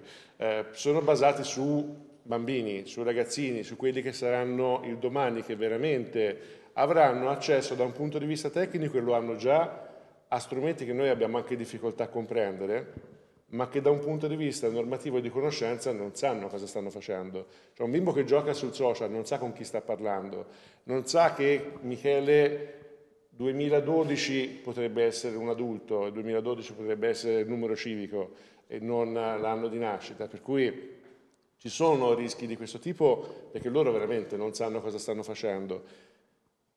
Il rischio qual è? Eh, quando lo vediamo anche qui nella cinematografia, Bruce Willis, eh, che viveva nel metaverso, in questa sua dimensione di on life online, beh, l'on life era bellissimo, ma l'online era terribile, perché se il bello io l'ho nella dimensione digitale, quella reale, questo parco non lo taglia più nessuno l'erba, perché tanto è bello il mondo digitale che vivo, non vado più a costruire, non vado più a creare, non faccio più arte, fa tutto la macchina, non ho più bisogno neanche di cercare, forse quegli stimoli non ci saranno nemmeno più. E il rischio, ripeto, è questi strumenti oggi basati in parte, ovviamente non siamo ancora in un metaverso completo, siamo in metaversi ancora, tanti piccoli separati, però si basano più su dei bambini, su dei piccoli. La democratizzazione qui dove sta? Eh, se io non conosco, non so esattamente quali sono i miei diritti, ma se conosco, li conosco tutti i diritti, se mi dai, come dicevo prima, l'algoritmo conosco i miei diritti, probabilmente no. A livello in questo momento internazionale ci dicono Stati Uniti, Compass, dicevo prima, l'algoritmo non viene fornito perché la società è privata. Quindi non c'è bisogno che tu dia l'algoritmo, ci spieghi come Corte, la Corte Suprema del Wisconsin in quel caso, il criterio di base che utilizzi per capire che non ci sia un bias cognitivo. Il giudice non usa più soltanto quello come strumento, ma è un elemento di valutazione per scarcerarti. A livello europeo ci dicono no, andiamo, si diceva prima, con filosofi, linguisti, avvocati, matematici, a creare un algoritmo che cerchi di evitare già nella fase di data setting questi bias e rendiamolo noto. Però se non facciamo un'attività, come dice il professor Comandé, di legal design, probabilmente non capiamo nemmeno di che cosa stiamo parlando.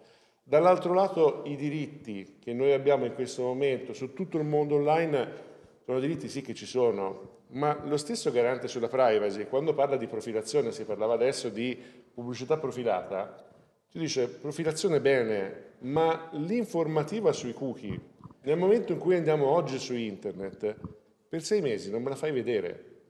Perché? Perché se io ti ho detto che non ti voglio dare la possibilità di profilarmi e tu me lo chiedi ogni volta che io entro sul tuo sito, alla fine ti accetto, alla fine ti do la possibilità perché non ne posso più, perché vado a vedere quello che per me è un diritto, è una tutela, come un orpello, come un qualcosa che a me dà fastidio.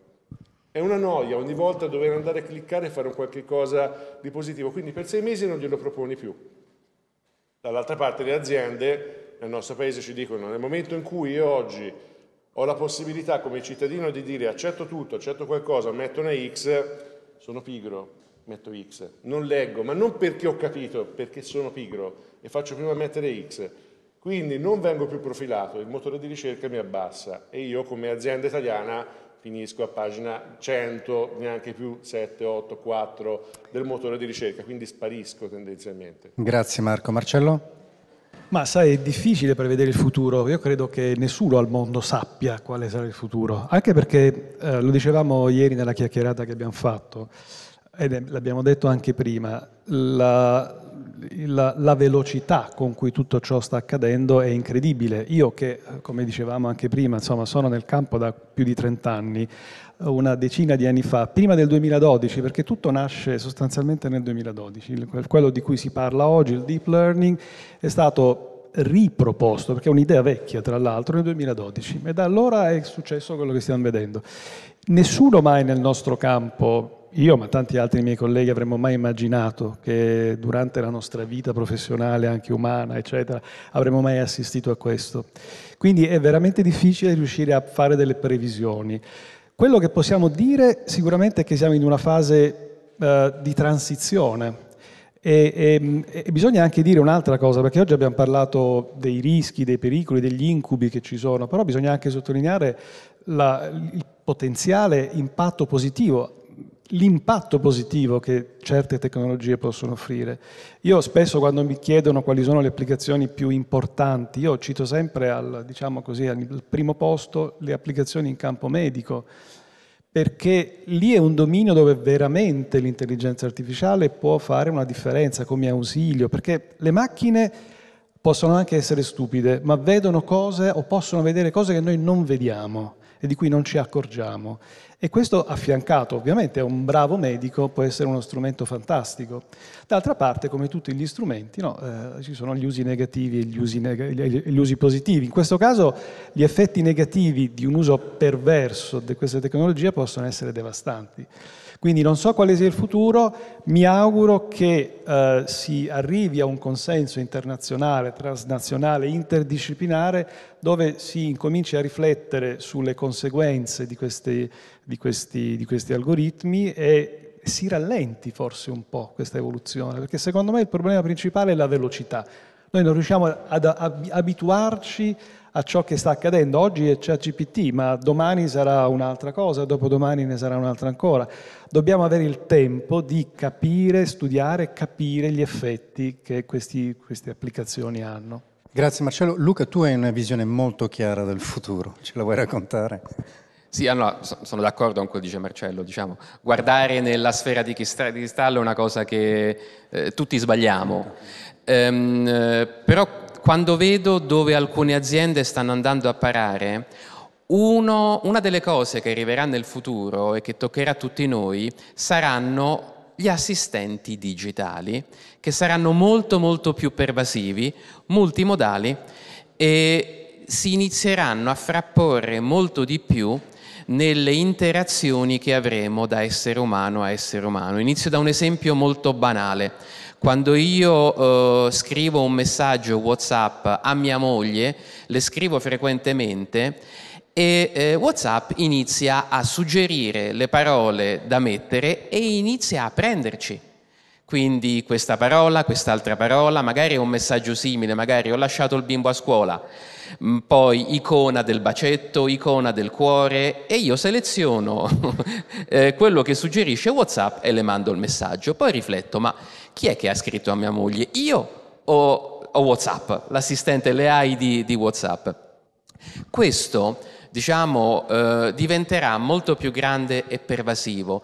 Gli assistenti digitali stile Siri ehm, eh, inizieranno a inserirsi un po' in tutte le applicazioni che utilizziamo, inizieranno a inserirsi nelle nostre applicazioni di messaggistica, vedranno il nostro calendario, vedranno il meteo fuori, vedranno i messaggi email. Immagina um, una Siri, io la chiamo Siri perché tutti la conoscono, però ognuna, ogni azienda ne avrà una, che ti dice ti è arrivato questo messaggio dove c'è eh, Francesco che ti chiede se vuoi partecipare a un evento ad agosto. Ad agosto vedo dal calendario che tu sarai in vacanza. Vuoi che gli rispondo io che non sei disponibile? Io dico sì, certo, assolutamente. Anzi, sai che ti dico, d'ora in poi, quando qualcuno mi chiede di partecipare a un evento e tu vedi vacanze, rispondi sempre in questo modo. Rispondi in maniera gentile e via e mandami il messaggio in copia.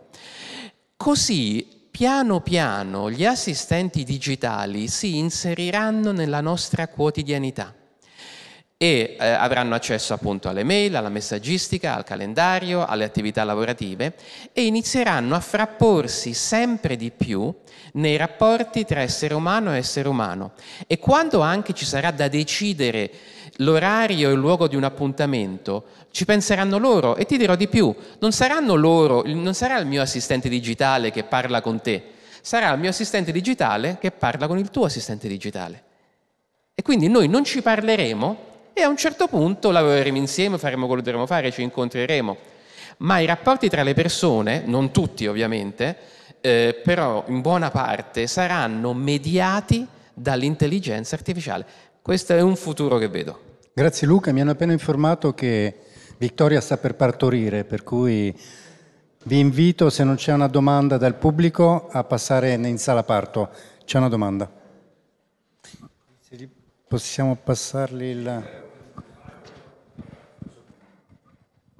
Dov'è? Ah, è veloce perché Veloce, abbiamo i sì. tempi del parto. Vabbè, allora, mm, siccome è molto... No, no, eh, lo facciamo dopo eventualmente. Allora, grazie. Facciamo un applauso ai nostri relatori e a Francesco Fontana Giusti. Grazie davvero, grazie davvero. L'intelligenza artificiale, l'abbiamo visto, è più di, di una semplice tecnologia, da una parte ci, ci affascina perché appunto eh, si avvicina all'intelligenza umana, siamo molto entusiasti della sua potenzialità, ma ne abbiamo anche molta paura perché eh, c'è questa possibile sostituzione all'uomo, anche se Luca ci ha detto che non sarà così. Eh, questa è una paura che un po' tutti abbiamo in modo inconscio e dunque la perdita del lavoro anche. Eh, per capire appunto eh, l'impatto che avrà l'intelligenza artificiale sul lavoro, introduco due persone, se non l'ha già fatto Luciano, però lo rifaccio. Allora, Emanuela Fregonese, eh, vediamo se ho dimenticato qualcosa, Communication Manager, Europe and Africa, Middle East and Asia, tutto il mondo praticamente, per un'azienda finlandese che si chiama Wärtsilä ed è Digital Communication Network, Communication Branding, fai tutto praticamente. E poi abbiamo eh, Lorenzo Ruggeri che è un expert partner in Bain come Innovation and Design, dunque due persone che ci aiuteranno a capire meglio eh, cosa sta cambiando nel mondo del lavoro. Allora, eh, l'intelligenza artificiale sta appunto rivoluzionando con l'automazione i compiti ripetitivi eh, l'ottimizzazione delle operazioni la creazione di nuove opportunità lavorative, tutto un po' in subbuglio, in subbuglio il mondo del lavoro. Ma c'è anche una riduzione dei posti di lavoro. Ieri durante la conferenza la giornalista aveva detto che ci saranno tantissimi eh, nuovi lavori entro il 2030, ma che ci sono tante perdite di lavoro nell'immediato. Eh, dunque eh, la domanda che poi ci, ci dobbiamo porre è che tipo di competenze dobbiamo acquisire per affrontare questo cambiamento.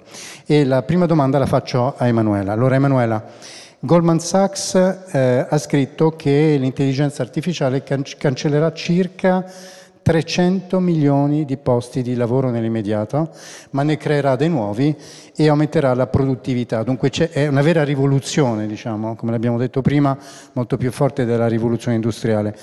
E la domanda che ti faccio è in che modo l'intelligenza artificiale sta rivoluzionando il mondo del, del il mercato del lavoro? Sì.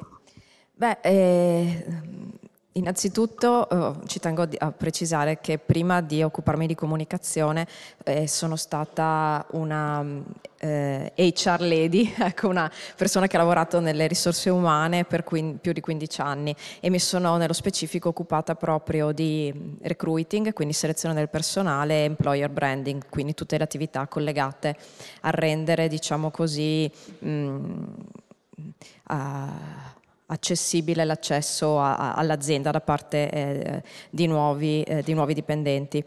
E beh, eh, mi sento di dire che sostanzialmente credo che eh, l'intelligenza artificiale creerà nuovi posti di lavoro e, e mm, è anche vero che le statistiche, tu hai nominato le statistiche, le statistiche ci dicono che l'85% delle professioni che avremo nel 2030, quindi tra sette anni, non sono ancora nate ad oggi.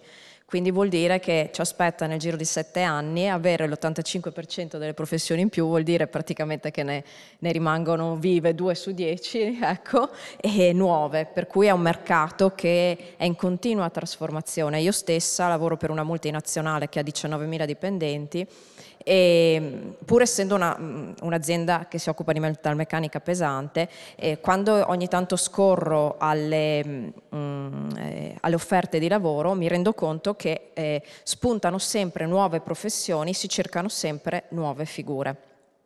Quindi indubbiamente credo che eh, si creeranno altri posti di lavoro, il problema è proprio la parola cambiamento, lavorare su quello, e cioè il mercato del lavoro di oggi eh, non è più quello di una volta. E, e, e la cosa fondamentale è che bisogna adattarsi al cambiamento proprio e riceverlo, abbracciarlo e cercare di superare eventuali paure. Cambiamento vuol dire evoluzione e eh, no, non dobbiamo completamente perdere il concetto di posto di lavoro come staticità ma eh, e diciamo che il nostro percorso di studi, cioè noi quando ci siamo laureati, più di vent'anni fa ormai, eh, pensavamo che quella fosse, fosse veramente non, non, un punto di partenza, ma per certi è stato considerato un punto d'arrivo quasi, no? Invece ad oggi vorrei dire che un titolo di studio è, è, è il primo, proprio il primo tassello del, eh, del della casa che andrai a costruire, ecco il primo mattoncino, per cui è necessario cambiare.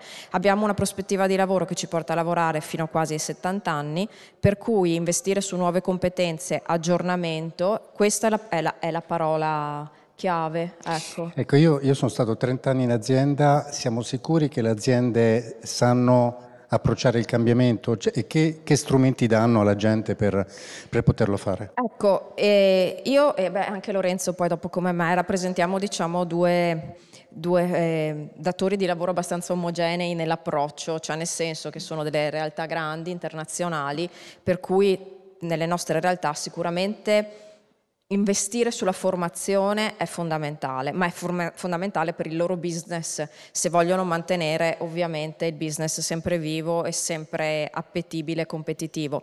E nel, essendo trevigiana il nostro territorio è sempre stato collegato e, e, e la fortuna del nostro territorio è sempre stata la piccola e media impresa. Ecco, questa forse è la sfida più grande perché anche il piccolo e medio imprenditore dovrà investire sulla formazione dei dipendenti, dovrà anche avvalersi, ed ecco perché credo che ci possano essere sempre nuove figure professionali, anche di mh, eh, consulenti che lo aiutino in questo. Ad esempio, oh, e, magari l'assessore che era una rappresentanza politica eh, qui in sala potrà confermare che ci sono ad esempio tantissimi fondi a disposizione anche della comunità europea per la formazione che eh, non vengono utilizzati. Ma perché? Perché le, le aziende stesse molto molte volte non sanno come utilizzarli, non ci hanno mai pensato, sono sempre stati tutti più forse eh, abituati a concentrarsi sul da fare, no? sul fare e, sulla, mm, e, e, sul risultato immediato e poco su una vision che, che, che, che porti al futuro. Ecco. Grazie Manuela. Eh, Lorenzo, parliamo di automazione. Eh, automazione vuol dire profitto. Eh, e ChatGPT, per esempio, il fatto di generare un nuovo linguaggio è un'opportunità di, anche di profitto in un certo senso. Come cambierà l'interazione tra azienda e cliente? Eh, avremo più tempo libero ma dovremo produrre di più? Cioè, ci sembra che ci sia un po' di controsensi in questo, perché più tempo libero per me vuol dire vado al mare, mi riposo. No, devi lavorare il doppio. Per cui volevo chiederti questa cosa, l'automazione ci farà lavorare di più o ci farà lavorare di meno me o meglio? Allora, intanto grazie per l'invito, eh, questa è un'ottima domanda, perché tocca un po' anche il, il, percorso che ho fatto io come professionista. Allora, cominciamo con il tema dell'interazione fra l'azienda e i propri clienti. Sicuramente l'AI generativa, quindi ChatGPT, che non è l'AI analitica ma è un ambito diverso, mentre l'AI, per quello che stiamo vedendo dal nostro punto di vista, avrà un impatto forte su quello che è il modo in cui le aziende si relazioneranno con i propri clienti, perché la possibilità di avere un dialogo, si è parlato prima anche di assistenti vocali e così via, permetterà di avere una conversazione totalmente differente all'accesso alle informazioni, a volte anche vaste come in termini di catalogo e così via, molto, molto più personalizzate e molto più efficace. Quindi le aziende faranno, sicuramente potranno fare leva su questi modelli per migliorare i servizi che offrono e la relazione che possono avere con i propri clienti. Quindi questo secondo me non mi sento mai di dire che è un dato di fatto, ma è un percorso che stiamo vedendo. Lo stiamo vedendo anche perché sono attività che noi stiamo facendo con, con i nostri clienti. Io parlo di attività worldwide, perché poi, come diceva giustamente Emanuela, lavoriamo per multinazionali, nel mio caso multinazionale americana, quindi effettivamente è quello che stiamo vedendo come implementazione. Sul tema del tempo libero invece ho una visione un pochino diversa. E questo perché ci sono passato sulla mia pelle, cioè io sono un designer di formazione, sono andato all'università in cui il design si faceva sui fogli di carta, sono uscito dall'università in cui il design si faceva con i computer e i rendering, quindi in cinque anni ho visto cambiare completamente questo, questo aspetto. E già allora si veniva a dire, eh, ma se non disegni più sui fogli di carta non puoi fare bene questa professione può anche essere, però in realtà è l'evoluzione che è accaduta. Quello che ho visto accadere invece nel mondo delle cose che ci circondano è che il poter disegnare con il computer ha generato le forme degli oggetti che ci circondano e poter produrre quelle forme ha cambiato gli oggetti che ci circondano. Quindi le macchine hanno queste forme perché le possiamo disegnare con il computer non a mano libera e le possiamo produrre con i sistemi di trasformazione della materia. La stessa cosa accadrà probabilmente con l'artificial intelligence, cioè avrà un impatto sul modo in cui faremo le cose, ma non sappiamo ancora come le faremo le cose in un futuro e non sappiamo nemmeno quale sarà l'orizzonte delle cose che ci circonderanno in questo modo. Quindi sicuramente ci sarà un cambiamento. Faccio fatica, come al solito, a, diciamo, tendo a non pensare molto che si possa giudicare il futuro con i paradigmi del presente o del passato, perché possiamo imparare dalla storia, ma poi quello che accade è spesso a volte sorprendente. Si è citato giustamente alcuni film di fantascienza che per noi sono il passato. Tra l'altro sono film che anche hanno segnato sia il mio passato e che trovo anch'io come riferimento quando faccio lezione, ed effettivamente hanno dimostrato come la nostra immaginazione del futuro a volte sia fallace. Quindi sul tema di automazione e si lavora di meno, non è detto che accadrà questo. È più probabile pensare che cambierà il modo in cui lavoreremo e che secondo me è più affascinante come tipo di sfida. Ci saranno tante nuove opportunità. Emanuela, allora, eh, abbiamo visto che l'innovazione non si può fermare, è una cosa che ci farà migliorare tutti. Eh, io ho letto gli articoli, non so se è vero, che non si, preve, non si prevedono licenziamenti in massa, ma eh, la gente è spinta a imparare nuove skills, ne parlavamo prima. Eh, si lavorerà di più, secondo te? Di meno? Si lavorerà diversamente? Ma allora, sui licenziamenti in massa, cioè, francamente questa è un po' una cosa su cui mi astengo perché non, sì, mi pare di... anche perché sono anche parte di un sindacato, quindi eh, faccio niente. parte della Film CISL anche e, e anche mm, del CAE della mia azienda, quindi del sindacato europeo, per cui mi sento di dire che su questo argomento va, entrano in gioco troppi altri fattori economici, per cui su questa cosa non, non me la sento di rispondere. E le skills sicuramente sì, cioè quindi le competenze.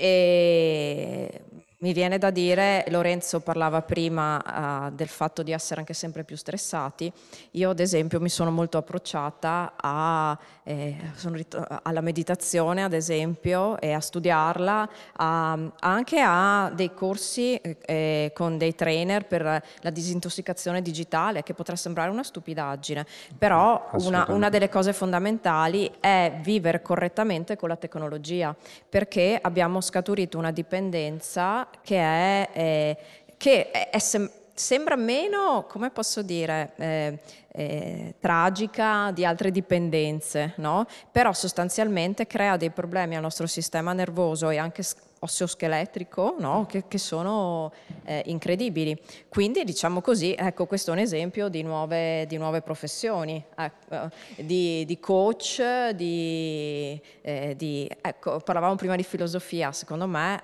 eh, il, poi dopo forse si parlerà anche di etica, ma eh, la, lo studiare filosofia è, secondo me, oggi più che mai eh, una, una, facoltà attuale. Io già quando selezionavo personale ritenevo che chi, i pochi che studiavano filosofia avessero un approccio mentale talmente aperto che potessero fare qualsiasi cosa, ecco.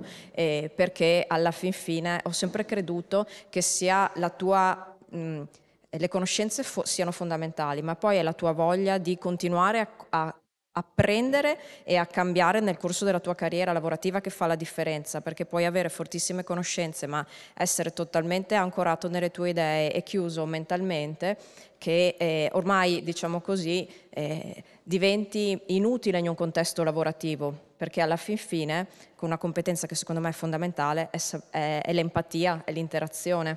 Hai risposto alla mia domanda perché appunto siamo sempre più nella tecnologia, dunque la domanda era appunto ma i nuovi lavori saranno tutti tecnologici o no? In questo caso no, dici l'empatia. L'empatia che diventa... proprio è, è, una caratteristica fondamentale eh, perché è, il saper eh, diciamo mettersi nei panni alt- dell'altro sostanzialmente, no? Ecco. E poi io facevo sempre una grande eh, differenza quando selezionavo personale, e cioè dipende sempre dalla, dall'ambiente lavorativo in cui uno lavora, perché se una persona eh, deve fare il suo lavoro meccanicamente chiuso nella sua stanza è un conto, ma calcolando che eh, ormai nelle realtà lavorative c'è una eh, interazione continua e soprattutto c'è la possibilità continuamente di approcciarsi con culture diverse, ad esempio come quando mi introducevi, mi dicevi, pri- dicevi prima, la mia azienda è dislocata in 200 sedi nel mondo, io coordino i comunicatori eh, dei diversi paesi, tutto il mondo meno le Americhe,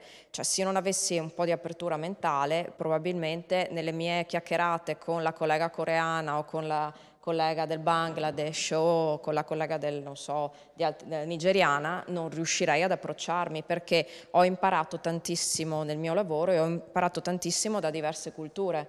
Per cui questo, e per i giovani lo sarà ancora di più, perché eh, dico sempre, io ho un bambino di 10 anni e penso sempre che probabilmente eh, eh, la mia nuora o il mio no, perché io sono molto per la diver- diversity, non so cosa dovrei dire, eh, il mio, mio, genero, ecco, potrebbe essere, non so, asiatico o, o, o arrivare eh, da un'altra parte del mondo, quindi cioè, questo è importantissimo e la, e, e la, diversità però della cultura è altrettanto importante e, e questo si ha solo attraverso l'empatia, ecco. Certo.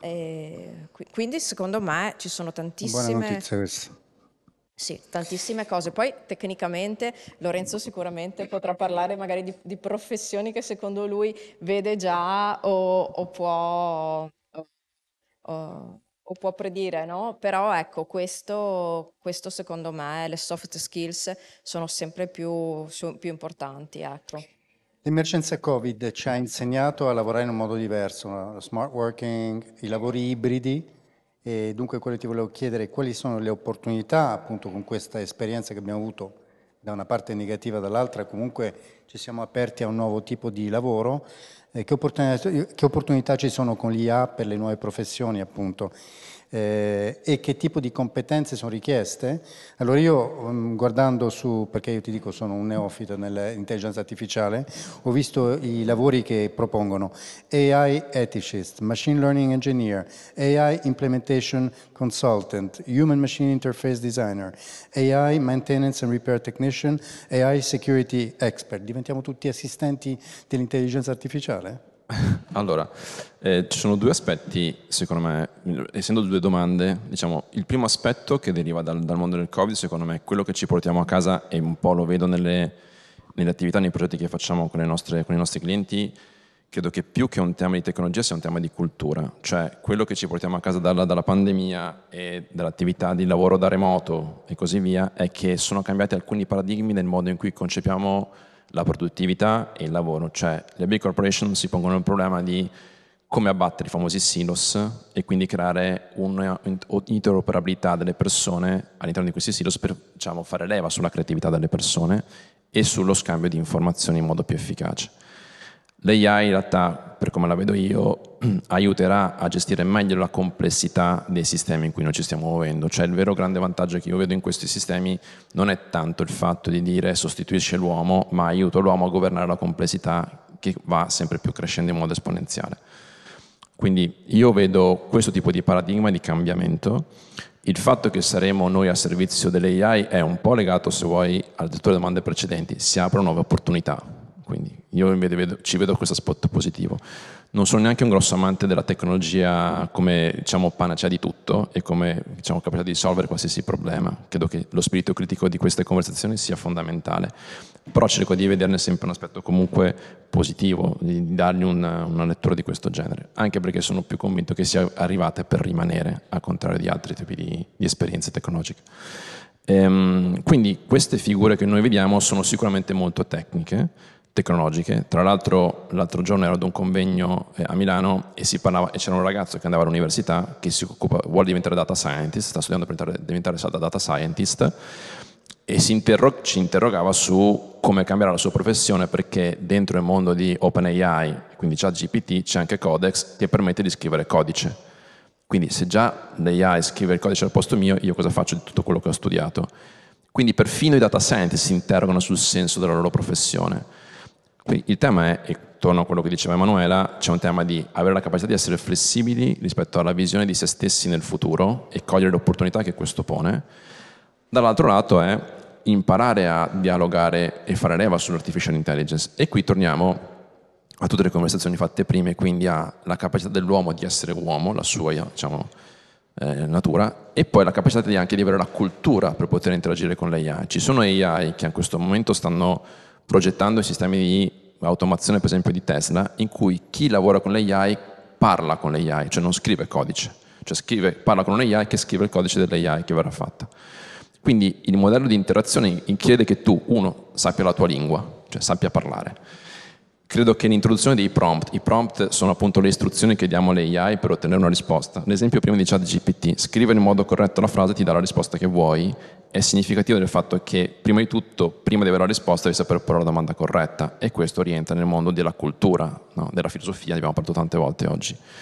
Quindi io sono profondamente convinto che in realtà ci sia un'evoluzione molto meno tecnologica di quello che pensiamo, perché c'è un tema di skills nel fare le cose, questo è chiaro, ma molto più una direzione verso la conoscenza e la cultura nel governare poi questi strumenti. Cioè quello che fa la differenza è sempre il significato delle cose, non la tecnologia che la producono o la realizzano.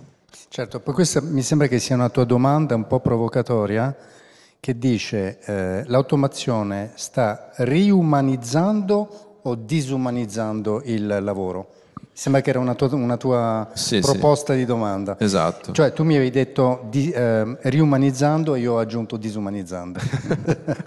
molto diverso. No, infatti io diciamo un po' quello che ho già detto fino adesso è effettivamente io credo molto più nell'umanizzazione da questo punto di vista e non dimentichiamo che eh, tutti gli strumenti di cui abbiamo parlato, i computer con cui facevo i rendering, eh, le AI adesso, sono dei raffinatissimi martelli o coltelli, cioè sono, sono strumenti, non, non, sono in grado di sostituire quello che l'uomo fa. Eh, è risaputo, non lo dico io, da N esperimenti, che in realtà è, è molto più efficace e famoso produttivo un sistema combinato fra uomo e artificial intelligence che non artificial intelligence da sola o l'uomo da solo, cioè c'è sempre un'evoluzione data dalla combinazione dei due elementi. Quindi l'elemento umanizzante è sicuramente il fatto di forse non fare più quei lavori ripetitivi di cui si diceva prima, lo faccio nel mio esempio, si parla nel mondo della consulenza, io lavoro per una, una delle importanti società di consulenza e si dice ma chi farà la parte con cui vengono formati i giovani d'oggi a fare questo lavoro, cioè le famose slide, i documenti e così via, perché lo possono essere automatizzati. Ci sarà più spazio però per pensare probabilmente. Quindi noi dovremo avere un pensiero capace di istruire come ottenere le cose e in questo caso quindi le persone verranno formate in modo diverso. E qui si apre tutto il tema della formazione che è enorme eh, e che impatterà poi su come ci comporteremo su questo lavoro e io credo profondamente nell'umanizzazione di questo aspetto. Bene, Emanuele, allora le materie scientifiche sono sempre state più maschili, se non, se non sbaglio, e, e, dunque il mercato del lavoro umano ha avuto tanti pregiudizi, no? E, tu parlavi prima di diversity. L'intelligenza artificiale può abbattere la diversity e quali ci sono come opportunità per il femminile, in questo caso, visto che parliamo di tecnologia? Sì, eh, indubbiamente eh, sì, lo potrebbe fare, però abbiamo visto che non lo sta facendo ad oggi. Ecco. Eh, io seguo sempre e invito anche magari a, a, chi non lo fa a seguirlo eh, il sito delle mm, Nazioni Unite perché come voi sapete i 17 goals per la sostenibilità eh, che ci porteranno al 2030 come target d'arrivo oh, sono stati definiti dalle Nazioni Unite e una di, e una di queste è proprio lo, è lavorare sull'inclusione sulla, mh, e, e su questi temi. E, ecco, prima eh, si parlava ad esempio di bias cognitivi e quello che mi ha stupito è che non si sia parlato di inclusione da questo punto di vista. E tutto sommato l'esempio neanche un po', ma non mm, il convegno di oggi, mm, ma, organizzato in questi giorni, ma in generale quando si parla di intelligenza artificiale in, eh, come speaker siamo due donne, se non sbaglio sono io, stata un'altra eh, ieri, e, e basta, no? di cui una io sicuramente non ho una tecnica perché sì, la mia professione non è sicuramente tecnica. E ci sono stati già molti problemi collegati alle voci del, del, de, di queste eh, come, come, dice, di questi robot perché sono nati come voci di donne molto accattivanti, no? ecco. Oppure le prime immagini di robot erano sicuramente donne formose molto, molto accattivanti, ecco. Io, beh, Lorenzo, noi ci conosciamo da ragazzini, siamo amici da una vita, sa che io sono sempre stata, mai stata una femminista, anzi ho sempre avuto forse più amici uomini che donne anche nella mia vita, però devo ammettere che andando avanti e essendo poi una, una, lavoratrice, una madre sola con un figlio, poi anche, cioè mi rendo conto che il mondo lavorativo non è sicuramente per donne e non è sicuramente rispettoso in generale della carriera lavorativa per una donna e l'intelligenza artificiale secondo me avrebbe grande, la grande potenza di poter abbattere queste diversità perché sono tutte professioni non collegate alla forza fisica, alla differenza fisica ad esempio e anche non collegate alla mm, eh, propria location, no? però allo stesso tempo sono collegate allo studio Ecco, ecco, che sappiamo già che il 75% delle persone che ad oggi lavorano con l'intelligenza artificiale sono uomini.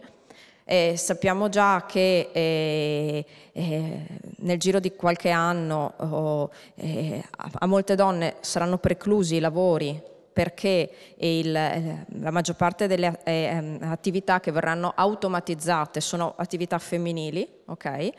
E, e le donne eh, non seguono eh, le, le, materie STEM cosiddette, cioè quelle scientifiche.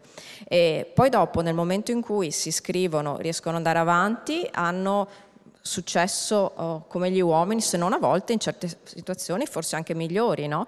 Però è molto difficile. Questo sì è un bias, un bias cognitivo perché la bambina la, la, si cresce, la, si cresceva facendole pensare che eh, fosse meglio... La moda. O... Esatto, sì, o occuparsi degli altri o fare la mamma, ma la mamma nel senso, cioè lavorare sul codice femminile, quindi il codice della cura e quindi non sicuramente della, della tecnologia, della matematica e via dicendo. E su questo è un approccio culturale su cui un po' tutti dobbiamo lavorare. E, e ecco, quando si parla degli algoritmi che stanno dietro a, a, a, un, un, a, un, processo di automazione, bisognerebbe avere, ragionare, eh, eh, i, i, veri lungimiranti sono quelli che hanno dietro dei gruppi di lavoro inclusivi, cioè che abbiano eh, una parte femminile, una parte maschile, ma poi soprattutto ci sono tante altre differenze che in, in eh, come posso dire, influenzano la nostra cultura, magari influenze religiose, eh, eh, eh razziali anche, ecco. Più abbiamo degli ambienti inclusivi, più sicuramente avremo degli algoritmi che realmente rispecchiano quella che può essere la realtà, ecco. Parlavi di sostenibilità, eh, noi sappiamo che l'intelligenza artificiale non è sostenibile perché c'è tanto uso di energia elettrica. Quali, cosa farà l'intelligenza artificiale per, per andare verso la sostenibilità? Beh, allora, eh, quello che è fondamentale io credo sia essere sempre informati. Io, occupandomi anche di sostenibilità, grazie alla mia azienda, ho, ho studiato molto la sostenibilità collegata alla tecnologia e al digitale. E aver scoperto quanto il digitale eh, impatti sull'inquinamento è una cosa pazzesca, ecco. E, e, questa è una cosa che non viene insegnata volontariamente, anche secondo me non viene spiegata. E, e oggettivamente ecco nuove professioni, eh, ecco cercare di, quando si insegna informatica, spiegare banalmente o quando si... Eh, eh come si apre correttamente la casella di posta, oppure quando è veramente è necessario stampare, perché si dice, ah sì, eh, evita, ma tutti noi mandiamo la mail, evita di stampare così inquini meno. No, perché se tu apri il tuo file un tot numero di volte, alla fine inquini di più di una stampa che tu hai lì che ti fa anche riflettere a volte se è un, qualcosa su cui tu devi lavorare piuttosto che scaricare continuamente. È, è, lo scarico di un documento non necessario o riallegarlo, oppure questa cosa che abbiamo, io dico, tipica di noi delle corporation, mettere in copia al mondo, perché è questa cosa eh, che secondo me parte dalla diffidenza che hai del, nel mandare una comunicazione. Ecco, mettere in copia al mondo ogni volta fa sì, cioè il mondo nel senso dei colleghi intendo dire, fa sì che si inquini eh, tantissimo. E, e, anche quello è un bias cognitivo che noi abbiamo, che ci faccia sempre pensare che dobbiamo dimostrare a tutti ecco, quello, quello che facciamo. Secondo me eh, tutte queste attività di coaching, di insegnamento, di, cioè sono tutte attività che si andranno a creare e per rendere un futuro sicuramente migliore e più vivibile e, e qui l'intelligenza artificiale anche ci potrà aiutare, ecco, indubbiamente. Grazie Manuela. Lorenzo, parliamo di la paura che abbiamo tutti, la perdita dei lavori. Allora, eh, l'automazione ridurrà più i lavori ripetitivi o anche quelli dirigenziali? Allora, eh, in realtà toccherà un po' diversi ambiti, nel senso che sicuramente toccherà sicuramente molto di più quelli ripetitivi, nel senso che alcuni compiti verranno affiati molto più facilmente alle macchine. Io l'idea che siccome il compito ripetitivo viene fatto alla macchina, una persona perde il lavoro, è chiaro che è un tema, un trend molto forte, però dipende anche molto dalla responsabilità che ci si assume, prima di tutto l'azienda, e in qualche modo anche il modo della formazione nel formare le persone le, gest- le capacità di gestire la macchina che automatizza il sistema. Cioè nel senso, come dicevamo prima, non vuol dire che se automatizza un processo allora quel processo non, fa, non c'è un uomo che dietro lo governa. Torniamo al tema dei rendering. Il rendering non fa il computer, ma sono io che ho impostato che quella macchina producesse quel risultato.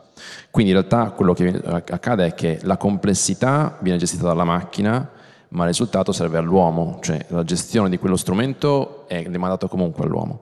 Quindi quello che io vedo è che sicuramente in ambiti più ripetitivi alcune attività vengono demandate alla macchina, ma non vuol dire che il lavoro si perda completamente perché servirà sempre qualcuno che dia istruzione alla macchina per fare quel ruolo. Quindi sicuramente questa è una prima, una prima lettura. Sul fatto degli aspetti dirigenziali, anche in questo caso, il tema per esempio dell'AI all'interno dei, dei, board di alcune aziende è un tema che esiste già da qualche anno, cioè c'è già, già l'AI nei board, in alcuni board, per esempio a Hong Kong c'è un'azienda che all'interno del suo board una AI che aiuta a prendere delle decisioni, quindi siamo proprio a livello più alto della catena dirigenziale, tuttavia però ci sono delle persone al suo fianco che prendono e lavorano e fanno quel ruolo lì. Quindi secondo me, di nuovo, è un mix dei due ambiti. Laddove la macchina può produrre un risultato migliore a qualsiasi livello di quella che chiamiamo scala gerarchica o piramide gerarchica, sicuramente si potrà inserire, ma questo non vuol dire che spazzerà via completamente dei ruoli e delle... No, no, ma io ho visitato, io ho lavorato nell'automobile per tanti anni, ho visitato delle fabbriche estremamente tecnologiche dove gli operai erano spariti tutti, rimaneva chi comandava. Per cui cosa faremo di tutti questi operai? Perché voglio dire, non diventeranno tutti, non entreranno tutti nella catena di comando, no? Per cui sarà soprattutto il ripetitivo, suppongo, che, che soffrirà. E, come, e come, come aiuteremo questi operai a, allora, sicuramente c'è un tema di imparare a riuscire a, e questa è una responsabilità che esula soltanto il mondo delle aziende, cioè in primario sicuramente nell'ambito delle aziende perché sono loro che offrono il lavoro e poi c'è un tema di formazione, cioè comunque la formazione dovrà permettere ai ragazzi che adesso si stanno formando di arrivare nel mondo del lavoro preparati ad accettare, a gestire la complessità di questi strumenti.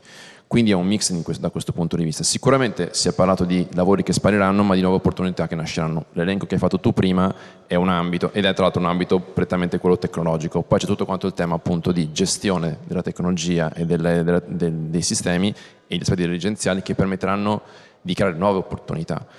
Non dimentichiamo i modelli di business, cioè finora stiamo lavorando sempre su logiche legate ai modelli di business attuali. La, la costruzione di nuovi modelli di business, di nuove opportunità, aprirà degli scenari nuovi rispetto a quello che è l'ambito in cui noi ci muoviamo. Eh, a me affascina molto, per esempio, tutto il mondo dei creator, no? quindi gente che produce video su YouTube, produce video per i social. C'è gente che da questo modello di business che tendiamo a non prendere molto in considerazione noi boomer, in realtà ci sono persone che producono dei, dei risultati economici straordinari.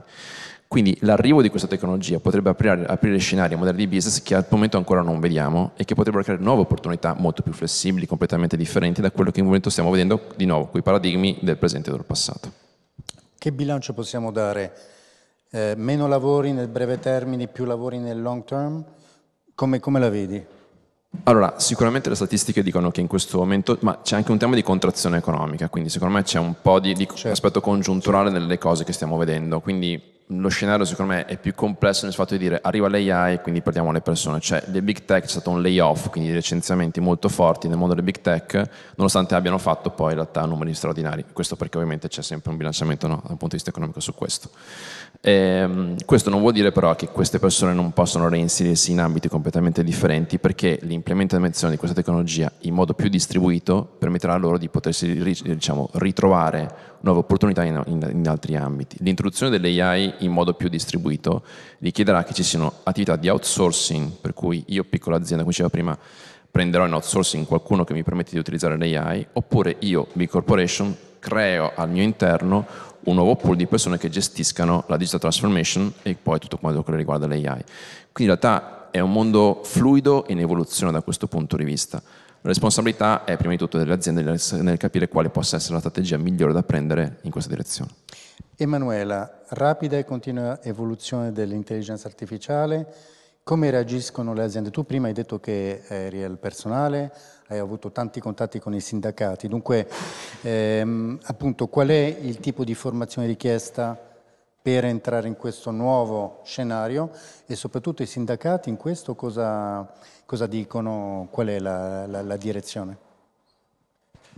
Beh, eh, allora, eh, il mercato appunto si sta evolvendo molto, molto rapidamente. E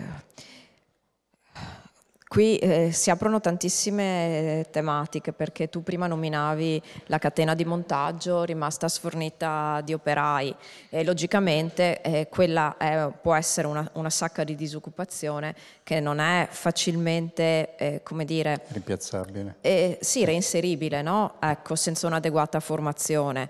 E ecco che eh, lì il, il sindacato oh, insieme alle associazioni datoriali può lavorare cercando di creare nuove, nuove competenze indubbiamente.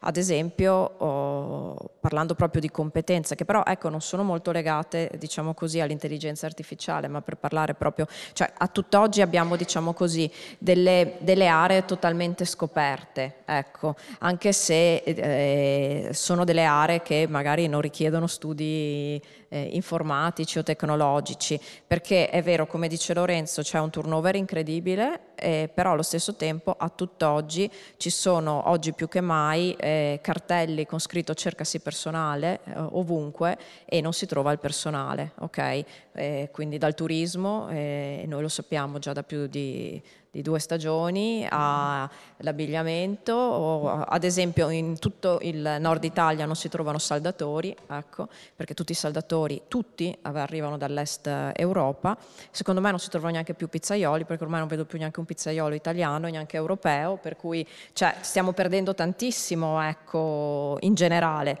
E le associazioni sindacali cosa possono fare? Cioè vai a supportare comunque la... Eh, eh, il lavoro, eh, quindi nella, nell'aiutare, nel formare, nel dare eh, assistenza, ecco, eh, però logicamente queste sono delle dinamiche anche eh, economico e sociali che sono, che sono diverse. Sì, ecco. Penso che tutti si devono rimborcare le mani. Sì, una cosa che io ho, ho, ho, fatto e ho portato avanti anche un progetto mm, quasi una decina d'anni fa nella regione in cui lavoro, il Friuli Venezia Giulia, è lavorare tanto con gli studenti e mm, avevamo fatto un progetto, ora il, nostro, la mia azienda Varzila, ecco, se voi poi dopo googlate vedrete che noi stiamo vivendo una crisi sociale perché eh, eh, siamo occupati circa mille persone. La nostra era l'ex Grandi Motori Trieste, forse qualcuno l'avrà sentita. Eh, l'ultimo know-how europeo in produzione di motori, di grandi motori. Dalla nostra fabbrica è uscito il motore navale più grande al mondo e gli unici ormai in Europa che producevano mm, motori per navi e la Finlandia ha deciso di eh, chiudere il nostro stabilimento e per eh, diciamo così, delocalizzare tutto in Finlandia proprio. Scelta un po' diseconomica, però diciamo, il governo finlandese ha sostenuto questa, questa cosa. E andando contro diciamo, alla Silk Road eh, e quindi al fatto che siamo in una zona, a Trieste logicamente, dove eh, la spedizione dei motori era anche molto, eh, molto rapida e veloce. Ma perché dico questo? Perché noi stiamo vivendo proprio questo momento storico, una cessazione di un comprensorio industriale di 150.000 metri quadri e quindi varie offerte da parte di eh, altre multinazionali per l'acquisizione del comprensorio stesso. Quindi ci stiamo molto scontrando anche su quelle che sono le realtà e sull'investimento delle tecnologie, no? La nostra è un'azienda che pur essendo appunto metalmeccan- di metalmeccanica pesante è stata la prima azienda che ha investito sulla guida automatica, la prima nave che ha guidato eh, in autonomia è uscita dalle, da, da, dai, nostri, dai, nostri, software. Ecco. E il primo sistema predittivo del meteo eh, per, le, dice, per, i, ehm, per, i, tragitti eh, eh, navali è uscito lo stesso dalla nostra azienda, per cui insomma, abbiamo acquisito molto da questo punto di vista, però allo stesso tempo cioè, eh, su 19.000 dipendenti ce ne sono un 4.000 che fanno parte appunto dei eh, della, della, classe proprio operaia, per il quali si potrebbe sicuramente reinvestirle in altre eh, professionalità, però subentrano Ecco, qui subentra la dinamica umana, la quotidianità, sì, perché sì. noi abbiamo pos- tantissime possibilità lavorative, però le tantissime possibilità vogliono dire eh, viaggiare, dover parlare diverse lingue, fare anche dei sacrifici e, e ci si domanda se ad oggi persone già inserite nel mondo del lavoro sono disposte a fare questo o, e questo è uno scontro che abbiamo anche spesso a livello sindacale, o ci si abitui un po' troppo all'assistenzialismo da questo punto di vista. Ecco. Sì, sì. No, dunque la parola chiave è flessibilità e qui rubo un'idea di Luca. Parlando con lui l'altro giorno mi dice perché non facciamo una settimana di lavoro di quattro giorni e il quinto giorno impari nuovo lavoro. Idea interessante perché voglio dire le aziende stanno reagendo in questo modo perché voglio dire bisogna essere flessibili, bisogna imparare a fare altri lavori, non bisogna essere troppo ancorati sulle proprie competenze. Immagino che ci deve essere un, un ragionamento di questo tipo anche nelle, nelle aziende. Io o personale. Una cosa interessante, io avevo lanciato da me ad esempio un altro progetto che era eh, accompagna eh, alla pensione il tuo collega, cioè nel senso eh, in tutte le aziende, per quanto noi siamo tutti molto, come dire, efficienti, ma va a finire che il collega che va in pensione cioè lascia un buco disumano, cioè che per cui eh, banalmente per un anno non sai dove mettere mani o, o non sai cosa fare. Perché non iniziamo a, negli ultimi 3-4 anni della vita lavorativa di una persona, a inserirle un'altra persona a fianco per, per rendere, scusatemi, anche più stimolante gli ultimi anni di lavoro della persona che lavora dare anche valore a una carriera lavorativa, perché io, io, credo tantissimo in questo, tu ti sei sacrificato tutta una vita per lavorare e porti in te un, poten- un potenziale di conoscenza e esperienza che è un valore immenso, che è quello... È coaching a chi ti viene... Sì, il vero know-how delle aziende sono le persone, cioè, eh, qua dico una cosa un po' come dicono i nostri amici disruptive, no? Cioè, non è la tecnologia, ma secondo me cioè, stanno gli esseri umani dietro la tecnologia ed è quello il know-how delle aziende. Prima, poi sono passata, il mio cuore mi porta poi a, a essere empatica verso le, le, situazioni. Vi ho raccontato la storia della mia azienda, ma vedevo i giovani e quello che vi volevo dire, io avevo fatto un altro dei progetti che avevo fatto era aprire ogni venerdì la nostra fabbrica, visto che era la fabbrica motori più grande d'Europa, agli studenti. Quindi ogni venerdì noi ci dedicavamo a far vedere la fabbrica agli studenti. È stato bellissimo perché per tre anni sono arrivati studenti da tutta Europa. E E la cosa bella era far capire ai ragazzi le professioni, da fargli vedere la parte più tecnologica che era, eh, abbiamo iniziato a fare assistenza ad esempio in centrali elettriche o in, uh, nelle navi con eh, eh, questi ehm, eh, in, ingegneri che grazie al, ai caschetti eh, riuscivano a collegarsi con la centrale e a fare la manutenzione da remoto. No? Questo per evitare che quando li mandavamo, non so, nelle centrali in Nigeria, perché noi facevamo motori sia per navi che per centrali elettriche, dovessero avere le, le scorte armate e rischiassero anche la vita, oltre al fatto che se si bloccava una centrale rischiava di lasciare una zona completamente senza energia, soprattutto in determinate aree, e a tempo che arrivava l'assistenza, ecco, l'assistenza da remoto, che da noi è la normalità da 12-12 anni, è, è, per i ragazzi era fenomenale vedere que tutte queste, queste possibilità, però io sostenevo che questa cosa non andasse fatta solamente con i ragazzi delle superiori, andasse fatta dalle elementari addirittura. E, e quindi avevo proposto alla mia regione, all'assessore regionale all'istruzione, all di fare un percorso. Siamo riusciti a farlo con le scuole medie, anche per avvicinarli appunto alle materie STEM, però secondo me ecco, è questo a me piace sempre vedere i giovani perché secondo me sono loro poi la chiave del cambiamento di tutto e noi ad aiutare e supportare loro affinché non si, non si incorra in quelle sacche di disoccupazione di cui parlavi certo, tu. Certo, Lorenzo, eh, mi parli dell'effetto di intelligenza artificiale su eh, appunto l'organizzazione delle aziende, le funzioni aziendali. L'hai accennato prima, eh, avremo più tempo per lavorare, ma eh, sempre meno dipendenti perché e con i lavori ripetitivi appunto le macchine o diciamo l'intelligenza artificiale prenderà il, il posto. Per cui la domanda è l'azienda diventerà da verticale più orizzontale, ci saranno meno impiegati, più outsourcing, più potere al vertice?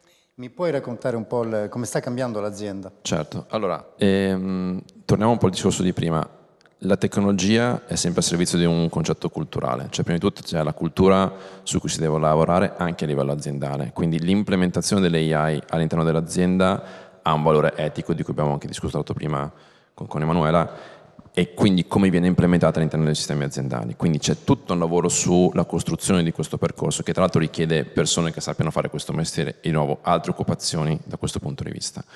Sul tema organizzativo invece della struttura aziendale, eh, in realtà i quattro, i quattro, giorni lavorativi diciamo, è una cosa di cui si parla da un po' effettivamente, come tra l'altro tutto il concetto di chiamate, reddito di cittadinanza legato al fatto che col fatto che avremo sempre più tecnologia avremo sempre la necessità di lavorare e quindi come manteniamo le persone, che è legato un po' alla conversazione che stiamo facendo oggi, come manteniamo sistemi, un sistema in cui le persone sono chiamate a lavorare sempre di meno perché è sempre più demandato a sistemi tecnologici e automatici.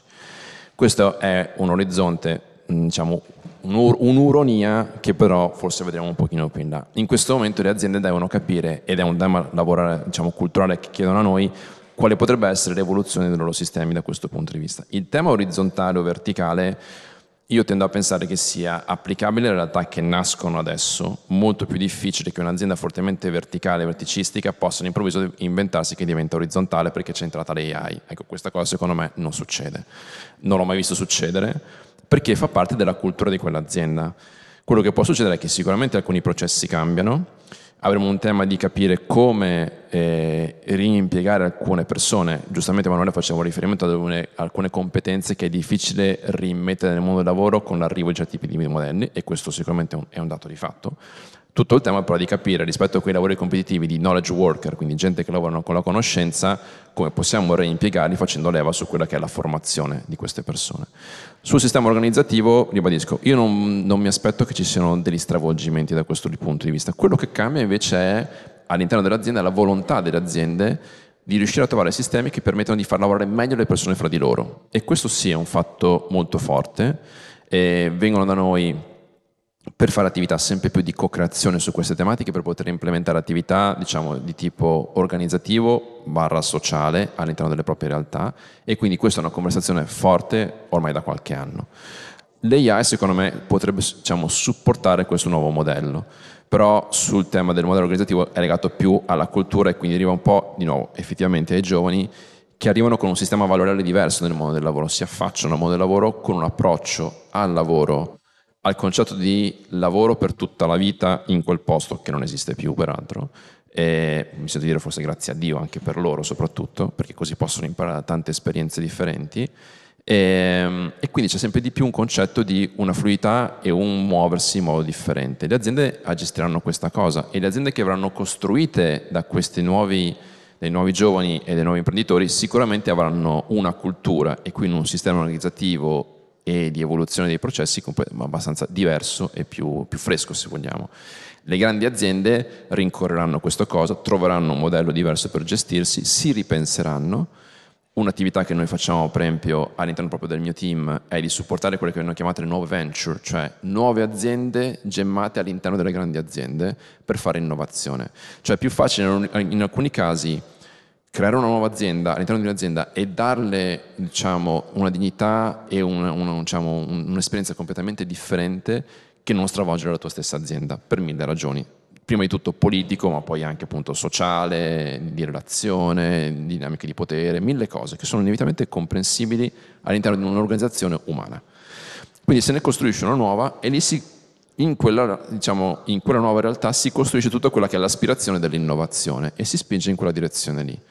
Questo è un processo secondo me virtuoso, molto affascinante, molto complicato, che però si prova a fare. Ecco, quello potrebbe essere un modello in cui si va verso reimmaginare alcune organizzazioni in un ambito differente. Quello è un processo che si cerca di fare. Quindi questo è quello che io vedo come evoluzione da un modello organizzativo e di distribuzione poi anche della conoscenza all'interno delle aziende. Molto interessante questa cosa delle piccole aziende per spingere la tecnologia. Allora, Emanuela, la coscienza ci differenzia dalle macchine. La coscienza, l'empatia, l'umanità. Eh, qual è, appunto, l'avevi già accennato prima, ma l'importanza delle competenze umane, parliamo di empatività creatività. La creatività, per esempio, tu che sei designer, ma lo chiedo a te Emanuela, eh, ieri abbiamo visto delle, degli esempi di, di, creatività dove l'intelligenza artificiale ha fatto delle cose veramente molto. Dunque, questi valori rimangono molto importanti in un'azienda e, e, e l'altra domanda che ti volevo fare, oh, magari rispondi a questa prima, poi... Ma secondo me, eh, per quanto possano creare delle... Parliamo di futuro, non di oggi. Sì, eh, sì, sì, di... delle opere anche meravigliose, però secondo me lo spirito critico, il senso critico che ha l'essere umano diventa fondamentale.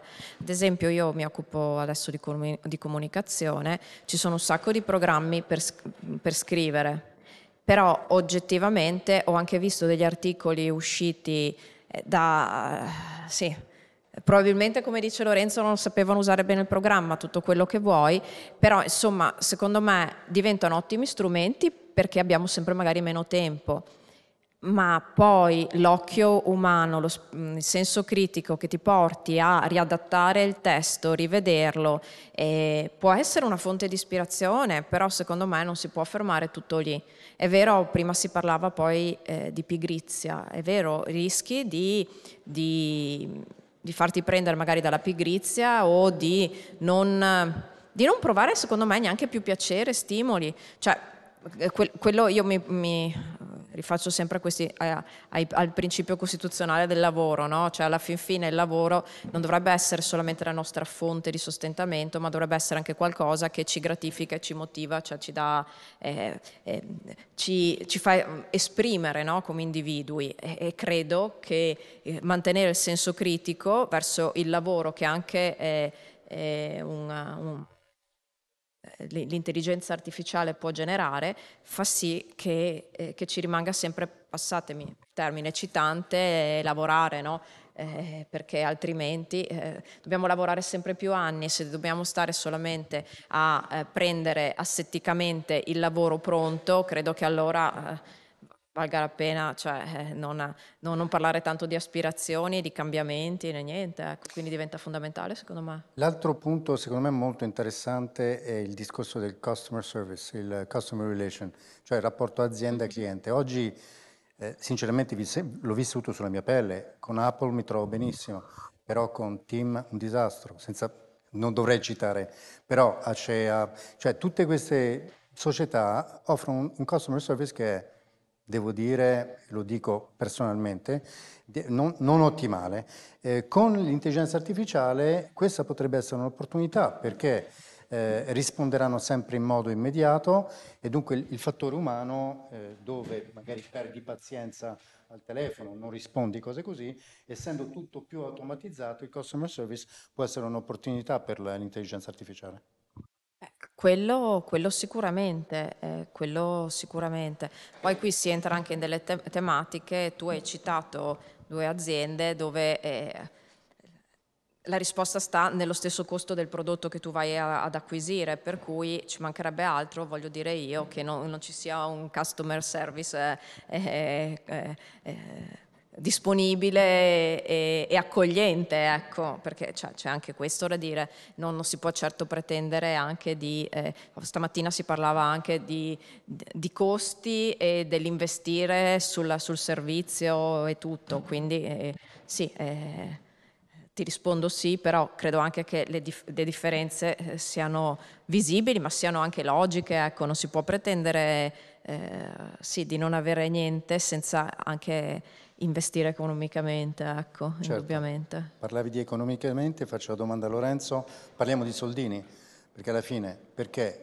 l'intelligenza artificiale è interessante per le big corporations? Per fare profitto. Allora qui ho un dato interessante, dicono che entro il 2031, questo è l'IDC che dice questo, genererà un valore di 2 mila miliardi di, di dollari.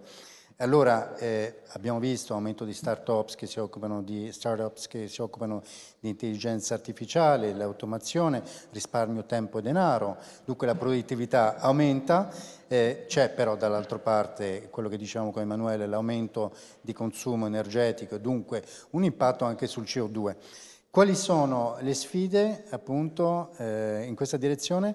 E voi mi sembra che, ho visto questo su qualche articolo, lavorate con Coca-Cola per l'implementazione di intelligenza artificiale. Ci puoi raccontare qualcosa o è tutto top secret? no, no, figu- anzi, è una, è una, comunicazione pubblica perché in realtà Bain lavora con OpenAI, quindi già GPT e così via, da quasi due anni.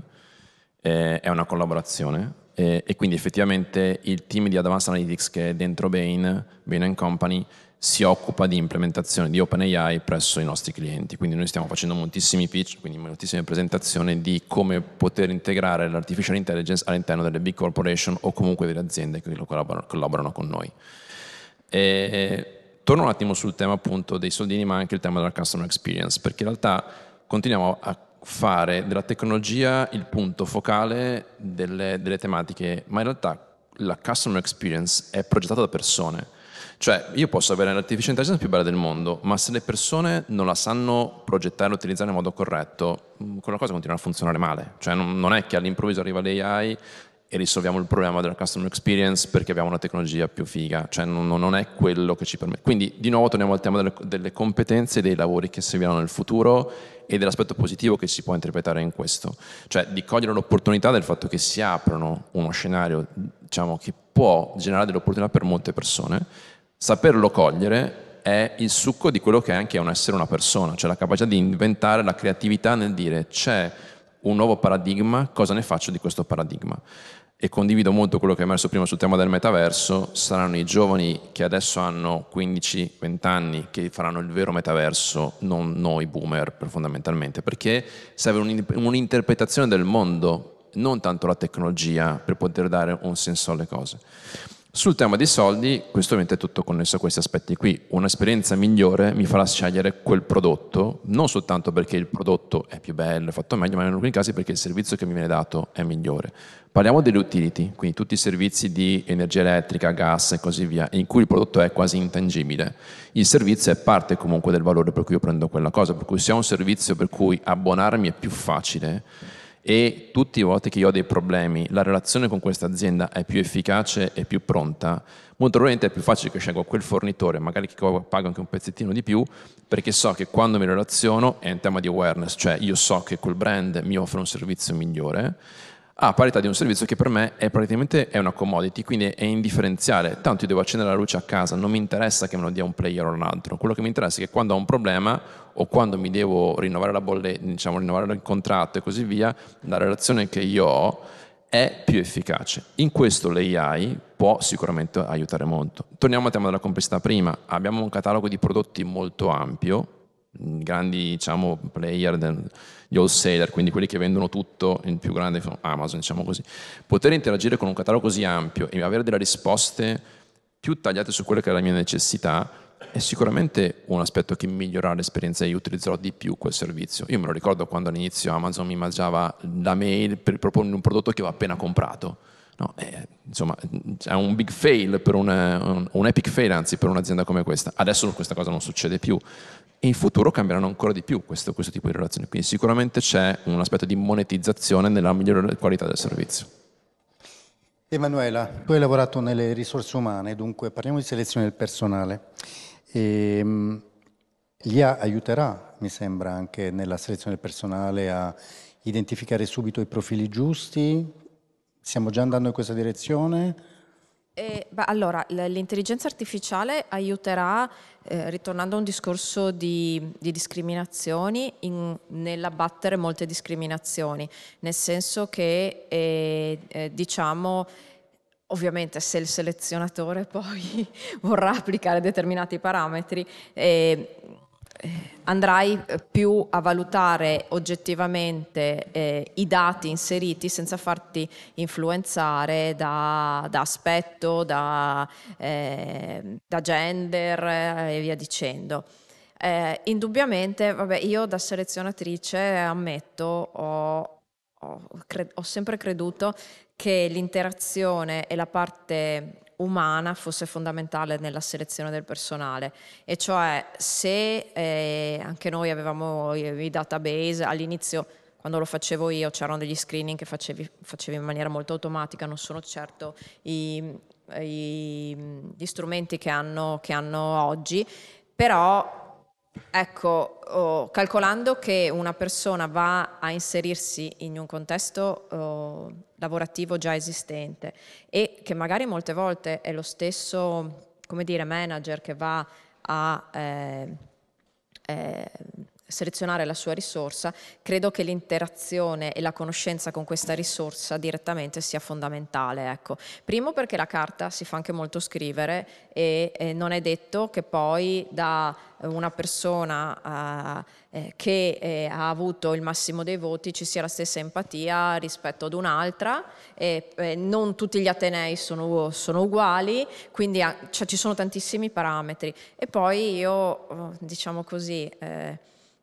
dai, il, ho, usavo sempre un'espressione eh, con, uh, sia quando selezionavo le persone, sia quando formavo gli altri manager per, per, per formarle, usavo sempre un po' la, la, la domanda, ma eh, cioè, eh, ci usciresti una sera a cena? Cioè, nel senso, sarebbe un amico che ti porti a cena o una persona con la quale faresti una chiacchiera? Ah, neanche, mi, mi dicevano la maggior parte, è persone che avevano portato come dire, nella short list finale, ah ma neanche per idea, sono una cosa allucinante caratterialmente, mi va bene che, abbiano queste competenze, ma gli ho detto ma come pretendi che in un, in un ambiente lavorativo vai a mettere delle persone che, con le quali tu non mangeresti neanche fuori una, una sera, no? E questa è un'interazione che ci può essere solo tra individui, perché poi, ehm, e qua subentra la tua empatia, Qui subentra perché le persone devono anche andare d'accordo, soprattutto negli ambienti lavorativi,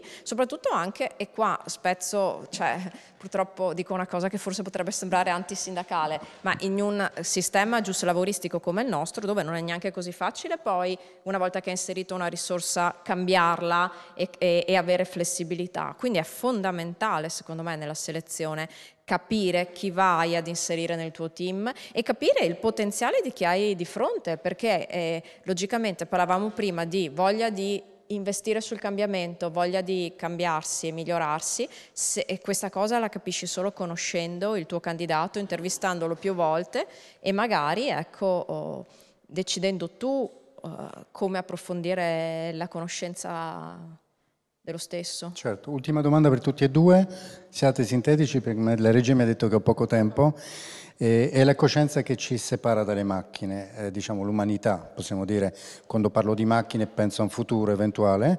Non è meglio concentrarsi sulle nostre potenzialità umane eh, diciamo, l'empatia, empatia, creatività, pensiero critico, piuttosto che sullo sviluppo tecnico per avvicinarci all'intelligenza artificiale? Non è più logico rafforzare quello che ci rende più unici?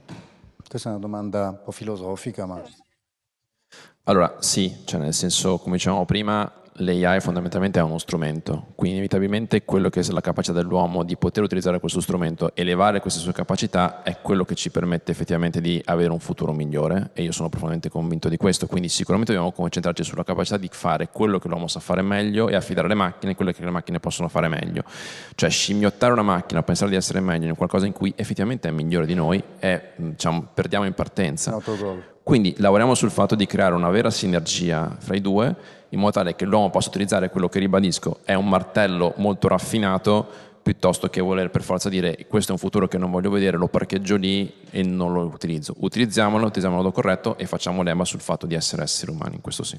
Perfetto. E anche per me la chiave è la combinazione tra tutto, lo studio, lo studio ci vuole, è fondamentale. E poi ricordarsi che eh, è fondamentale dopo magari aver fatto un lavoro, aver studiato qualcosa, confrontarsi, il confronto credo che sia l'arricchimento eh, più grande che possiamo avere, perché se stiamo isolati, ed è questo che è il, a volte è la cosa che fa, spaventa un po', l'isolamento no? che può creare eh, questa tecnologia. Invece il continuare a, a, a mettere in condivisione eh, le proprie emozioni e le proprie idee credo che sia fondamentale. Grazie a entrambi. Mauro, sono nei tempi, non, non è che c'è un altro parco. No. Domande del pubblico? Non so se abbiamo il tempo. Grazie a tutti, grazie.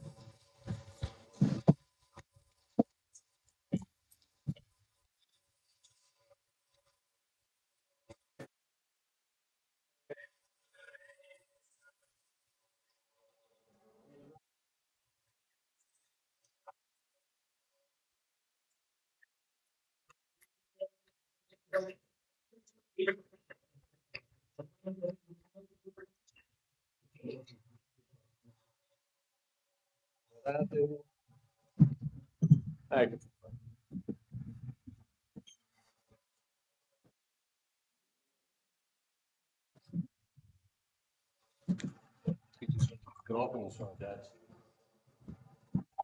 Allora, devo dire che chiudiamo in bellezza, perché eh, ne hanno parlato eh, tutti i relatori ieri e oggi, eh, hanno parlato di formazione, ma hanno anche parlato di boomer, hanno anche parlato di giovani.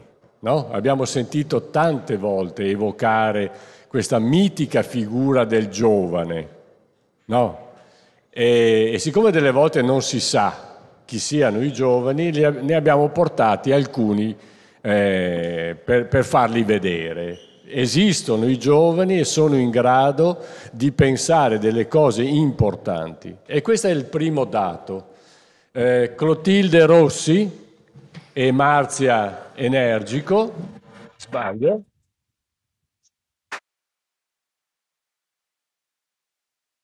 sono due alunne eh, della terza D eh, del liceo scientifico, eh, liceo scientifico Scienze Applicate dell'istituto Planck. L'istituto eh, eh statale Planck è un istituto eh, che ha questa, questa duplice, questo duplice volto che a me piace moltissimo, cioè è un istituto tecnico che però ha anche un liceo scientifico e nei licei scientifici eh, si insegna anche filosofia. E quindi eh, abbiamo anche il professore di filosofia che è Dario Battistini. Fatti vedere.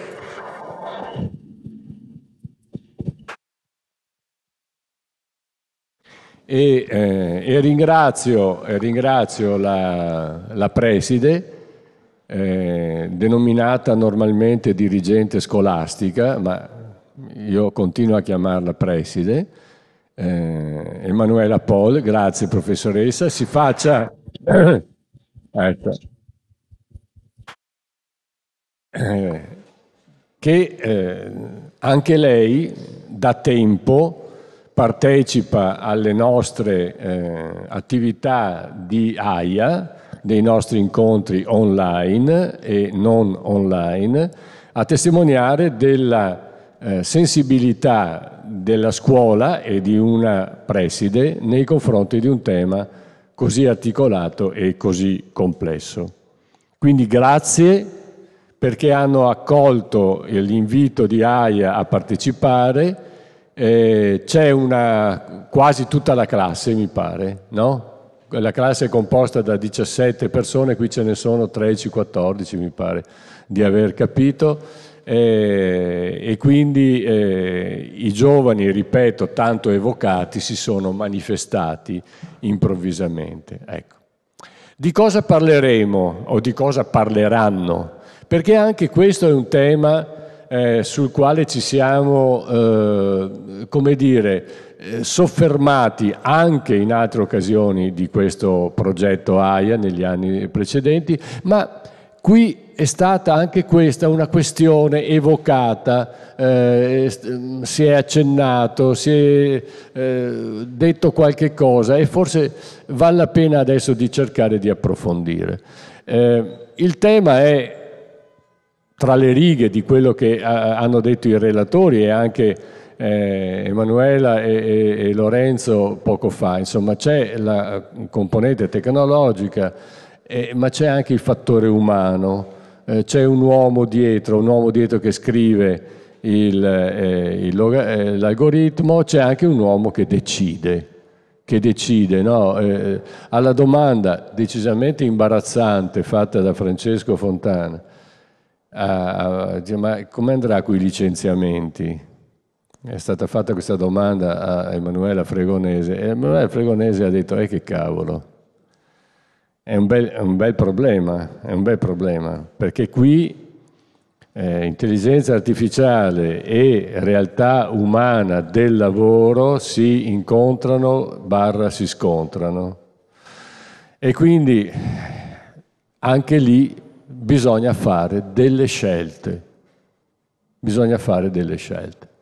Allora, adesso assieme eh, parleremo di etica, che è uno dei grandi paroloni che si incontrano studiando filosofia, ma etica semplicemente, semplicemente vuol dire fare delle scelte e dire sulla base di quali regole, principi, convinzioni io faccio queste scelte.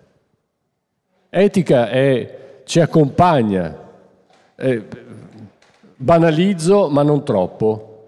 Il fatto che voi siate qui questa mattina e eh, così eh, masochisticamente siete qui dalle nove anziché andare al mare, andare al bar, eccetera, è una scelta. Avete fatto una scelta. E questa scelta è una scelta etica, nel senso che avete determinato il vostro ethos, il vostro comportamento, sulla scorta di alcune convinzioni. Ma dice, stamattina vado ad ascoltare Luca Sambucci che parla di intelligenza artificiale. Avete fatto una scelta Etica vuol dire questo. La parola greca ethos significa banalmente comportamento. Devo dire i miei comportamenti da che cosa sono determinati. Tutto qua. Eh, sì che l'etica ci accompagna, ci accompagna sempre, in ogni caso, eh, eh, anche quando andiamo al supermercato anche quando decidiamo di andare al ristorante o di non andarci. È una scelta banale, anche quando decidiamo che in fondo la cosa non me ne frega niente. Ma perché non te ne frega niente? È una scelta di comportamento. Allora, parliamo con Clotilde e Marzia. E, e, insomma, grossi una delle grosse questioni che hanno a che fare e che abbiamo sentito, che abbiamo sentito in queste giornate, eh, che hanno a che fare con l'intelligenza artificiale è la questione della libertà. E la libertà è una questione etica per eccellenza. Insomma, voi vi sentite limitate, circondate, controllate dall'intelligenza artificiale? Chi è che vuole partire? Vi siete messi d'accordo? Cioè, fate click e flock? No. Eh, Marzia. Controllare, riguarda il controllare, magari anche sì, per, ma più che altro per i sistemi di sicurezza e tutto quest'ambito. Però non, non penso che direttamente eh, possa liber- limitare la libertà di una persona, perché se lo fa è sempre sulla base di scelte di altre persone, quindi è un mezzo per limitare la libertà più che mh, mm, proprio il fattore che la limita, a mio parere. Cioè tu ti senti limitata da chi ha deciso di fare quel tipo di applicazione, di programma, di, oppure... No, parlo più a livelli di sicurezza. Adesso, ad esempio sì. quelli attuati in aeroporto, ma solo per fare un esempio, che sono il mezzo di una, di una limitazione, ma probabilmente non è neanche una limitazione della libertà, ma più che altro un'imposizione di, delle regole eh, o dei sistemi appunto di sicurezza. Eh, che avvengono per mezzo di, delle non, macchine. Non ti senti limitata quando ti fanno eh, lo screening in aeroporto, insomma. No, esatto. ecco, quello, eh, benissimo. Eh, Clotilde. Sinceramente non, non sento una particolare limitazione a causa dell'intelligenza artificiale Forse, eh, per esempio, gli algoritmi che regolano i social network possono al massimo limitare la mia esposizione a pareri diversi dai miei, ma solo perché gli algoritmi dei social network cercano di proporre contenuti più vicini possibili ai miei pareri personali. Quindi forse mh, alla lunga manca il confronto con pareri diversi dai propri, ma questa potrebbe essere, credo, l'unica limitazione. Ah beh, insomma, non è da poco però il fatto che ti faccia eh, parlare sempre con chi grosso modo la pensa come te, eh, insomma, vuol dire che forse impedisce il confronto e lo scontro eventualmente. Cioè, nella vita quotidiana, i tuoi compagni eh, che vedi in classe, preferisci che ti diano sempre ragione o che ogni tanto ti dicano no, hai sbagliato, oppure tu gli dici no, ho sbagliato? No, Hai sbagliato. Sicuramente il confronto è importantissimo, però credo che lo stesso confronto si possa trovare anche su internet e ah, comunque ah, ecco. dipende dalle intenzioni di ciascuno di noi. Quindi non ti senti, ti senti ancora... Ma è bello questo discorso che insomma questi giovani non si sentono con le manette ai polsi. Eh? Non so, Luca, cosa ne pensi? Tu che non solo sei un cyber, cyber sicurezza, ma sei anche padre. Sentono. No, ma secondo me hanno ragione. Le limitazioni spesso avvengono ehm, nelle nostre operazioni quotidiane quando ci viene impedito di fare un qualcosa che vogliamo fare. Quindi sono, sono molto subdole. Le limitazioni, quelle che non riusciamo a capire, è quando ci danno, ci viene solamente due o tre opzioni per qualcosa. E allora lì io non sento la mia libertà limitata perché ho due o tre opzioni. Magari senza l'intelligenza artificiale ne avrei avute dieci. Allora lì c'è un po' il limite. Quello che ha detto la ragazza, io quando non vedo altri pareri, lì mi sento un pochettino limitata perché viene rigurgitato solamente quello che, eh, che penso io, ha centrato l'obiettivo, perché lì in nuce ci sono tutte le limitazioni che poi ci vengono date man mano che andiamo avanti nella nostra vita online. Certo. Parliamo della vita futura. Eh, come vedete la vostra vita futura, le scelte, perché di etica stiamo parlando, di scelte stiamo parlando, come vedete le scelte della vostra vita futura sapendo che c'è a disposizione eh, questo questa realtà così complessa e variegata che per comodità chiamiamo intelligenza artificiale nelle sue varie manifestazioni. Eh, avete già pensato a cosa potreste eh, accedere in virtù o nonostante l'intelligenza artificiale? Marzia? O Marzia? Eh, non ho ben chiaro cosa andrò a fare dopo da la grande. scuola, però mh, mm, penso che l'intelligenza artificiale possa aprire un gran numero, cioè un numero di impieghi, Mm. magari prima non considerati, perché riguardano proprio l'intelligenza artificiale. Ehm, quindi magari limita mm, in un certo senso alcuni settori del lavoro che adesso sono impiegati o stanno sempre più venendo impiegati dall'intelligenza artificiale, però penso ne, apri- ne mm, apriranno altri orizzonti eh, a cui magari noi potremo accedere lavorando in simbiosi mm, in un certo senso con questa. Ah, bello, questa è una, è una ventata di ottimismo che in tutti questi due giorni non ci era, non ci era stata data. Eh, no, è, è bello questo, io sono veramente contento. Cosa ne pensi Clotilde su questo tema? Sì, concordo con Marzia, anche io credo che grazie allo sviluppo dell'intelligenza artificiale ci saranno maggiori eh, lavori disponibili e nuovi impieghi e credo che appunto potrà avere un esito positivo per le nostre vite in futuro, si spera.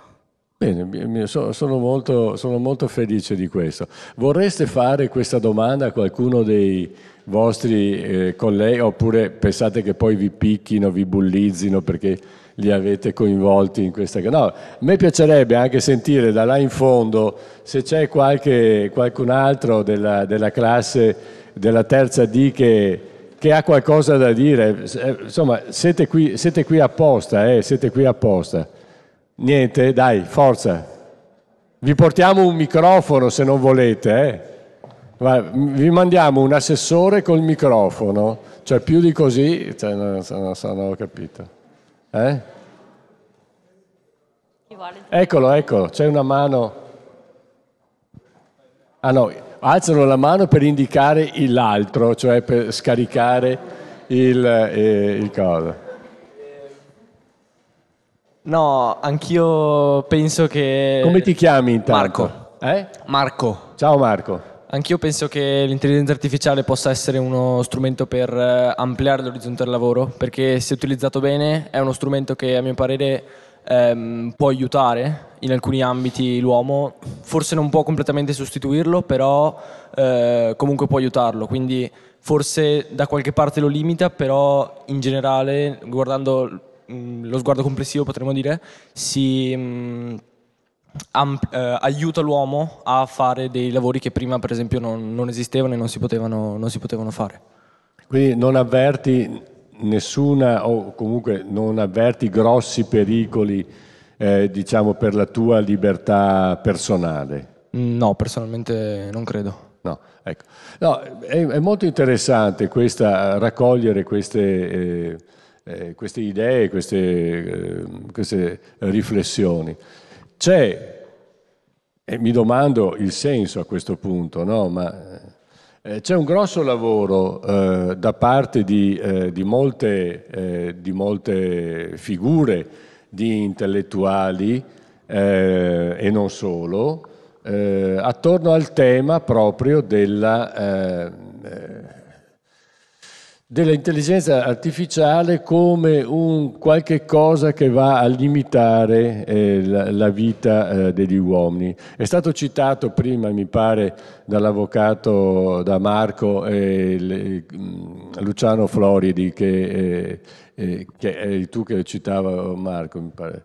Eh, Floridi, Benanti, la, eh, autori importanti. Floridi faceva parte di, una, eh, di un gruppo di lavoro, in, eh, Floridi è un italiano che insegna a Oxford e faceva parte di un, uh, di un gruppo di lavoro dentro Google eh, per quanto riguarda appunto le funzioni dell'intelligenza artificiale e se ne è uscito se n'è uscito e ha tirato fuori anche gli altri che facevano parte dello stesso staff di Google, tanto per dire eh, la questione, sui temi appunto dell'etica. Paolo Benanti, è stato nostro ospite, tra l'altro, in uno degli, degli incontri eh, sull'intelligenza artificiale degli anni scorsi, è un frate eh, francescano, uno dei maggiori esperti a livello europeo eh, sui, sui, temi della eh, democrazia e dell'etica legata all'intelligenza artificiale. Ha, ha coniato un termine che si chiama algoretica o anche algocrazia e ha scritto un dossier per l'Europa, che è stato presentato un paio di anni fa a Roma, sui temi di cui stiamo discutendo, cioè sul fatto che, attenzione, eh, l'etica eh, può essere in qualche maniera messa in un angolo dal, dalle cose eh, dell'intelligenza artificiale. Qui avvertiamo una, uh, un, un, sentimento diverso, è interessante questo, è interessante che giovani che hanno 17-18 anni non si sentano coinvolti nelle loro scelte approfondiamo un po' eh, coinvolti nelle loro scelte da parte, dicevo, dell'intelligenza artificiale. Clotilde, proviamo un po', cosa ne pensi? Sì, eh, sicuramente l'intelligenza artificiale, almeno personalmente, è in grado di influenzarci. Mm, un esempio, appunto, gli algoritmi dei social media sono in grado appunto di influenzarci, però non è totalmente negativo, si possono scoprire nuovi interessi, nuovi hobby grazie a questi algoritmi, ma non credo che questa influenza che abbiano su di noi possa costituire un limite se non appunto uh, limitare la mia esposizione ai pareri altrui. Secondo me possono essere più un punto a favore per lo sviluppo di nuovi interessi. Bene. Uh, sì, anche secondo me uh, l'esposizione magari molto frequente um, che è stata possibile da parte grazie ai social media ehm, rispetto a certi argomenti, con le pubblicità, eccetera, ehm, influenza il tuo modo di pensare, però sta anche alla singola persona magari eh, andare a informarsi su pareri diversi o su anche aspetti negativi di quello che ti viene fatto vedere o ti viene mostrato eh, con le pubblicità, con le varie pagine social, eccetera. E, ehm, quindi sì, magari in un certo senso il tuo pensiero è mh, mm, canalizzato da mh, mm, ciò che l'intelligenza artificiale vuole farti vedere, però ehm, puoi in un certo senso uscirne o comunque informarti su pareri differenti se vuoi farlo. È tosta Marzia, eh?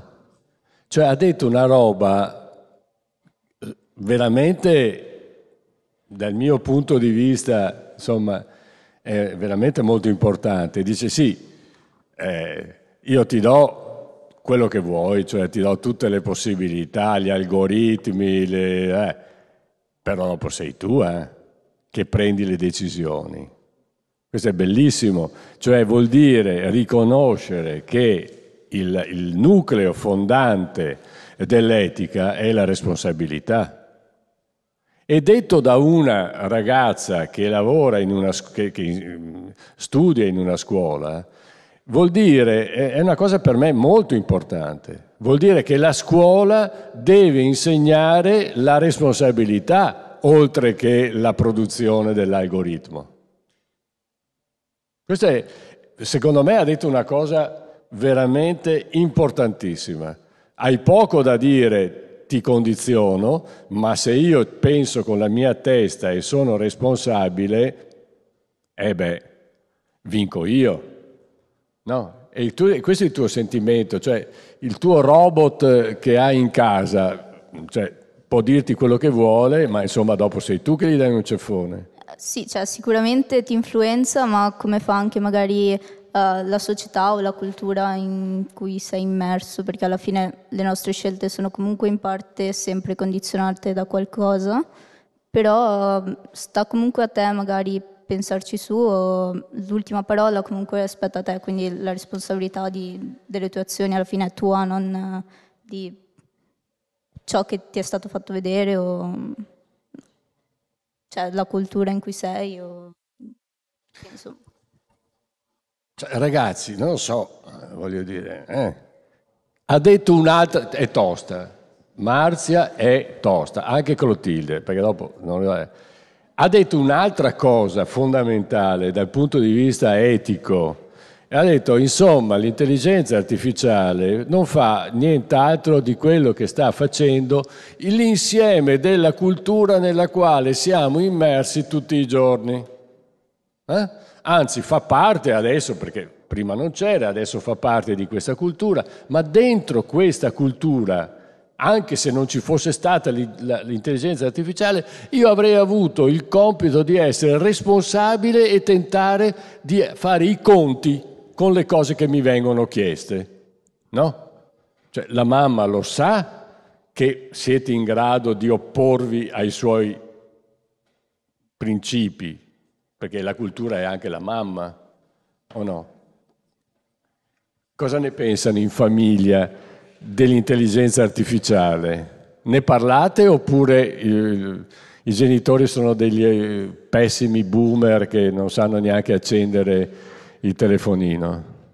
No, i miei genitori in realtà sono interessati soprattutto per quanto riguarda ChatGPT, sono sorpresi di quanto sia sì, efficiente come macchina, anche se talvolta impreciso, però sono abbastanza appunto impressionati da quanto sia veloce e simile all'uomo. ChatGPT, abbiamo parlato principalmente di questo. Cioè tu togli tuo papà e tua mamma da davanti al computer come loro dovrebbero fare con voi, dice eh, no, mamma, papà, via dal computer perché state utilizzando un po' troppo ChatGPT questo, eh? Sì, sono, si sono interessati, hanno, sono rimasti impressionati, diciamo. Ma, cioè, ragazzi, ma, no, no, di cosa stiamo parlando qua? Eh? A casa come va col chat GPT? Vi parlate tra figli e genitori? Con... No, anche i miei sono interessati all'argomento e ogni tanto magari ne parliamo. E, um, loro forse hanno una visione un po' più pessimistica rispetto alla mia, soprattutto per quanto riguarda i dati, cioè la gestione dei dati e del lavoro. Um, sì, cioè, pensano che magari le macchine possano limitare di più il lavoro rispetto a magari quanto ne penso io, eh, sempre per la disponibilità magari di nuovi impieghi che si creeranno. Veramente notevole questo, io sottolineo questa, questa, questa cosa. E, cioè, è, è sempre stato detto che in famiglia non si parla, no? E soprattutto non si parla di educazione sessuale, beh, questo, cioè. però si parla di chat GPT. Però questi temi... No, no, ma questo è vero o no? No? Eh? È più, è più facile, questo è, bello, questo è bello. Allora, voglio dire, è interessante che la famiglia, come un tempo si ritrovava attorno al focolare domestico a fare le discussioni, oggi si ritrovi attorno a questo nuovo focolare che è il, il computer e, ne, e, se ne discuta. Però, adesso, a parte l'ironia e le battute, è molto bello questo. Cioè è interessante che nell'ambito della discussione familiare un tema così importante, così forte, così attuale entri a far parte del dialogo, entri a far parte del ragionamento. No? E quindi è che poi è merito vostro, non credo che siano stati i genitori che vi hanno detto ascolta, parliamone, no? Siete stati voi a coinvolgerli, di la verità. Ma no, in realtà cioè, sono molto interessati, magari uh, riporto un esempio che è successo eh. pochi giorni fa, al telegiornale hanno parlato di questa nuova macchina mm. uh, con cui sono riusciti a far percepire ai medici il tatto sì, da parte della sì, macchina per operazioni chirurgiche. È vero. E loro erano molto interessati, hanno aperto loro l'argomento. Eh. E, um, cioè, erano molto sì, interessati e propensi anche all'utilità che poteva, poteva, avere questa macchina per operazioni mediche o sì, poteva portare molta innovazione secondo loro, ma anche secondo me in realtà.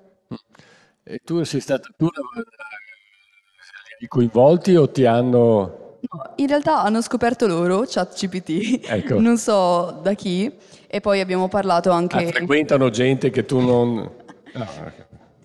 E abbiamo parlato anche dei rischi del, della privacy e del furto di identità online. Beh, questo è molto, molto, interessante, molto importante. No, è uno spaccato, secondo me, eh, non so, Luca, non so se a Roma avete gente così, però Cioè, non è una questione geografica. No, è, è una battuta è, è ovviamente. Io sono, io sono, rimasto stupito perché ehm, sembra che abbiano quello che manca un po' a tutte le altre generazioni, il pensiero critico.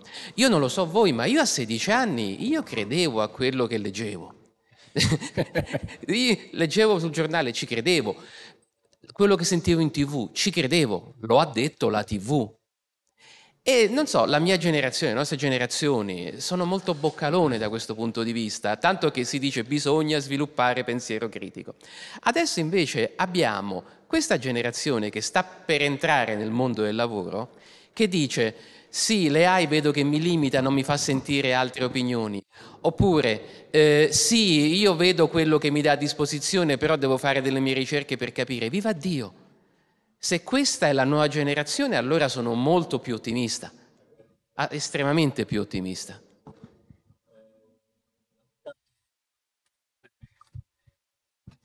Ma allora, sicuramente sì.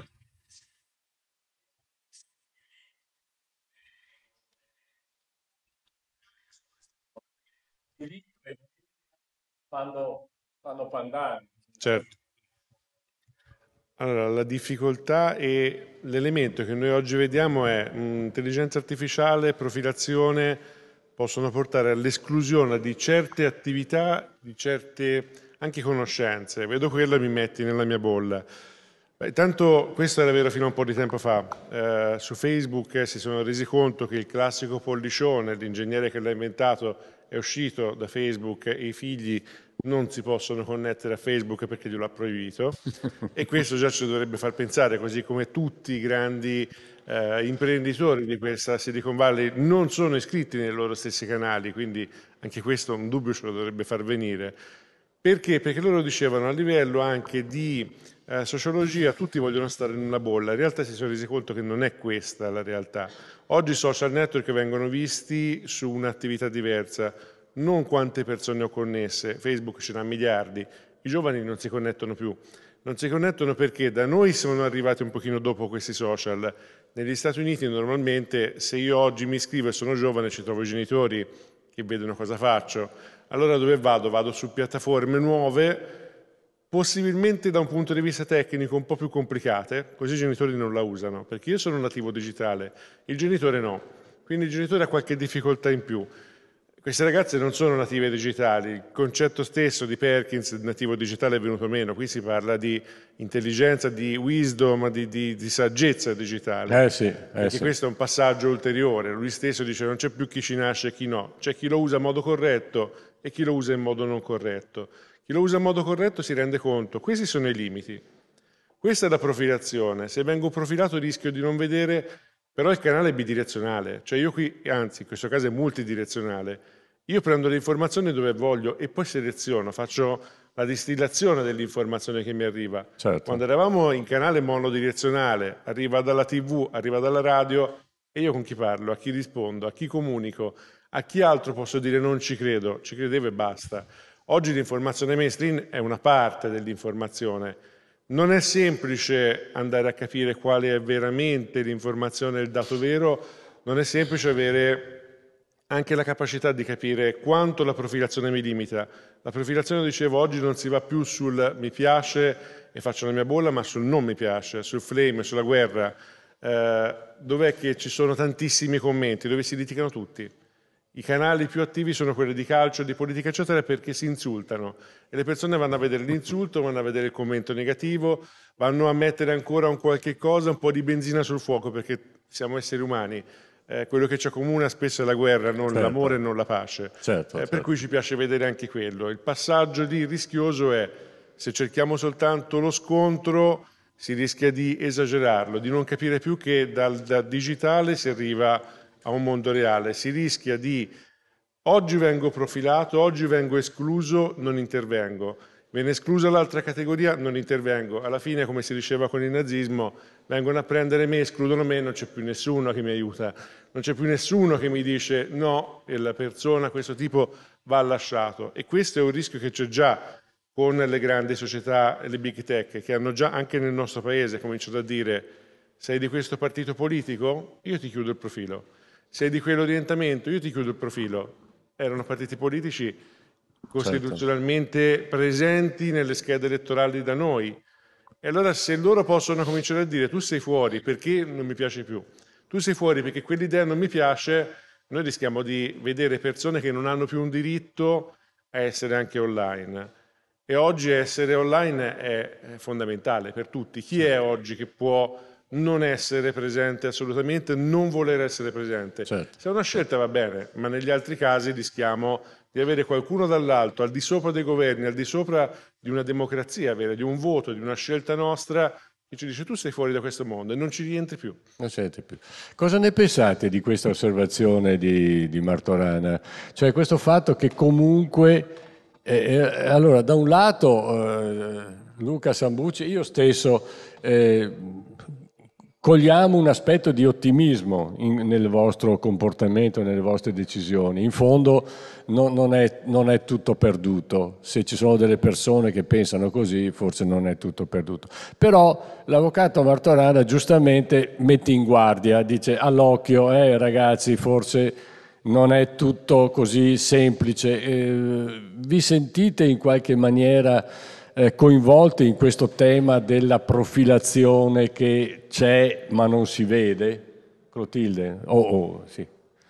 Cosa ne pensate? Allora, eh, sinceramente concordo sul fatto che essere online al giorno d'oggi è, è importantissimo. La maggior parte de, appunto, delle informazioni si, si mh, trasmettono online. Certo. Eh, concordo anche sul fatto che talvolta non, non, non ci, l'intelligenza artificiale non ci lasci diciamo, in una bolla, ma ci faccia confrontare perché diciamo che gli algoritmi non distinguono il bene e il male, ma distinguono appunto il coinvolgimento della massa, quindi talvolta il numero di commenti e robe del genere.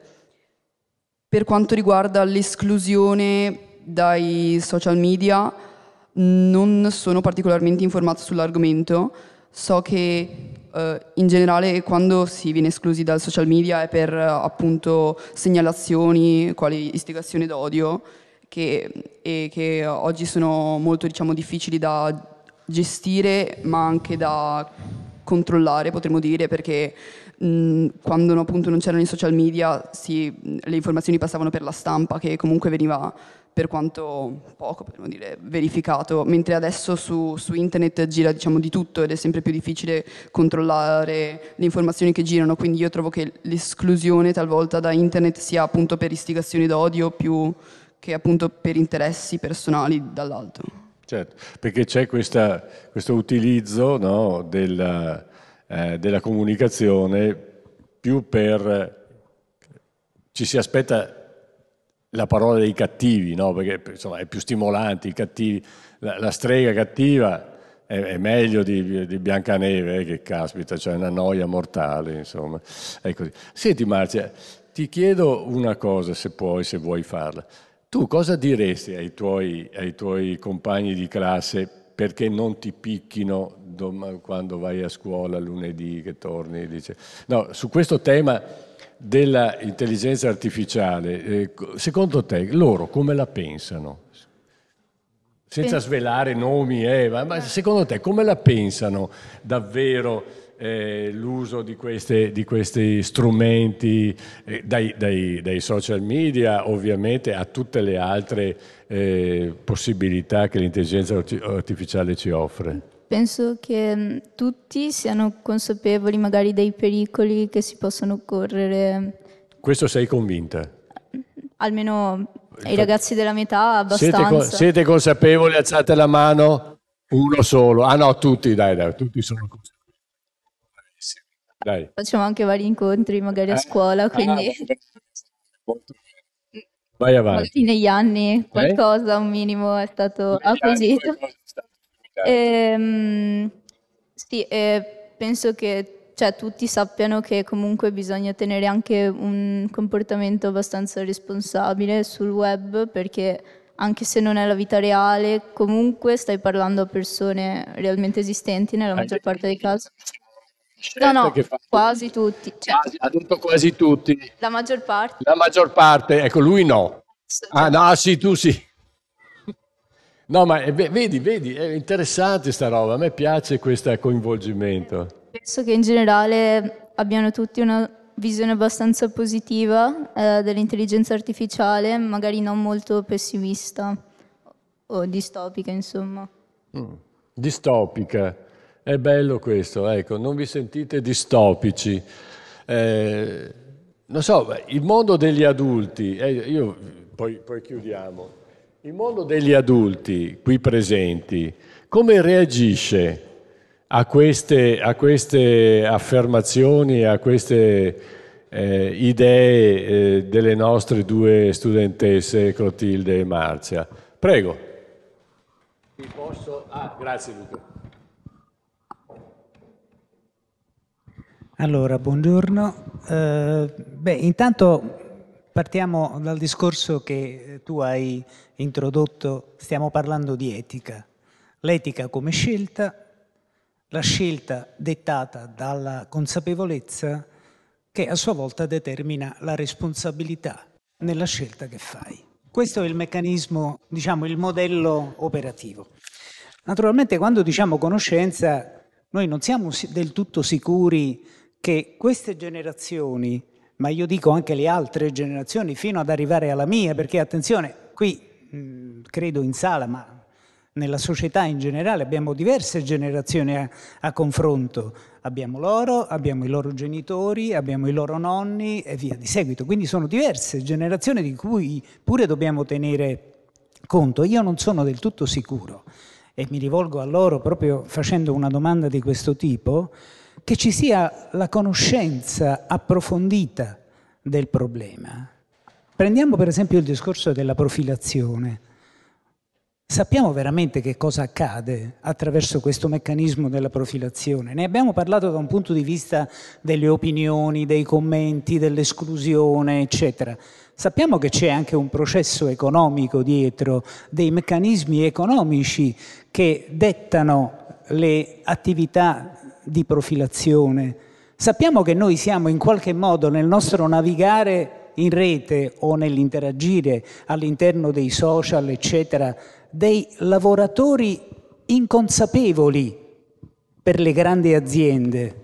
Siamo tutto sommato degli schiavi della rete che lavorano senza essere pagati, fornendo informazioni, non fornendo prodotti, ma fornendo informazioni e quelle informazioni verranno utilizzate per scopi di natura commerciale e economica. Allora io dico, siamo consapevoli non è solo responsabilità vostra, è anche responsabilità delle scuole, oltre che dei genitori naturalmente, eh, a pari merito.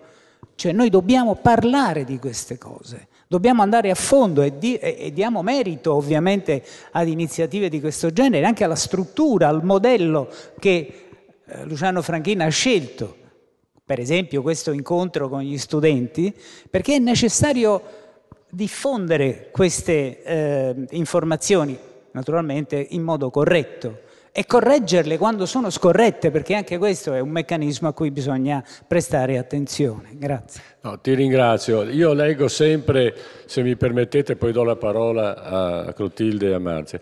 Leggo questa, oh, questa osservazione nel suo valore eh, propositivo, positivo e propositivo. Perché quando io ero bambino e naturalmente mi hanno regalato la mia prima biciclettina, mio papà mi ha messo le due rotelline sulla ruota posteriore perché non eh, cadessi. Un po' alla volta ho imparato e poi ho detto adesso basta rotelline, vado per conto mio e mi sono subito sbucciato un ginocchio di cui porto ancora il segno.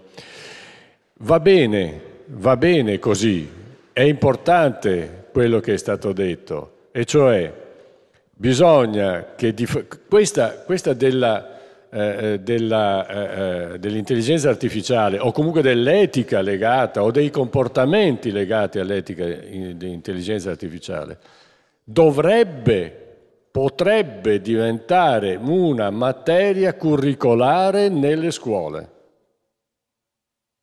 Eh, bisogna che la scuola si adatti a queste innovazioni, a queste trasformazioni, no? Mantenendo Verga, sia chiaro, no? E non sostituendolo con la Susannina. Manteniamo Verga, ma in, mettiamo un'ora settimanale di etica e di attenzione alla intelligenza artificiale e ai comportamenti. Grazie del Consiglio. La preside ha detto sì. È vero che lo farà? No, non ha detto niente, non si prende impegni. Cosa ne pensate? Questa è un'osservazione molto interessante. Vuole, voi la sentite questa necessità di avere ogni tanto, una volta al mese, una volta alla settimana, quando volete, dice parliamo di sta roba qua. Eh? Beh, ma in parte già già lo facciamo, ad Bene. esempio eh, durante le ore di informatica, anche Brava. l'anno scorso eh, ci hanno fatto documentare sull'aspetto dei dati eh, personali del guadagno da parte delle aziende. Vedi? Eh, Vedi? Facciamo eh? anche incontri, magari con la polizia postale, eccetera, sui comportamenti corretti da mantenere in rete, le varie responsabilità che possiamo avere sulla base di certe nostre azioni. E penso che mh, mm, cioè, alla fine se non ci fosse guadagno Uh, dal nostro essere in rete mh, mm, nemmeno ci sarebbe, cioè non, non, non ci, ci, sarebbero questi servizi perché qualcuno dovrà pur guadagnarci dal, da un servizio alla fine che ci offre perché con i social media eccetera noi possiamo trovare lavoro, possiamo documentarci, cosa che magari è molto più difficile fare uh, senza questi certo. strumenti. Uh, quindi sì, magari forse andrebbe regolamentato di più. Adesso io non sono molto informata sulle re- regolamentazioni uh, da parte dei dati personali o della privacy, però magari andrebbe regolamentato l'utilizzo di questi dati uh, da parte delle multinazionali o di chi comunque certo. detiene questi servizi. Però, mm. Clotilde, cosa ne pensi? Io sono molto d'accordo con Marzia è importantissima l'informazione, anche la scuola ci fornisce informazioni di questo tipo riguardo la sicurezza e il trattamento dei dati, però ancora concordo con Marzia sul fatto che se, no, appunto, se non ci fosse un guadagno non ci sarebbe nemmeno il servizio. È sicuramente importante l'informazione, ma appunto attraverso la scuola credo che noi siamo abbastanza consapevoli, magari non del tutto, su come i nostri dati vengano trattati. Piedi per terra queste ragazze, eh? Cioè, non stiamo scherzando. Eh? Cosa ne dite voi? Francesco? Tu? Eh? Vedi cosa ti dicono, vedi cosa ti danno. Eh? Vedi cosa ti dicono, vedi cosa ti danno. No, no, so che è una, una neofita. Abbiamo un ospite giornalista oltre che... innanzitutto... Di, no, dica chi è perché così la conoscono tutti. Vabbè. No, io però non mi stupisco così tanto perché ho sempre pensato che comunque le generazioni giovani fossero, fossero, attente, più probabilmente di quelle più grandi, anche perché i vostri genitori cosa avranno? 45 anni, no, più o meno 40-45 anni, quindi non è una generazione di persone che non si eh, no, non, non si, cioè, si, si sono già affacciate comunque a questo mondo, sanno già certo. di che cosa parla. Probabilmente la generazione precedente che si stupisce di più e, e va a scoprire anche di più, perché per generazioni tipo molti di noi è tutta una novità comunque, la curiosità di chi vuole capire quali sono i meccanismi è superiore sicuramente a uno certo. che già ci è cresciuto. Certo, certo. Sono, sono sicura, lo so che a scuola comunque il lato, la parte di informatica viene considerata molto e cioè a me non sembrano così sprovveduti, ecco, sanno ah, benissimo no. quali sono i eh, rischi. proprio, proprio no. Spero che facciano non solo appunto a scuola, ma anche eh, con le famiglie che facciano un certo, po' più. Certo. Poi eh, quello che invece mi stupisce il vostro un po' stupore perché eh, io eh, all'età di 16-17 anni molte generazioni erano ancora più combattive e non credevano così in modo pedissequo proprio a quello che diceva la tv o dicevano i giornali e, si, e se ci credevano erano perché i giornali e le tv erano fatti da uomini. Qui c'è una componente di mistero anche, di capire chi eh, comunque ti dà queste notizie, chi c'è dietro. Una volta sapevi che in modo più o meno corretto o no perché ricordiamoci che adesso facciamo i giornalisti qui, ehm, di noi, eh, è vero che è una categoria molto criticata e giudicata, però ancora qualcuno che le notizie le verifica, anzi ancora di più di una volta c'è ancora, non è che proprio viene buttato dentro di tutto, soprattutto nel, nei giornali scritti. È molto più facile che per battersi eh, in velocità siano i siti anche dei giornali stessi, perché poi quello che anche che dicevamo prima sui tempi del lavoro come cambia, e ne avevamo anche parlato, ad esempio facendo i giornalisti, l'informatica ha accelerato moltissimo i tempi, però l'ha ritardati anche, perché c'è quest'ansia di continuare a correggere e quindi lavori di più e lavori buttando dentro delle cose magari non verificate subito, ma poi vengono verificate dopo. Quindi la generazione comunque del liceo di una volta criticava tutto, non era così che accettava perché lo diceva Montanelli o perché lo diceva, era anzi un continuo eh, mettere eh, in, eh, in, proprio giudicare in discussione quello che succedeva nella vita di, di, tutti i giorni comunque, proprio perché veniva raccontata da una fonte sola o da due o tre fonti e, e lo spirito comunque di certe generazioni era quella di dire sempre di no e di andare oltre, di Lì dipende molto dalla personalità dei ragazzi e di che, come sono stati anche cresciuti, la curiosità che hanno, la voglia di non accettare eh, nulla. E la, la, cosa della parte negativa dei, dei social è anche vero, però è anche vero che c'è un appiattimento tale in cui eh, commentare su Facebook diventa invece di andare dallo psicanalista diventa quasi eh, sì, terapeutico diventa quasi terapeutico, terapeutico. Sì, sì. C'è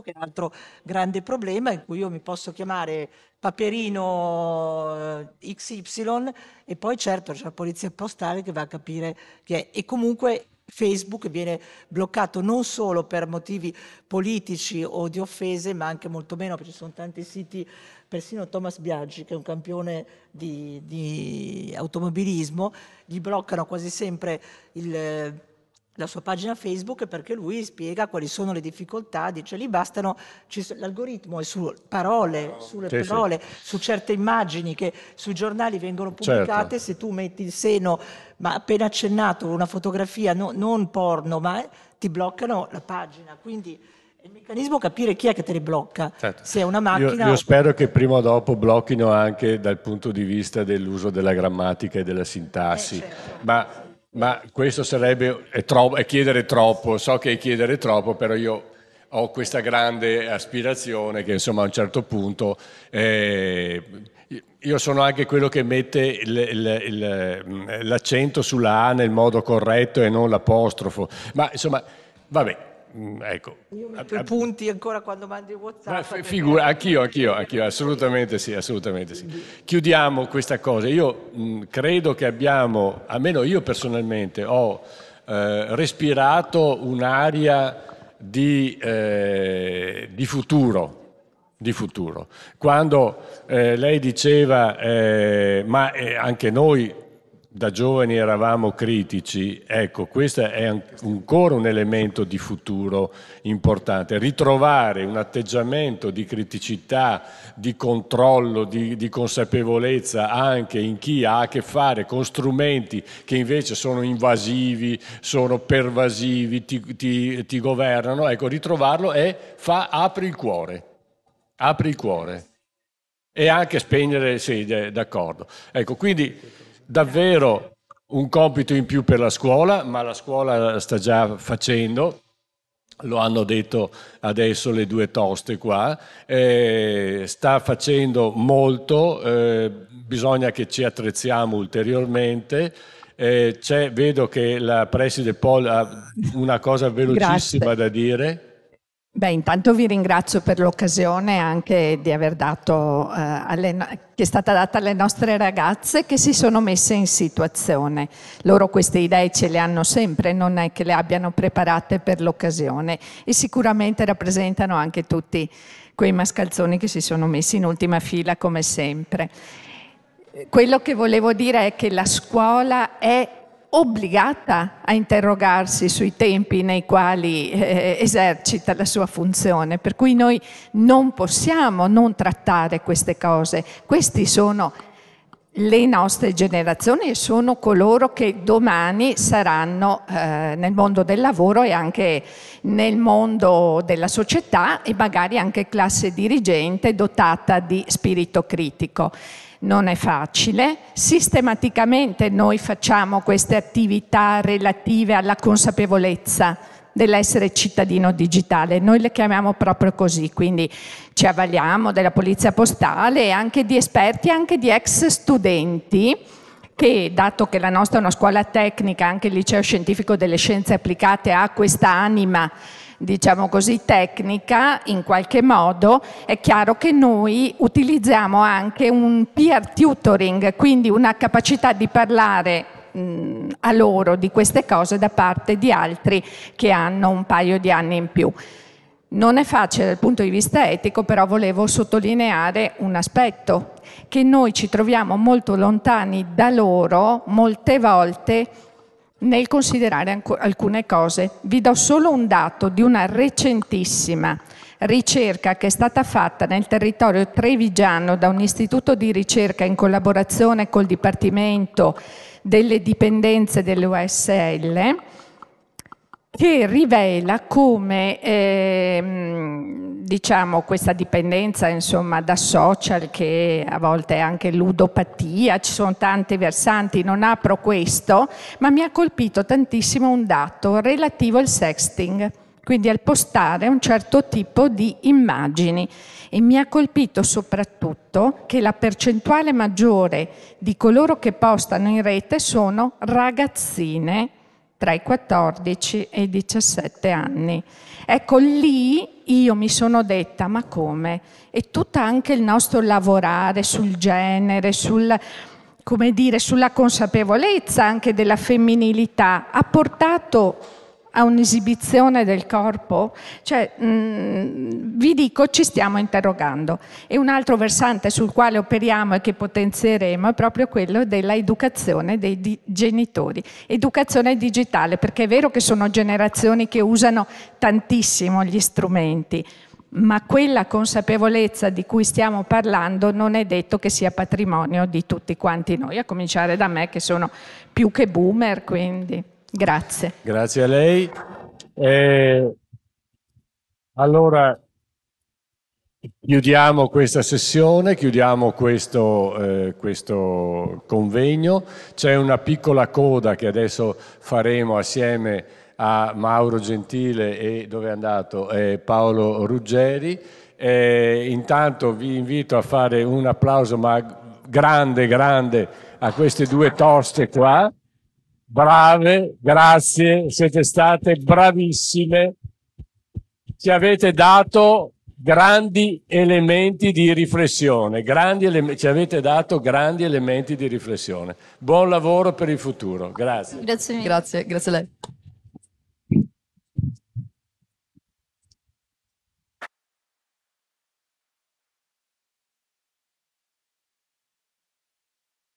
Prego, Mauro e Paolo, sedetevi qua, 5 minuti, c- abbiate pazienza, 5 minuti, facciamo un, uh, come si dice normalmente, un debriefing, facciamo, tiriamo, tiriamo le somme, ah, ah.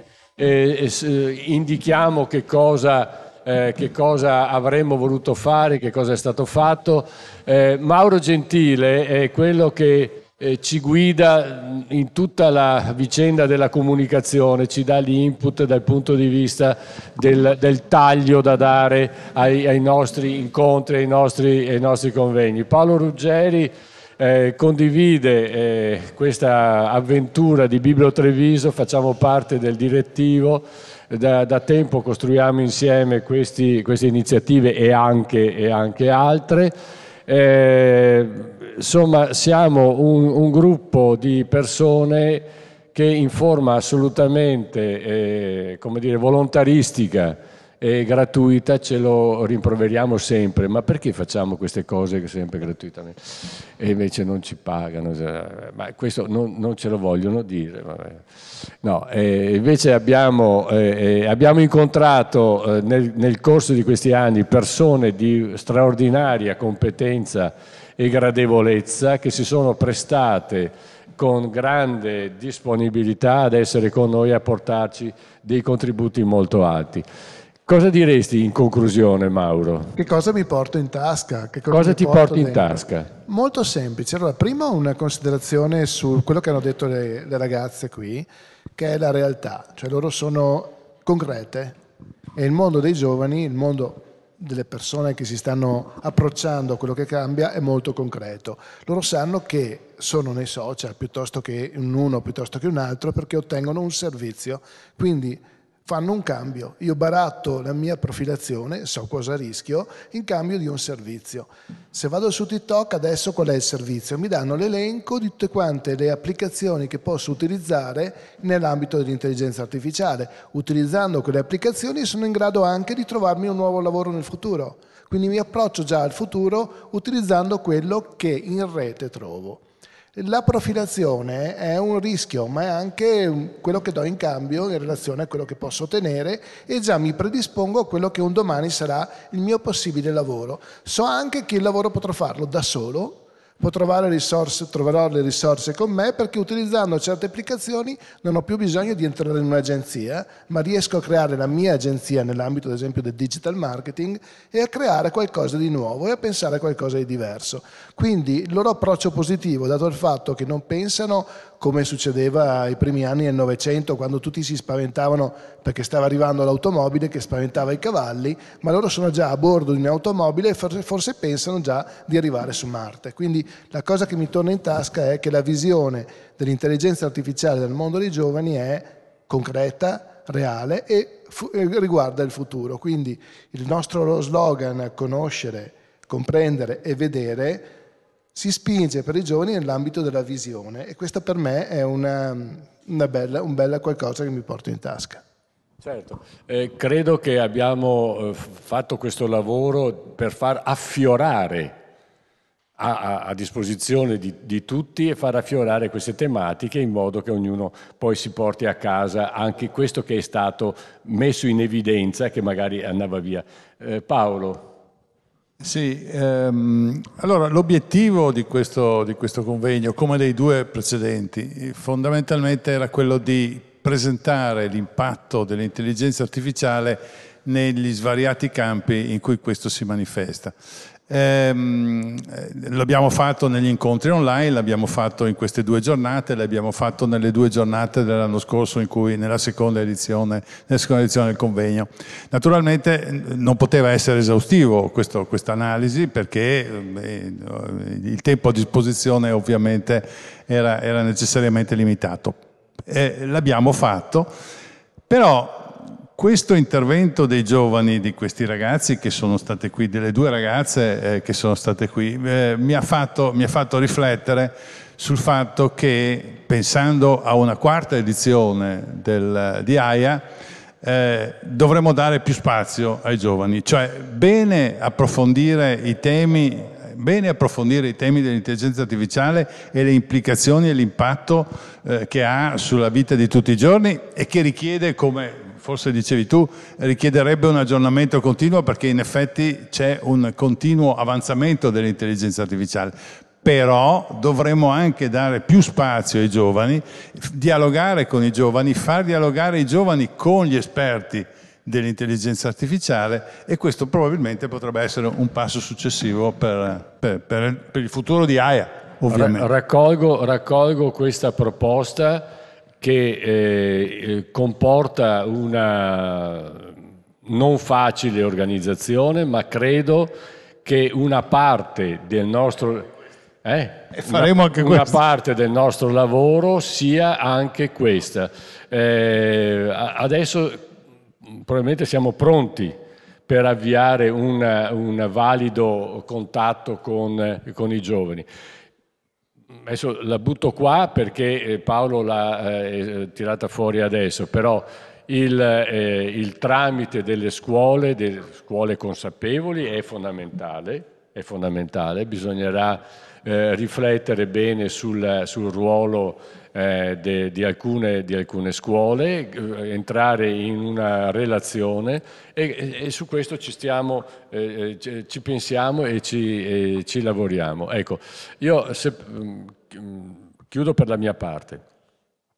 Eh, l'organizzazione di, questo, di, questo, di, di, questi incontri comporta anche la scelta di, eh, relatori eh, non banali.